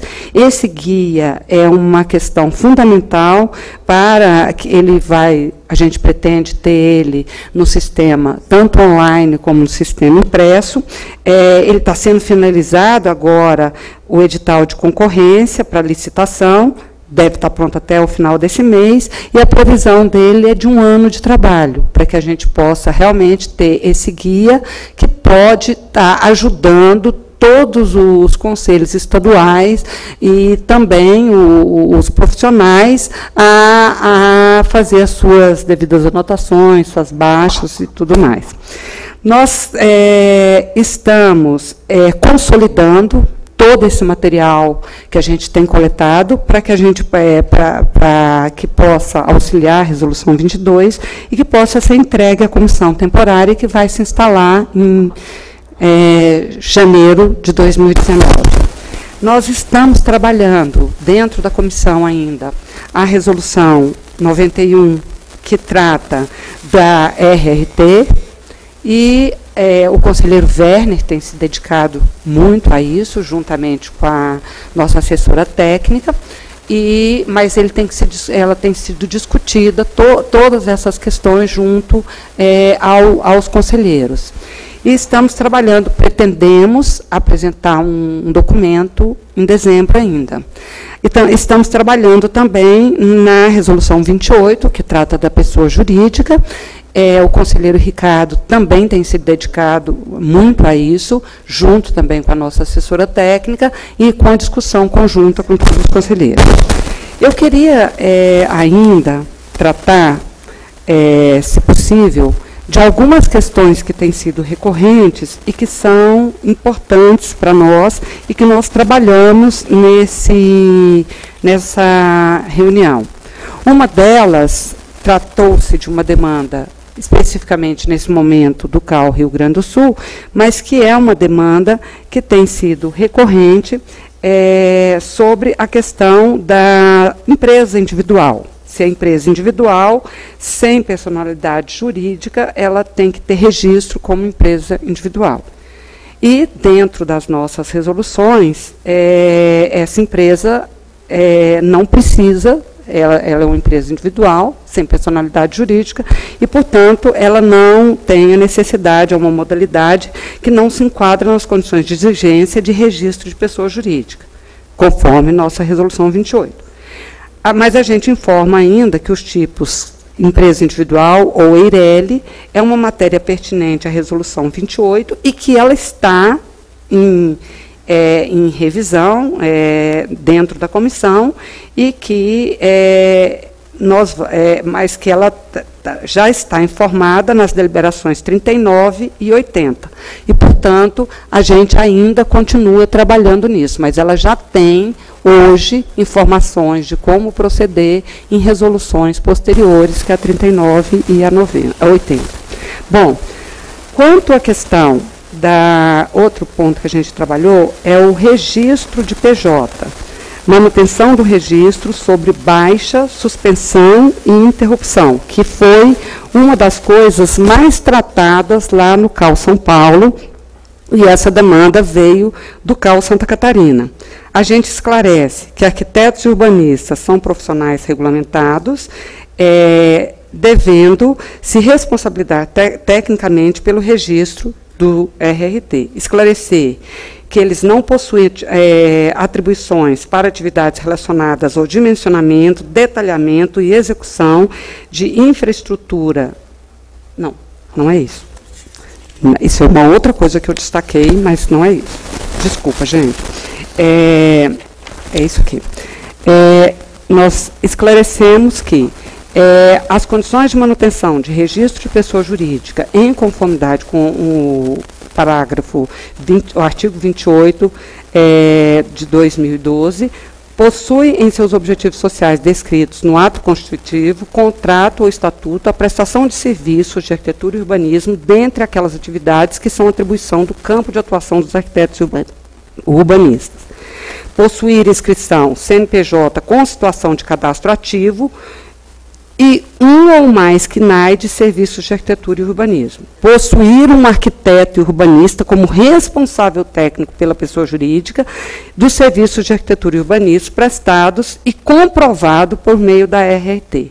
Recomendar que os CAUS UF sigam os procedimentos definidos na Resolução 48 é, para realização e atualização dos dados cadastrais e dos documentos das pessoas jurídicas. Esclarecer as condições de renovação, interrupção, baixa, reativação, de acordo com o que está disposto nos artigos 25 e 28 também da Resolução 28, e orientar principalmente que as informações é, estão disponíveis no tutorial baixa, interrupção e reativação de registro de PJ, no portal da RIA. É, esclarecer que a cobrança das dívidas, isso foi uma coisa muito discutida em São Paulo, que a cobrança das dívidas e anuidades das pessoas jurídicas é uma realização de um processo de suspensão por inadimplência, deverão ser é, seguidos os procedimentos da Resolução 121, 133 e 142, porque há muita dúvida sobre os processos de interrupção dessas pessoas jurídicas. Então, eles estão devidamente hoje é, é, regulamentados. Pode, claro, tudo pode passar por revisão, mas essas, essas resoluções, inclusive, passam por resoluções da, da, conjuntas, não só da CEP, mas da CPFI, certo? É, bom, aí entra a questão que eu estava colocando, eu vou deixar essa questão para o fim. Uma outra questão muito importante, gente, que foi tratado muito no, no CAL São Paulo, e como é um CAL grande, a gente, é, de certa forma, assusta quando certas coisas, certas demandas parecem resolvidas e não estão, é a questão da CAT. É, permitir a remoção da CAT, da CAT-A. Da CAT-A, principalmente, é, quando essa certidão, ela trata-se de uma de um, de um registro que foi do, já foi dado baixa. Então, essa CAT já pode ter sido, inclusive, emitida, já pode estar no mercado, já circulando. Então, ela, nós, nós nos manifestamos, de acordo com, com a, todas as resoluções e com a lei, de que é, a não ser respeitadas as seguintes condições para correção dos dados do RRT retificador, conforme Resolução 13 e 91 de 2014. Deverão ser respeitadas a, é, o CAUF responsável deverá instaurar o devido processo de apuração de indício de falta ética, caso o profissional é, que solicita a, o, a retirada da atividade técnica declarada na RT para compatibilizar os dados com o atestado técnico, porque essa é a grande questão. Tá? Inclusive, uma das grandes questões é a pessoa tirar o, o registro, retificar o registro e produzir uma nova CAT ou seja, vai produzir um novo atestado e, portanto, vai produzir mais área, mais atividade e, ma e isso numa atividade de licitação é, é um, um, uma questão perigosa. Esclarecer que não se enquadram nos motivos de remoção é, o término da atividade, porque o término é uma previsão, portanto, não se encaixa no motivo, e o valor do contrato que foi firmado. Ele não, ele não é motivo de revisão pós-baixa da, da CAD. E, por fim, é, essa questão que eu tinha começado a relatar antes, é, que também se trata de uma questão é, recorrente, que são as atividades profissionais. E, nesse momento, uma das questões é da 21, da anotação das atividades profissionais. E, nesse momento, a gente se deparou com a questão da, do, do CAL Santa Catarina, é, de profissionais querendo é, anotar é, atividades de enrocamento, macrodrenagem, drenagem é, urbana. Então a gente a gente sempre tem trabalhado essas questões, principalmente da anotação das atividades, juntamente com a CEF, e são atividades que extrapolam muito as nossas, as nossas, a nossa é, formação profissional. Então, o processo é muito bem fundamentado, principalmente o da CEF, e eu não vou me alongar, mas se as pessoas quiserem é, ter acesso a esse processo, esse processo tem um parecer que está já devidamente publicado, e é muito importante que é, se entenda isso, que as nossas atividades, elas podem, elas estão todas previstas a 21, não estou dizendo que a 21, por isso o guia é muito importante, o guia esclarece muita coisa, mas que tem é, atividades que realmente são atividades que extrapolam a competência unitária do profissional. O profissional precisa de trabalhar em conjunto, em que pese ele poder assinar o conjunto dos trabalhos como um plano diretor, extrapola a competência unitária do profissional.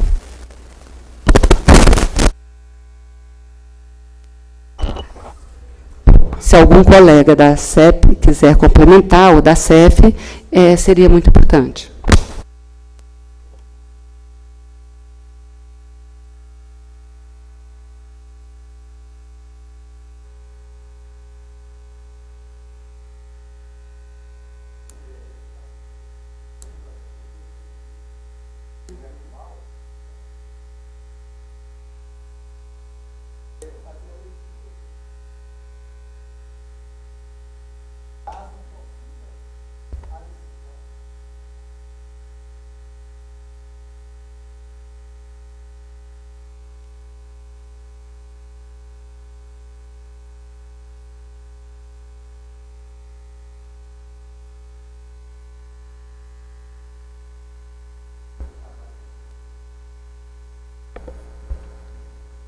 Mais alguma manifestação dos conselheiros da, da comissão? Concluído, conselheira? Muito obrigado pela o relato, cumprimentar pelos trabalhos. E agora passamos à comissão de Organização e Administração, a COA, CalBR. Conselheira Patrícia está em outra atividade, fora do, de Brasília. Conselheiro Godoy, por favor. É, eu gostaria que colocasse na tela isso. É, nós tivemos agora a última reunião das coas regionais em Goiânia. E aqui eu gostaria de, de agradecer a hospitalidade, presidente Arnaldo, toda a equipe, Isabel, pessoal. Foi extrema valia, né? O encontro região centro-oeste. Compareceram representante de todos os estados, Mato Grosso do Sul, Mato Grosso, logicamente Goiás e do Distrito Federal. Né, tudo isso nós estamos fazendo para é, coletar informações, trocar informações para o grande encontro que nós vamos ter é, agora, é, Encontro Nacional da COA, dia 6 e 7, aqui em Brasília. É, o primeiro item a destacar foram devolvidos à diligência os regimentos internos do CAL Tocantins, CAL Acre, solicitado maior esclarecimento de assessoria jurídica acerca da reestruturação do setor. Nós sabemos que está estrangulado, um problema sério, é, sem uma assessoria jurídica com profissionais né, é, para nos atender a todas as demandas, fica praticamente impossível de se trabalhar. Então, nós estamos é, permanentemente conversando com, com o pessoal jurídico para tentar solucionar, melhorar é, o trabalho deles e, logicamente, o nosso. Foi encaminhada a presença pedido junto aos órgãos competentes, crescimento, questão relativa à destinação de honorários cobrados administrativamente aos devedores e dos honorários de sucumbência fixados em sentença dos vencidos nas ações, com vistas à regulação da matéria de modo que promova a segurança jurídica para o qual o BR e o fiscal UF. A comissão, nós temos, né, a maioria tem uma posição dos membros da comissão, somente um membro que relata, né, favorável à matéria, mas o, o honorário de sucumbência é uma questão que a gente tem que discutir bastante. Né? Como que vamos trabalhar isso, como que vamos fazer. É, foram alteradas as datas aqui hoje né, do encontro regional, como eu disse, da cor da, da região norte. Eu gostaria aqui de fazer um apelo aos conselheiros federais é, do Tocantins, do Pará, do Amazonas, do Acre, Rondônia, Amapá e Roraima, para que converse com seus presidentes para que envie pelo menos um representante nessa, nessa reunião, porque ela é preparatória para o grande encontro que nós tivemos em dezembro aqui. Sabemos que é difícil, que não é fácil, mas é importantíssima essa participação, porque a gente discute muitas particularidades de cada, de cada estado, de cada região, e, e isso só tem enriquecido o, os nossos trabalhos. É, é, foi elaborado o esclarecimento, presidente, quanto à validade dos regimentos internos não homologados pelo CalBR, que é a questão, até gostaria depois do companheiro Jefferson destacar isso aqui, que é a questão do quando é, a plenária aprova, está valendo, mas tem a questão de se voltar aqui, né? Então, é, podia subir a tela?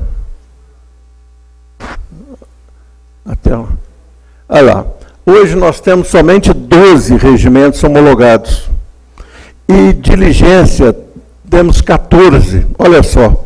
Alagoas, desde fevereiro, e até hoje não retornou para a gente. É, Mato Grosso, desde março. Piauí, desde março.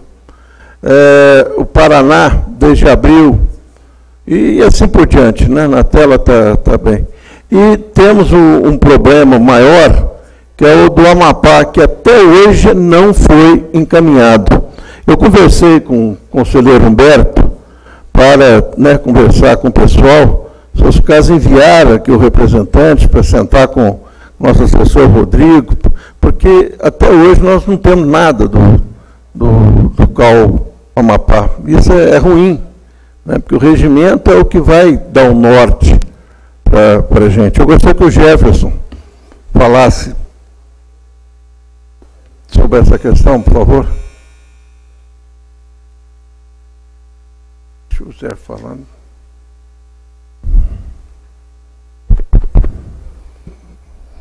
É, colegas, o que está em jogo é a deliberação que aprovou este ritual. E ela prevê prazos apenas para a primeira movimentação, que seria o prazo para que os KUF aprovassem o seu regimento em suas plenárias e enviassem para o CAUBR. Os demais movimentações não estão previstas, não estão pactuadas como prazo em deliberação. Então, em tese, mesmo esses 14 estados que encaminharam, está em diligência, não estão é, descumprindo a deliberação, porque eles cumpriram o primeiro prazo. Então nós criamos aí três categorias, de homologados, não, não homologados e enviados. Sendo que alguns dos homologados, ou, ou melhor, algum dos em diligência já tem duas versões de diligência. As plenárias do UF já aprovaram duas vezes o, o, o. Então, é, fomos, fomos, é, é, é fomos chamados a, a nos manifestar é, por 2KUF, e aí sim, convocamos a assessoria jurídica do CalBR para que nos orientasse no que chamamos de uma nota de esclarecimento. É, por sorte, o, o doutor Medeiros, conhecedor das nossas legislações internas, é, nos deu uma saída muito rápida. Né? Os artigos da lei da Lei 12.378, é muito claro, dizendo que cabe aos plenários dos KUF a aprovação dos seus regimentos internos. Isso dá uma segurança no ritual, mas dá uma insegurança nos conteúdos. Então, o resumo, senhores, todos os regimentos internos que passaram pelas suas plenárias estaduais e assim os divulgaram é esta versão que está em vigor. É, mesmo que venha para cá, sofra é, sugestões, e quando volta à plenária, sendo aprovado em plenária e sendo divulgado, novamente é esta versão atualizada que está em vigor. Então, só para concluir, é, é, a, a, nossa dúvida se dissipou muito rapidamente com esta reunião que tivemos com a assessoria jurídica. É, não vamos então fazer uma resposta específica aos demandantes, mas como eu disse aqui, como envolve quase todos os UF, vamos fazer sim uma nota de esclarecimento, né, que possa passar pela, pela presidência, que vá a todos o CAUF no sentido dessa tranquilidade em relação a, aos conteúdos e aos procedimentos que estão é, em diligência, que é uma palavra esquisita, né? mas é diligência que é a palavra que... Em tese, temos apenas um CAL que merece maior cuidado, né, que não cumpriu o prazo inicial previsto em regulamento, como foi dito aqui. Então, eu acho que espero ter contribuído aí, apesar de você já estar tá com essa questão bem clara. O, o Humberto tinha pedido a palavra. Sim. Sem problema, é para informar. Ah, desde abril que você, eu tenho escutado as, reclam, as não só reclamações, as cobranças com relação não, ao encaminhamento. Solicitações. Né? Eu anotei como cobrança, mas solicitações. As solicitações para encaminhamento. E fui repassando lá no CAU Amapá. Né? E solicitando para que os colegas de lá providenciassem. O que não ocorreu né? todos bem sabem, não ocorreu. Então, quando foi no mês passado, setembro, peguei os modelos do, aprovados daqui, peguei o modelo do CalBR e conseguimos aprovaram agora no mês de setembro que deveria ter sido enviado de imediato para o CalBR. Né? Retornando, é, retornando, eu vou ter que ir em cima de novo para ver se, o porquê deste não envio, né? solicitar. Boa notícia, uhum. conselheiro. É. Raul? O, o Jefferson, é, eu estou vendo ali o CalDF, eu sei que já veio, já voltou tal. Bom, a última vez, pelo que eu entendi você falando, o regimento que está vigindo para o CalDF é o último aprovado pela plenária do CalBR que veio para cá e, tendo voltado em diligência, ele é o que está valendo. É isso? Tá. Não, é a plenária do, do F. Tá. E, e, e, essa, e esse entendimento foi fechado quando? Recente. Semana passada. É, quando tá, isso foi 4 5 de outubro, nossa isso já foi avisado para os CAUF? Não, estamos, construindo uma nota de esclarecimento, como eu disse, para chegar à mesa que a mesa encaminha aos UF. Através da, da presidência. É, então eu posso, eu posso avisar o meu presidente, vice, enfim, o, o, o, o CalDF, eu posso avisar que esse é o entendimento, que isso está valendo, independente desse trâmite? Ah, eu, eu acho que sim, desde que É. as aspas sejam colocadas. Né? Estamos em construção e a mesa vai encaminhar, que é a- quem tem essa responsabilidade. Não é? Ok, obrigado. Agora, podia baixar a tela de novo, é o último item. É, a tela podia baixar. O item 7, isso, sétimo, foi encaminhado aos CAUF ofício para coletar informações sobre a existência e aplicação do Código de Conduta a empregados e conselheiros pelo CAU-UF. Por que isso? Para que a gente construa um- uma linguagem é, única, né? Como que os servidores, os funcionários, enfim, conselheiros e tudo, na, na questão de se agir, de se conduzir. Né? Isso que, que é a nossa, a nossa solicitação. E isso eu acho que vai ser de grande valia para todos nós, né? Para que faça, fal, possamos falar uma mesma linguagem, né? Do Amapá ao Chuí, se Deus quiser. Então, foi isso, senhor presidente, que, que nós tivemos, e mais uma vez, pedir o empenho dos colegas, mais uma vez, para esse encontro né, das COAS, dia 6 e 7 de dezembro aqui em Brasília, que é de muita importância, a participação de todos os CAU-UF. Obrigado, conselheiro Godoy, pela apresentação do relato da Comissão de Organização e Administração do CalBR. Comissão de Planejamento e Finanças. CPFI, conselheiro Raul. Eu vou iniciar aqui com base na súmula da última reunião, mas eu já de antemão peço ao Wilson, Eduardo e Helena no que for possível irem complementando ou, ou ao final tomarem aí. CPFI é, a gente vem analisando como exemplo do que foi hoje aí, reprogramações tal. Mas assim, o importante, na última reunião foi apresentado um informe, e aí eu não tenho maiores detalhes, a gente, se for o caso, pode buscar, mas é que a arrecadação total de janeiro a setembro, comparada com janeiro a setembro de 2017, teve um, um- um aumento de 6,5%. Então isso quer dizer atividade, quer dizer egresso, quer dizer uma série de. São, são, são dados ainda assim um pouco soltos, né? mas é, não é um dado que poderia ser o inverso disso. Né? É, nós também vi- vimos pensando e isso deve bater lá na COA, viu, Godoy?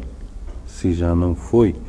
Implantação da assinatura digital né, nas carteiras, com participa teve uma participação do gente geral lá tal, e tem algumas dificuldades. A ideia é ter essa certificação, a gente ter certificação digital, e de tal modo que documentos que a gente tenha que assinar, a gente tem que necessariamente aguardar uma reunião presencial para estar aqui assinando o papel, ou então a, a todo o corpo da assessoria da secretaria fica correndo atrás da gente, que eventualmente alguém saiu e deixou algum, algum documento sem assinar. Então, assim, a gente pudesse ter uma outra forma mais rápida de fazer, que não só assinando, mas com certificação digital, tá? É, isso aí deve bater lá na COA, o Andrei, o pessoal já olhou tal, mas a gente vai continuar insistindo em certificação digital e para a gente poder ter reuniões virtuais até. Não necessariamente todo mundo ter que se deslocar. Eventualmente, sei lá, um assunto extraordinário, a gente possa ter. Aí vamos falar de voltar no CSC, em suporte tecnológico, fazer uma videoconferência, né? Ou audioconferência que seja, e na, digitalmente está resolvido. É uma pensar nisso. Teve uma resolução aprovada numa plenária ampliada que falava sobre desconto de pagamento de anuidades. Isso foi revogado para ser reeditado, para voltar de novamente para a plenária, porque por um erro de redação. Mas eu falava dos descontos, tal, de 5% no tal, né? OK? Só para ela foi revogada e vai retornar. Tem uma demanda que vem de vários locais e tem alguma algum contraponto aqui com a exposição da Lana. E isso eu venho conversando bastante com o e através dele com o Tiago. É, aviso eletrônico para o processo administrativo de cobrança, assim, a resolução 142. Então, assim, na revisão da 121, com a revisão da 142, que a gente, se a gente for ficar tratando pontualmente os casos, vai acontecer o que aconteceu com a 121, hum. né? A gente montou um Frankenstein, né? E aí depois a gente tem que sair. Então isso, aí o Wilson tá puxou isso aí para ele, né? Por, por livre e espontânea pressão na comissão. Ele ficou tratando a 121, 140, não, ele se dispôs de fato a fazer. Da 121 142, para a gente tratar esse assunto de uma maneira mais abrangente, mais completa, uma visão mais ampla, do que ficar fazendo remendos.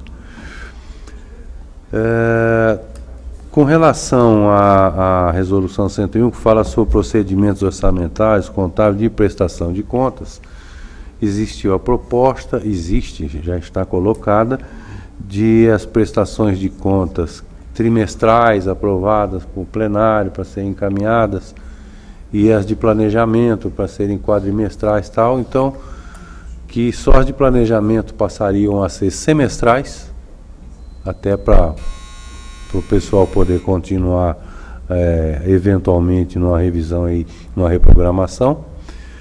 E, e a, a, a, da parte contábil, ela seria só a prestação de conta anual, com a obrigatoriedade, e isso quem determina a obrigatoriedade não somos nós, mas é a legislação, de dos registros contábeis serem feitos mensalmente, tal, até o 15º dia útil, tal.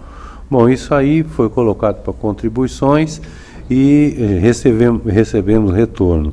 São Paulo, Paraíba e Rio Grande do Norte, mas nós estamos aguardando aí que o retorno da, da Madalena para a gente poder fechar e fechar agendas nossas também para ver é, o texto final, um suporte técnico para fazer isso aí. A, a, a 121 com a 142, então o Wilson pode explicar com maior detalhe o que o está sendo feito, porque ele vai, vai vem conduzindo. E está, saiu quinta-feira, viu, Ednésia?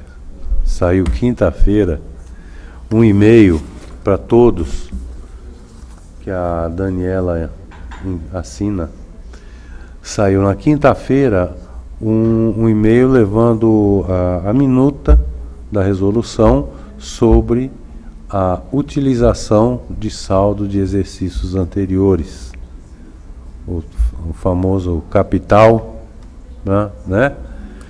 E a, já tem, tem uma proposta, ela foi debatida, ela está pelo menos na terceira versão, né, Wilson?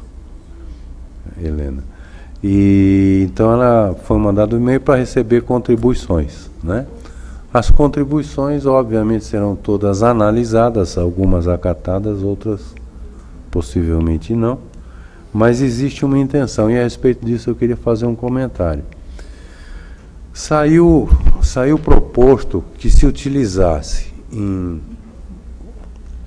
Eu, eu, eu, eu salvei aqui, vou abrir para não falar um, um percentual errado. Um percentual errado. É, foi. Cara, para considerar. Todos considerando resolve. Artigo 1. Autorizar a utilização do superávit financeiro de exercícios anteriores em projetos específicos com duração não superior a um exercício, de caráter não continuado, em ações cuja realização seja suportada por despesas de natureza corrente. Então aqui está dizendo sim para utilização. Como? Parágrafo 1. A utilização de recursos superfinanceiros deverá ser previamente aprovada pela Comissão de Planejamento e Finanças e pelo plenário dos respectivos CAL-UF. É lá. Parágrafo 2 A utilização do superávit financeiro não está sujeita à prévia autorização do CAL-BR, pois cada CAL-UF é responsável pelo uso de seus recursos. Decidiu lá, toca o barco. Parágrafo 3 A utilização dos recursos superávit fica limitada a no máximo 20% do saldo referente ao superávit financeiro do exercício anterior, condicionado à existência do mesmo Quer dizer, ele tem que ter um saldo para ele poder utilizar até 20%. Ele poder utilizar até 20% quer dizer o seguinte: em, em três anos o cara não estoura o caixa.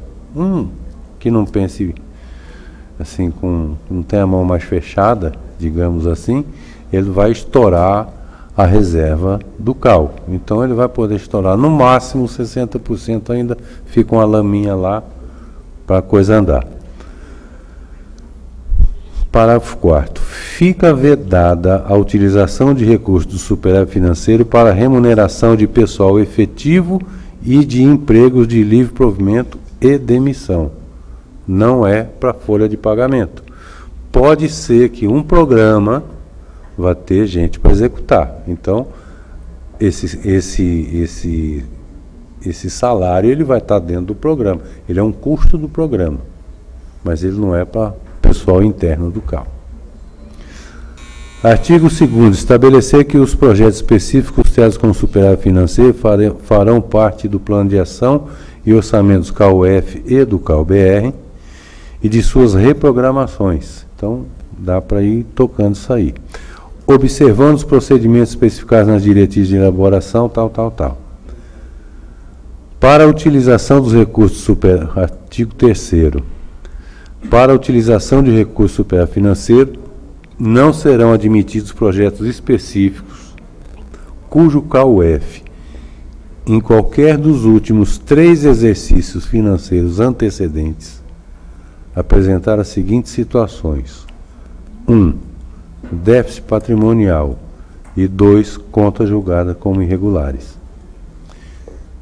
Isso aqui é quem teve déficit patrimonial, e aí nós não vamos entrar na discussão contábil, não vamos sentar com um contador e começar a discutir conceito de contabilidade. É, Para ser claro, é o seguinte: tem um, um volume de recurso aí de excedente. De excedente, de sobra, está lá no capital. recurso de capital. É, nós vimos pelas, pelas apresentações que temos tido desde o início do ano que tem um KUF que ele está deficitário. Então isso aí não adianta, ele não pode fazer o que for. Ele, ele não tem saldo, ele não vai ter como a faculdade de usar isso aí, porque ele não tem, simplesmente não tem. É, nós verificamos na época que o, o CAL Goiás teve uma diminuição grande desse saldo. Por quê? Porque investiu na sede. Mas do que ele tem, ele pode utilizar, se quiser, até 20% no programa. Vai ser pouco, mas porque ele já usou em outra coisa. Enfim, a ideia, e talvez a, da leitura do texto isso não fique tão claro, é não, não fique tão claro para quem não queira entender, né, eu friso, é que isso aqui não é, pra, não é a farra do boi. É para permitir que quem tem recurso aplique um recurso em algum programa que julgue relevante. Não é para sair estourando o que tem de reserva. E quem não tem, não tem. Junte para poder fazer. Para a gente não ter mais polêmica, não ter mais reuniões de comissão, de colegiados e não sei o que, e começar ter problema de entendimento. Não, entendimento é até 20%, não pode ser para folha de pagamento, tem esse regulamento que eu acabei de ler. E eu estou me estendendo nesse ponto da pauta, porque isso deve estar sendo verificado também pelos presidentes, pelo Fórum de Presidentes, que antes eu falei colegiado, né, mas são pelo Fórum de Presidentes, e pode gerar alguma. Não, não tem dúvida, isso é cristalino. Você tem saldo, você pode usar até 20%. É isso. Pode mudar 15, 22, 5, não sei, isso aí vai ver. Mas a ideia é não deixar um desavisado estourar o fundo de reserva que ele tem, porque aí vai, aí é pá de cal. Aí nós vamos ter que jogar outra, criar um outro fundo aí que não vai ser fundo de apoio, vai ser talvez um fundo de resgate. Para é, alguma coisa assim. Tá certo? Então nós temos que, nós precisamos olhar o orçamento do CAL como um todo. Brasil inteiro. Daqui a pouco nós vamos começar a trazer essa, essa visão aqui para dentro também, ver nas comissões como é que a gente pode sugerir, discutindo algumas coisas, o que, que a gente pode melhorar. Assistência técnica. Quanto você tem de assistência técnica lá, 2% do seu orçamento? Quanto você tem de assistência? Por que, que a gente não tem um fundo de assistência técnica para ações não ser, não ser 20% da UF, mas ser 20% do CalBR. Coisas assim, a gente precisa começar a repensar, a rever, né? Parar de olhar para o próprio umbigo e começar a olhar para fora um pouquinho, tá? Eu, Wilson, Helena, se tiver alguma, com respeito a 121 e 142, por favor, complemente.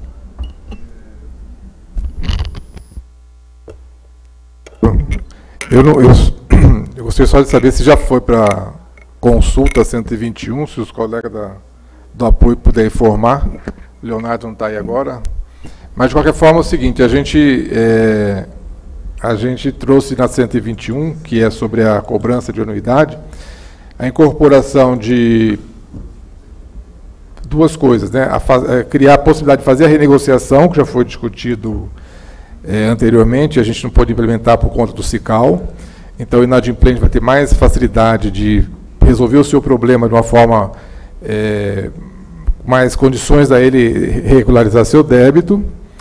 E também uma solicitação do, do Rio Grande do Sul, que foi na questão de criar uma certa dificuldade para quem está em débito né, com relação à emissão de RRT ela também tem um procedimento lá de ficar cobrando a pessoa, comunicando que ele vai é, inviabilizar a emissão de RT se não resolver a situação dele.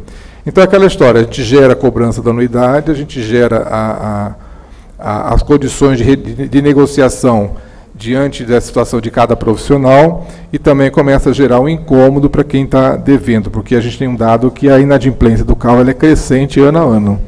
E a inadimplência gera cultura. Né? Se, se muitos começam a perceber que não pagam e nada acontece, vão deixar de pagar e a coisa vai se complicando.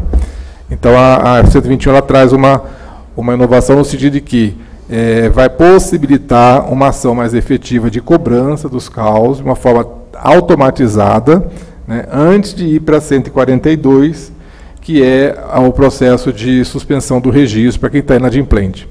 Então a ideia nossa é justamente essa, é criar mecanismos para que a pessoa regularize a sua situação, né? E, e, o interessante é que ele não tem aquelas, igual ficou o refis, que tem prazo para fazer, se não fizer, não, não existe outra solução.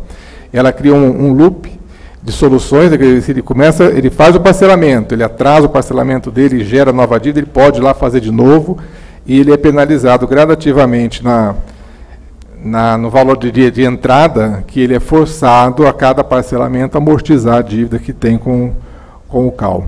E a 142 a gente começou a mexer, mas não evoluiu muito, mas vai ser a, a resolução que trata realmente, como é o objetivo dela, da suspensão do registro de quem tem débitos com o CAL e execução de dívida ativa também, acho que está contemplado nessa, nessa resolução.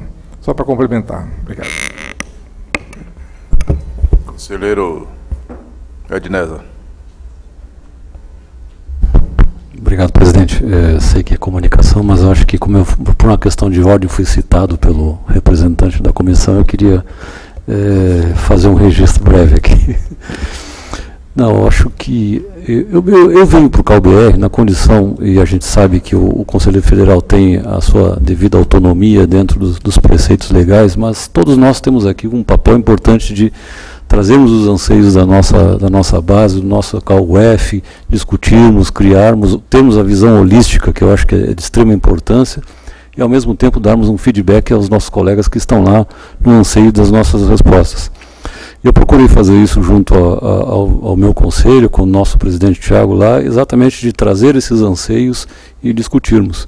E eu faço esse registro e, agradecendo a, ao colega Raul e aos demais colegas da comissão que me deram a possibilidade de trocarmos, né, fazermos um feedback e construirmos é, alguma coisa. Aviso de antemão que o, o, Rio Grande do Sul anseia que essa questão do, do, do superávit do, do, imobilizado pudesse ter uma flexibilidade, que é aquilo que eu me refiro num percentual personalizado para cada UF, para cada tamanho, para cada, é, para cada responsabilidade de uso do dinheiro né, que eu acho que é importante frisar. Eu sei que o Rio Grande do Sul já tem, e, e passei ao, ao, ao, colega Raul já alguma manifestação é, nessa tréplica, vamos dizer assim, eu acho que é no intuito de construir. Ao mesmo tempo, em relação a essa questão do, do, R, da, do acesso ao CICAL, RRT, que também é outro processo de construção.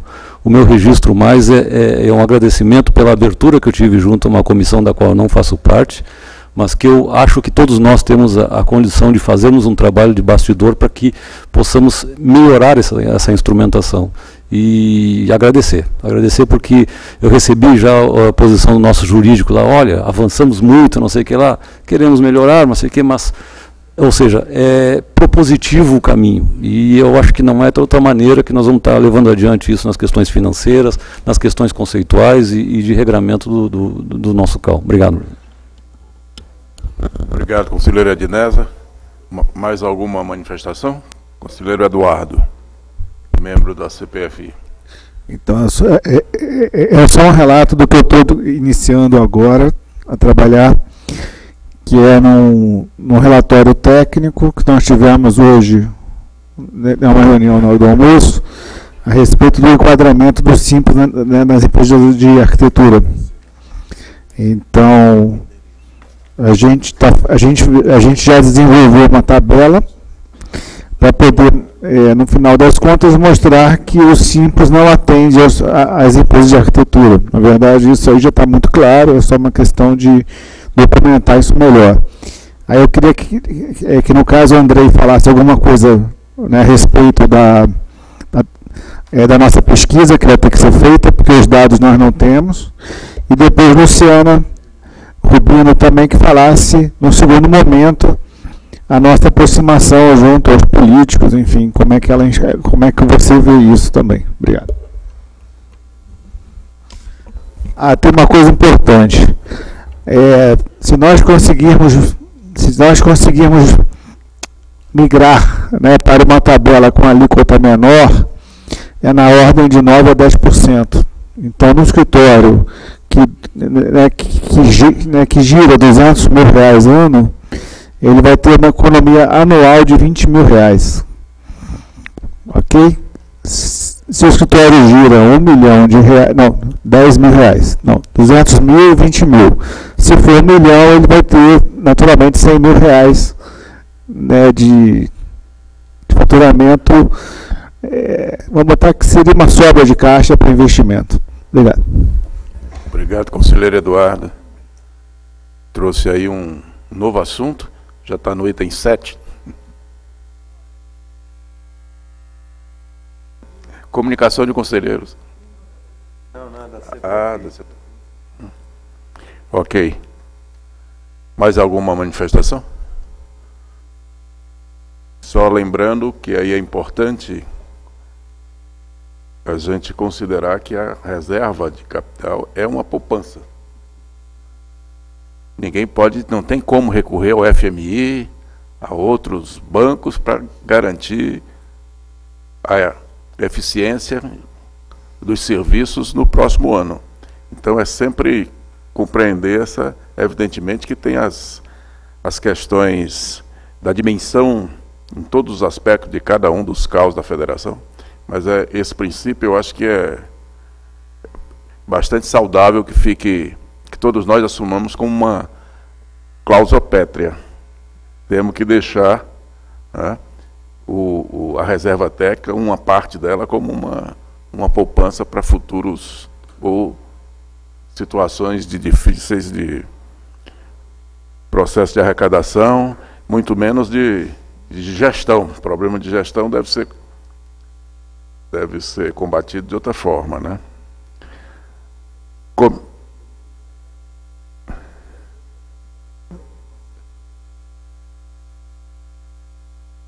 Não vamos, não vamos antecipar problemas. Por favor, Comissão de Política Profissional, conselheira Josemê. Agora. Boa tarde a todas e a todos. É, obrigada, presidente. É, a gente vai ser rápido, porque a maioria das, das, das, atividades que a gente já tinha feito, a gente já vem desde as últimas reuniões é, é apresentando. Eu queria começar é, como, é, falando do seminário que a gente participou, o sétimo Seminário Nacional de Empreendedorismo em Arquitetura e Urbanismo em Palmas.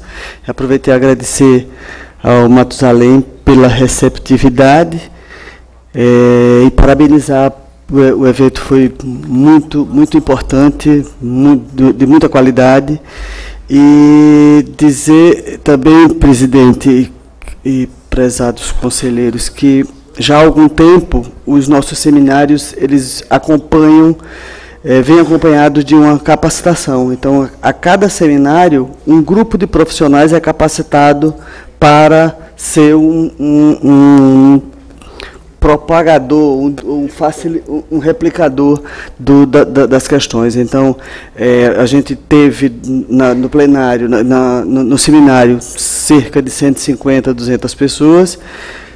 Dessas, 60 foram capacitadas em, no, nessa, nessa é uma, é uma capacitação que a arquiteta Mariana é, do arquiteto de família, ela vem fazendo ao longo desses, desses seminários. Então, foram 60 pessoas capacitadas. A gente também, nessa oportunidade, a gente também teve uma reunião na, no, no CAL, Tocantins, com a presença do presidente e alguns conselheiros, que foram discutidas algumas questões, principalmente algumas ações de ATIS que a gente poderia desenvolver. E, obviamente, visitamos, como a gente faz normalmente, todo, cada vez que a gente vai para um seminário desse, visita as áreas onde estão sendo é, tendo, onde estão tendo alguma interferência ou alguma intervenção de assistência técnica. É, vamos participar amanhã do Fórum de Presidentes. Foi um, foi um pedido nosso da CPP, um, um espaço de tempo lá no, no, no fórum para que a gente pudesse conversar sobre é, o uso dos 2% do ano que vem é, parte, pelo menos, desses 2% é, é, ser usado na, no mapeamento, no diagnóstico das regiões centrais. de edifícios e vazios urbanos para que a gente possa ter um diagnóstico nacional, né, um mapa nacional dessa, da, dessa situação. Eh, já conversamos com o presidente Nivaldo do IAB e esse trabalho será levado para, para o IA 2020 como uma, a contribuição do, do, do, do CAL, como, como o Brasil, como o Brasil está pensando na, na, na, na, questão, na sua questão de habitação popular, habitação de interesse social, e é, a ideia é que, que cada CAL possa, de alguma forma, participar e, e fazer no seu estado alguma coisa neste, neste encaminhamento. A gente vai levar isso amanhã para a reunião em Belo Horizonte. E só dizer. Oi? Georreferenciado. É, e só para completar, o, o IPEA nos procurou, tá, muito interessado em, em, em, participar, apoiar e participar desse evento, o IPEA e a Caixa Econômica. O IPEA porque eles têm um, um número enorme de, de, de prédios primeiro para localizar, para referenciar, né? A Caixa Econômica e o IPEA, o número de prédios que podem ser é, é, utilizados para esse tipo de, de, de, ação e eles estão interessados em entrar e participar de, como, como parceiros da gente. Na verdade, cada CAL vai buscar o parceiro que for necessário, que for conveniente, né? Mas aí a gente, que a gente aqui, como CalBR, não pode interferir. Mas a ideia é que cada um busque os seus parceiros para. O importante é que a gente tenha, no final do ano, esse conteúdo, um diagnóstico, é, um levantamento com o um diagnóstico dessas áreas que podem ser ocupadas com habitação de interesse social. É, e, a, e comunicar que a gente vai participar, teremos mais um último seminário mais o último seminário em Santa Catarina, é, de arquitetura e interesse social e habitação de interesse social de empreendedorismo e a gente está tentando ver, fazer com que isso seja internacional. Então a gente já está entrando em contato com o Habitat para a Humanidade para eles indicarem alguém para a gente ter outros exemplos. Não sei se a, a nível de, de, de América Latina, mas a gente está tentando ver como é que a gente pode, consegue transformar esses seminários em seminário, em, em seminário internacional, apesar de que está tendo um pouco de dificuldade por conta da agenda dessas pessoas. Mas esse aqui é o... Não, é só isso, presidente. Obrigada. Obrigado, conselheira Josemê. Alguma manifestação dos conselheiros sobre o... Não havendo, passamos então para a Comissão de Política Urbana e Ambiental. Conselheiro Wilson. É, nós estamos encerrando uma, o período eleitoral, é, do qual nós nos propusemos a fazer a carta aos candidatos. E a gente teve aí algumas uh, algumas dificuldades decorrência do entendimento jurídico de que o CAL não poderia aparecer junto com os candidatos para poder uh, apresentar essa, essa, esse trabalho. Eu acho que isso aí foi uma, uma, um ponto negativo no processo, mas é, nós tivemos aí, eu tenho que destacar aqui, o um empenho bastante grande e significativo do colega Fernando, tu, tu, é, Fernando Túlio de São Paulo, presidente do IAB São Paulo, que é, que é o coordenador da Comissão de Política Urbana do, do IAB Nacional, e também do colega Pedro Rossi, que é do IAB Paraíba, que acho que foram as duas pessoas que pessoalmente compraram a vestiram a camisa e saíram a campo e se articularam e fizeram todo o empenho para que isso fosse resolvido. Uh, alguns estados, a gente tem aí a, uh, o, o, tomado conhecimento, o estado de Santa Catarina a presidente também teve algumas entrevistas sobre o tema. É, Sergipe, Ana Maria também deu, fez entrevista na rádio. E, e eu, lá no meu estado, eu consegui é, uma, uma ação pessoal minha, contratação de uma profissional para me auxiliar, no sentido de, de que a gente pudesse divulgar isso para os candidatos e sobretudo para a sociedade, que eu sempre disse que a carta não era só para os candidatos, era para a sociedade compreender o que a gente vê sobre a cidade. E nesse ponto eu achei assim que a gente tem que avaliar a atuação do CalBR é, quando uma ação é do CalBR, né, e na esfera nacional, porque eu senti dificuldade das, do CalBR ter essa autonomia de poder colocar em lo, alguns locais é, uma, uma ação é, própria do CalBR para desenvolver um projeto. Então nós tivemos que depender de CalUF, e a gente sabe que alguns presidentes refutaram a ideia, não compraram a ideia, e alguns até combateram a ideia que nós aprovamos aqui no plenário. Bom, a gente vai fazer uma, uma avaliação disso na comissão, isso é um, um preâmbulo que a gente observou, mas a comissão vai, vai trabalhar na, num, numa análise mais aprofundada do, do, da estratégia. E nós já estamos recebendo sugestões, eu acho bastante importante, de que é a gente criar mecanismos de, de acompanhamento da sugestão, o que efetivamente está se implementando ou que está sendo negligenciado pelos, pelos nossos futuros administradores. Eu acho isso bastante importante e é uma coisa que a comissão vai ter que, que trabalhar. É, nós temos aquela ação da educação, do, do, do, do, ensino básico e fundamental, que nós apresentamos anteriormente. O processo está em andamento, é contrário às nossas expectativas, ele está tá atrasado, porque depende de contratação de serviços e a gente está encontrando uma certa dificuldade em sobrepor esse, esse estágio, né, que é a contratação da empresa que vai nos assessorar é, no sentido de dizer é, sobre a linguagem, sobre a abordagem, né, da, da, da, de como a gente construir esse projeto. Mas ele está em fase de, de continuidade. É, nós tivemos é, é, em Minas Gerais, agora esse mês, uma reunião das, da conjunta da CPUA, CPUA-BR e CPUA Minas Gerais, e foi muito produtiva.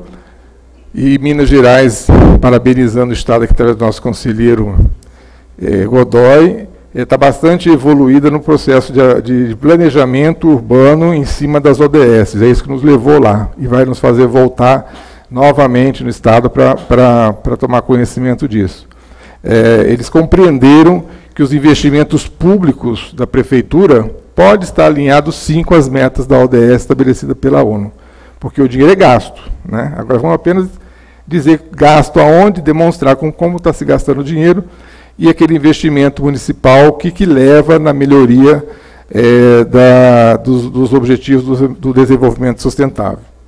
E, concomitantemente, estando em Belo Horizonte, nós fomos no evento promovido pela Universidade Newton Paiva, que, que apoia essa iniciativa, desenvolve um projeto bastante interessante nesse sentido, então a gente percebe que Minas está bastante adiantado nessa questão e a gente está com o propósito de trazer esse debate para a CPUA-BR e incentivar né, nos outros estados que esse trabalho se, se difunda. Uh, o Nixon deve ter relatado o evento lá de Roraima, na, na, na plenária passada, e lá em Roraima eu tenho até que reforçar o fato de ter ocorrido em Roraima, porque é um, é um estado distante do centro, do, do centro dos grandes centros do país, mas a gente percebeu que um estado pequeno, um número pequeno de arquitetos e a universidade local conseguiu fazer um evento de grande valia e de grande importância em termos de conteúdo, e lá foi feita uma proposta, um desafio para o CalBR e, consequentemente, para a CEPUA, de organizar o que foi debatido lá, fazer um evento a nível é, latino-americano. Então nós estamos discutindo agora, até falei com o Luciano no almoço, a gente teve um, almoçamos juntos, né? Pretend, pretendíamos almoçar juntos, né, Luciano, que no fim o almoço ficou na conversa, ah, da construção dessa estratégia, desse projeto para o ano que vem. E finalizando, ah, o que a Josimir falou sobre mapeamento de áreas de imóveis disponíveis para habitação no centro das cidades, nós também já fizemos uma consulta prévia ao CSC, ao, na verdade, a área de, do georreferenciamento, que é uma ideia que a CIPUA está desenvolvendo de utilizar do nosso sistema, da nossa ferramenta, para começar a mapear os municípios, as áreas, aquilo que for mais relevante, né, áreas com, com risco ocupação, áreas de risco ocupada, áreas de interesse ambiental, enfim, é, plano diretores, aí ela deu, traz essa, essa inovação que as áreas imóveis desocupados no centro da cidade, né? Enfim, a gente começar a ter ferramenta e ter informação no CalBR que pode ser compartilhada futuramente com os próprios colegas arquitetos, que pode chegar em qualquer cidade e ter uma informação básica sobre a cidade para compreender o território para uma execução de um projeto ou prospectar alguma atividade profissional, e mesmo o poder público e o, o, o Congresso, Câmara de Vereadores e Assembleias, né, para a gente ter uma, assim, entregar um serviço para a sociedade, que é ele da sociedade, que está nas nossas alçadas, e temos ferramenta para isso que está até subutilizada no CAL, que é o que o, o colega Jefferson falou, é, é a comunicação do CAL com a sociedade diretamente.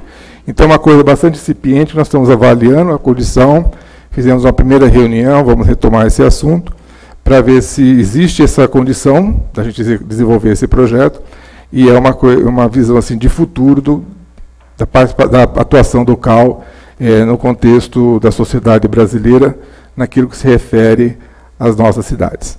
Eu acho que seria isso, se o Nixon e a Josélia, porque a Lana ela é representada pela Márcia e a, e a Patrícia pelo Jefferson, da Comissão de Política Urbana, mas se quiserem complementar, se eu esqueci de alguma coisa, por favor, me ajude a, a trazer ao plenário. Obrigado.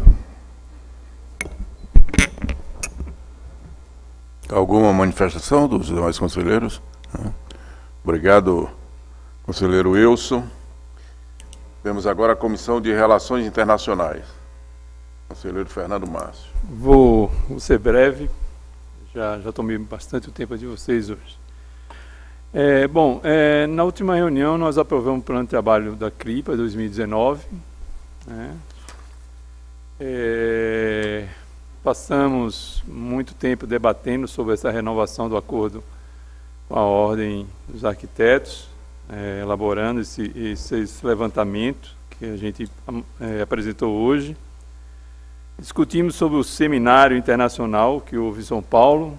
É, como eu falei na última reunião, acho que foi a primeira vez que a CRI é, fez um seminário desde a sua criação. E, assim, pelas nossas discussões, foi muito, foi muito salutar, foi muito produtivo, um debate qualificado nos modos que a gente fez dentro de uma universidade e o debate foi muito produtivo. É, também discutimos é, um evento programado para o ano que vem, é, o quarto encontro de desenvolvimento de cidades em regiões de fronteiras, bacias hidrográficas, encontro das águas, programado para junho de 2019 em Foz do Iguaçu. É um evento preparatório para, para Rio IA 2020 e que o colega Jefferson está à frente desse, desse evento. É, também sobre o, o IA 2020, discutimos sobre debates preparatórios para o Congresso. É, pretendemos é, levar para os estados, discutir com, os, com o Fórum do Presidente, levar para os estados a discussão sobre o Congresso, trazer proposituras e, e temas para ser discutido no evento. É,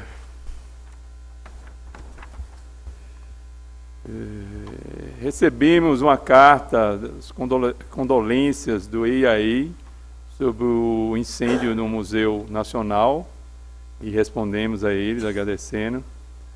Recebemos também a tradução do documento é, Nossa Cidade Pede Socorro e encaminhamos para, para os colegas de outros países. E discutimos sobre uma, exposição que está ocorrendo em Lisboa, Infinito Vão, 90 anos da arquitetura brasileira. Pretendemos conversar com o Fernando Serapião, para discutir como é que a gente pode eh, explorar mais essa, essa exposição. Bom, no mais foi isso. Agradeço, senhores.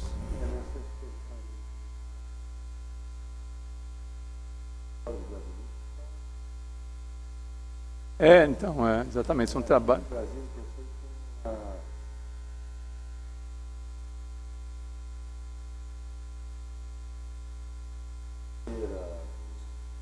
Ah. É, é isso que a gente quer, realmente é promover a arquitetura brasileira, né? explorar essas. É, isso.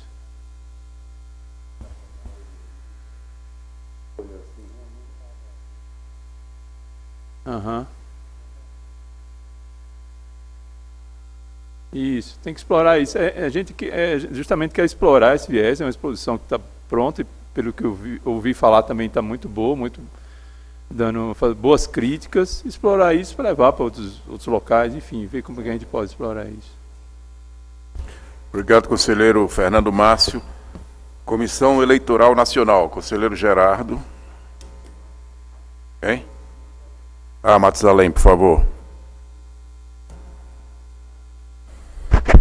O conselheiro Gerardo teve que se deslocar até Belo Horizonte para participar do Fórum de Presidentes. É, recapitulando, o próprio Fórum de Presidentes havia solicitado que a comissão eleitoral é, explanasse algumas coisas relacionadas ao, ao novo regulamento. E ele teve que ir para lá e amanhã cedo vai participar do fórum. Bom, vou fazer o relato da, das últimas ações da comissão eleitoral.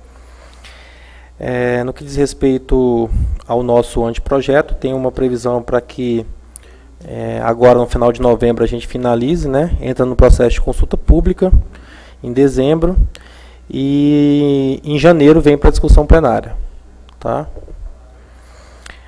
É, com relação ao cadastro de conselheiros no CICAL, é, foi encaminhado através da RIA para todos os CAUF para que eles é, fizessem o preenchimento numa plataforma disponível agora para o cadastramento de todos os conselheiros, as informações, é, o, as comissões que ocupam, o, a, o período em que exerceu o mandato. Isso é fundamental para que nós tem, é, tenhamos isso alimentado no, no, no, no CIEM, né, no sistema, no CICAL é, fundamental, inclusive, para as próximas eleições. Então, nesse sentido, eu pediria um pouquinho da atenção de vocês de é, verificar se junto aos CAUF é, foi, foi enviado, então certamente alguém recebeu, mas para que dê prosseguimento no preenchimento das informações dos conselheiros tá, dos seus estados para alimentar essa plataforma. Tá bom?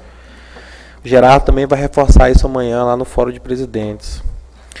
É, deliberamos pela participação de representantes do CSC para verificar o andamento do sistema eleitoral, né, como é que está sendo desenvolvido isso, né? É, recebemos as contribuições vindas do IAB, Direção Nacional, da FNA, Tá? E em decorrência de, de, parte daquilo que foi encaminhado pelo IAB e pela IFNA, algumas situações é, que mereceriam uma análise um pouco mais profunda com relação ao, ao, que abordaram essas proposituras, nós, através de uma deliberação, encaminhamos essas propostas à COA para uma primeira análise. É, com relação à revisão do regulamento eleitoral, foram discutidos os temas de recondução de conselheiros, condições de elegibilidade, causas de ineligibilidade, registro de chapa, campanha eleitoral, debates, desincompatibilização, votação e cálculo de proporcionalidade. Então esses são foram as a síntese da última reunião, os, te, os temas tratados. Obrigado, conselheiro Matusalém, pelos informes da Comissão de Eleitoral Nacional. Agora, os informes do presidente. Ao longo da discussão da, das comunicações da com, das comissões, eu já fiz alguns relatos e queria registrar aqui da participação dos eventos de Porto Alegre, do, promovido pelo CAL Porto Alegre, promovido pelo CEAL, no Rio de Janeiro, promovido pelo CAL São Paulo, e tivemos também em duas audiências com a a mídia nacional, Jornal Estadão, Jornal Folha de São Paulo, onde nós fomos levar uma conversa sobre a carta aos candidatos né, e os trabalhos que o Conselho vem realizando junto com os profissionais e a sociedade. a carta, né, o Wilson falou aí, mas ela inclusive não é um documento que se esgota agora, depois do segundo turno. Ela é uma peça viva que vai também orientar a discussão dos profissionais e da sociedade, dos gestores municipais, porque ela impondera muito né, a, o reforço às gestões municipais, para que sirva de orientação e reivindicação para o presidente da República, Congresso Nacional, governadores e casas legislativas estaduais. Eu queria também dar uma, um informe que é sobre a questão da nossa mudança de sede. Nós temos há alguns meses começamos a fazer um trabalho em função das condições precárias da atual sede, precárias do ponto de vista do espaço físico adequado, né, do espaço para realizar as nossas reuniões de comissões e das plenárias. E foi feito um levantamento em várias edificações de Brasília, e um dos, dos condicionantes era abrigar as atividades das plenárias também. Né. Tem um relatório, nós levamos para o Conselho Diretor ontem, né, na, pela segunda vez, foi aprovado, e estamos trazendo um informe para essa plenária, é um edifício da Confederação Nacional do Comércio, que fica localizado ali próximo da, do teatro, no setor bancário norte, ao lado do Teatro Nacional, em frente ao Conjunto Nacional, próximo de estação de, de metrô, ou seja, um sistema de, de mobilidade relativamente confortável. Né? E foi feito um várias simulações de custos de aluguel, custo de instalações adequadas. O resultado disso é uma planilha extensa, vai estar à disposição de todos os senhores. Foi feito também uma apropriação no, dos custos ao ano e com relação ao nosso orçamento vai significar 2% o aluguel e condomínio vai significar 2% da receita. Então, 2% é um, mesmo de um volume alto, é um valor suportável.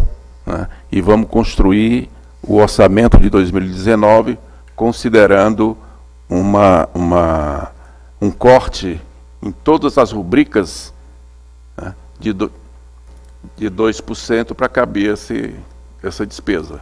Né? Ninguém vai cortar verba numa ou noutra rubrica, vai ser uma, um corte linear em todos.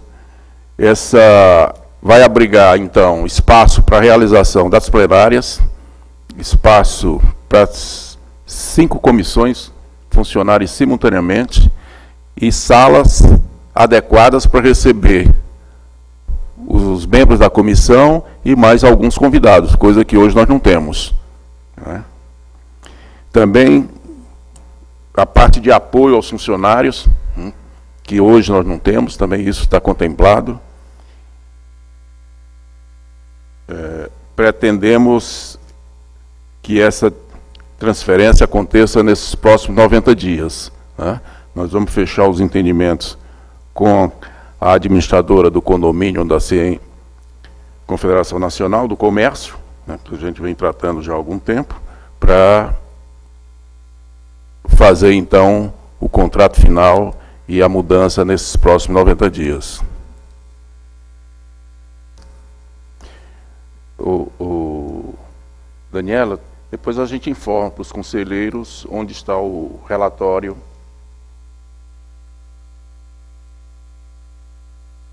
Hum. Podemos encaminhar por e-mail para todos os conselheiros.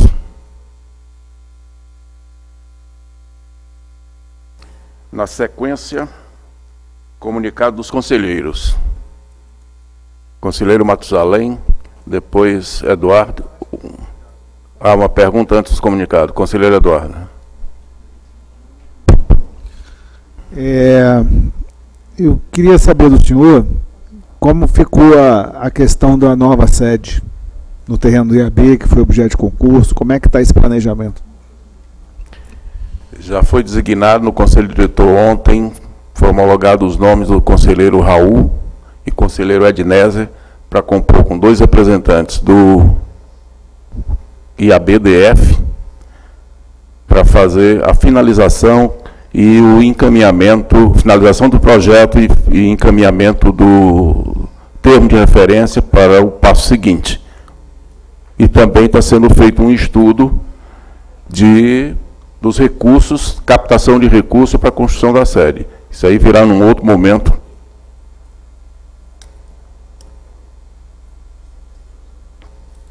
Conselheiro Matusalém. Depois, conselheiro Humberto. Eduardo também. Aproveitando que o tema é sede, o Cal Tocantins lançou um edital com um concurso nacional para elaboração do projeto da sua sede, lançou agora dia 16, vai ficar 45 dias em aberto, tá? Então pediria que vocês, se pudessem, divulgar nos seus estados, né, fizesse aí uma promoção desse concurso. É, é um, um, vai ser instalada a sede de um, um terreno próprio que nós recentemente adquirimos. É uma edificação em torno de 450 metros quadrados, que hoje nos atenderia e, de acordo com as previsões de ampliações que nós temos, ela, ela seguiria, serviria por um bom tempo. Né? É, o valor do prêmio é de 67 mil reais, já o valor completo, né? O valor de participação para o segundo e terceiro colocado, 5 mil para o segundo colocado, 3 mil para o terceiro colocado, além das menções lá. Era isso o, o informação. Obrigado, conselheiro. Tá no, tá no, site. Tá onde Sim, sim. Tá. Eu vou, eu vou disponibilizar depois no grupo certinho. É. E, e colocar no Tá site bom. do CalBR do, e dos Caus UF. Tá. Sim, sim, sim. Foi lançado ontem e, e a página do concurso, ela, apesar de já estar disponível, ela ainda está com alguns ajustes de construção. Tá? Então vou esperar esses ajustes ocorrerem para a gente já lançar. Mas está em aberto já, tá? Ok. Já, já, o Léo já anotou ali a para cobrar do, do Cal Tocantins os informes para divulgar a nível nacional. Conselheiro Humberto, depois Eduardo. Ok. É, eu gostaria de fazer uma solicitação, presidente Luciano, é, no sentido de que a, nós estamos com a programação, os planejamentos sobrecarregados. E nessa sobrecarga de trabalhos junto ao CAL e junto às nossas atividades profissionais particulares e a nossa vida é, em cada local, nós estamos com uma sobrecarga muito grande em função desse planejamento que está. Ah, e isso tem me inquietado muito, e até eu tive um momento até de eu perder o voo por conta de cansaço mesmo, né, de semana seguinte, a gente leva trabalho daqui para casa e outros trabalhos. Então é, é a minha solicitação é no sentido de que a presidência solicite da COA, da Comissão de Organização né, e Administração, um estudo de uma revisão dessa nossa questão. A minha sugestão e o que eu fico pensando é de que nós poderíamos, ao invés de nos reunirmos de 15 em 15 dias, que nos reuníssemos uma vez por mês, né, fazendo uma condensação e talvez a, a plenária não, tiv- não precisasse ser, a plenária geral não precisasse ser todo mês, talvez de, de dois em dois meses, enfim, sugestões mas que repensar essa questão. A minha questão, minha inquietação é a sobrecarga de viagens de cada 15 dias e de qualquer outra atividade, que a, tem momentos em que nós estamos participando de situações e os planejamentos que nós temos que viajar toda semana. né? Então isso, isso, eu que moro no, né, no fim da linha, né, eu moro no fim da linha. Então, para vir de lá e para fazer as participações, é, além dos horários, além das paradas em que tem que ficar. Né? Não, não só isso, é o desgaste físico mesmo e o desgaste que acaba, é, a questão mental da gente fica. Então, eu acho que seria algo, né, essa inquietação talvez fosse de alguns outros, né? eu estive mencionando e, e conversando, eu gostaria que isso fosse É. solicitado e Está feito o registro, conselheiro. Humberto, mas essa, essa pauta realmente é, é construída por todos nós.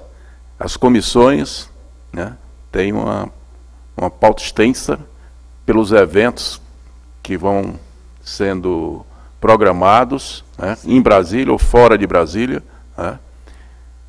É, é, temos que construir esse. Não é só a cor. Né? É cada comissão pensar nessa programação em função do, do calendário geral. né. Mas está feito o registro e vamos pedir à conselheira Patrícia, agora ao conselheiro Godoy. Obrigado. Conselheiro, não, o registro do conselheiro Godoy está feito. Mas eu digo é porque o conselheiro Godoy é o coordenador adjunto e é quem está presente, a conselheira Patrícia não está.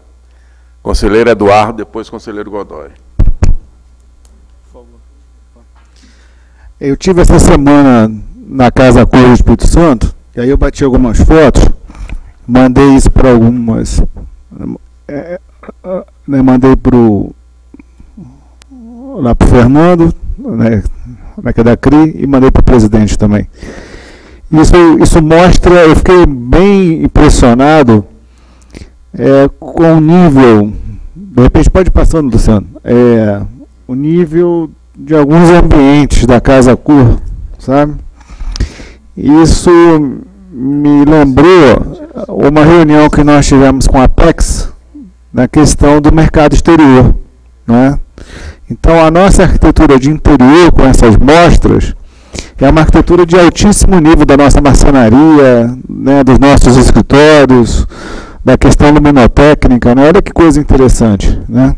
Então assim, você vê que tem um trabalho assim de alto nível mesmo, que assim é uma coisa internacional. Isso aí faz sucesso em Nova York, em Milão, faz sucesso em Santiago do Chile, em qualquer lugar que você vá. E eu penso que nós poderíamos, eh, assim, a minha sugestão até foi que, que a gente fizesse uma visita a essa mostra que vai até dia 28 de novembro, viu, presidente? Se eu puder aí, seria uma honra receber lá em Terras Capixabas, um bate e volta, mas pelo menos para ver isso, mas junto com o, o, o Emanuel da PEX, né? Para que a gente consiga, talvez através dessas, dessas mostras, até estimular um evento desse no exterior, por que não? Né? A, gente, a gente levar a arquitetura brasileira né, ao conhecimento né, de outros mercados. Eu penso que seria muito interessante aí e está na missão também da, da nossa CRI. Obrigado. Conselheiro Eduardo, feito o registro. Conselheiro Godoy. É, queria, né, logicamente, nós vamos fazer o, o que o colega Humberto está solicitando. Agora, o primeiro ano ele é atípico. Existem é, é, vários conselheiros né, que não eram conselheiros, no nosso caso da comissão, o Ednézer e o Emerson, que não eram conselheiros federais, né? o Jefferson foi presidente, eu já era conselheiro, e a Patrícia conselheira. Então, no primeiro semestre, a gente poderia ter feito vários eventos regionais que fi- ficaram difíceis, até pelo andar do- dos trabalhos. Né? Então, eu reconheço que sobre todas as comissões sobrecarregaram muito o segundo semestre. Mas o ano que vem, logicamente, isso vai ser diluído ao longo do ano e fica mais fácil.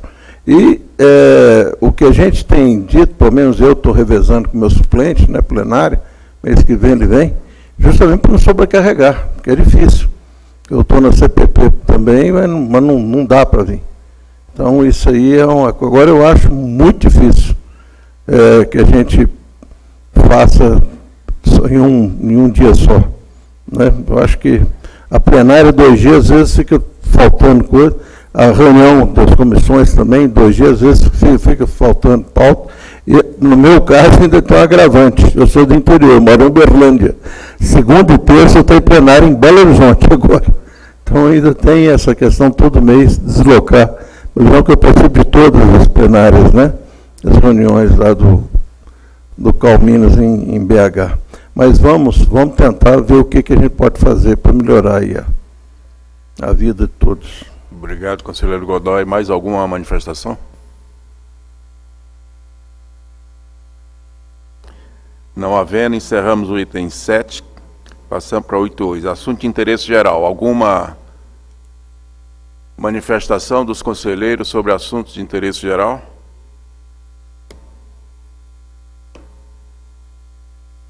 Não. Bom, eu gostaria de agradecer a todos. Concluímos a pauta da plenária. Né? E fizemos a convocação para dois dias de plenária. E eu gostaria de sugerir ao plenário, para aprovação para o dia de amanhã, de uma reunião de, já que estamos todos aqui, reunião extraordinária de comissões. E aí adiantarmos alguns trabalhos nas suas respectivas comissões, aproveitando que já estamos em Brasília, programados para comissão.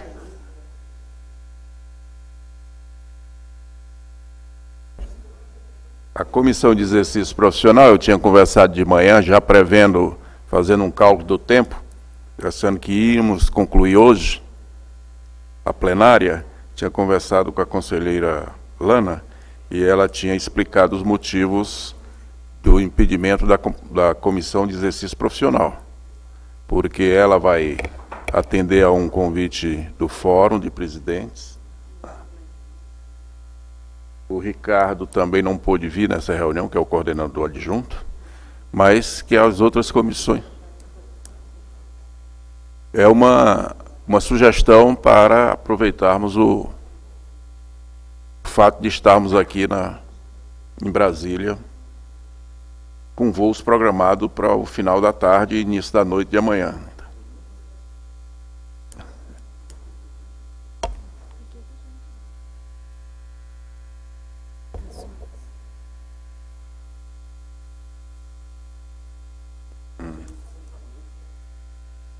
Tá.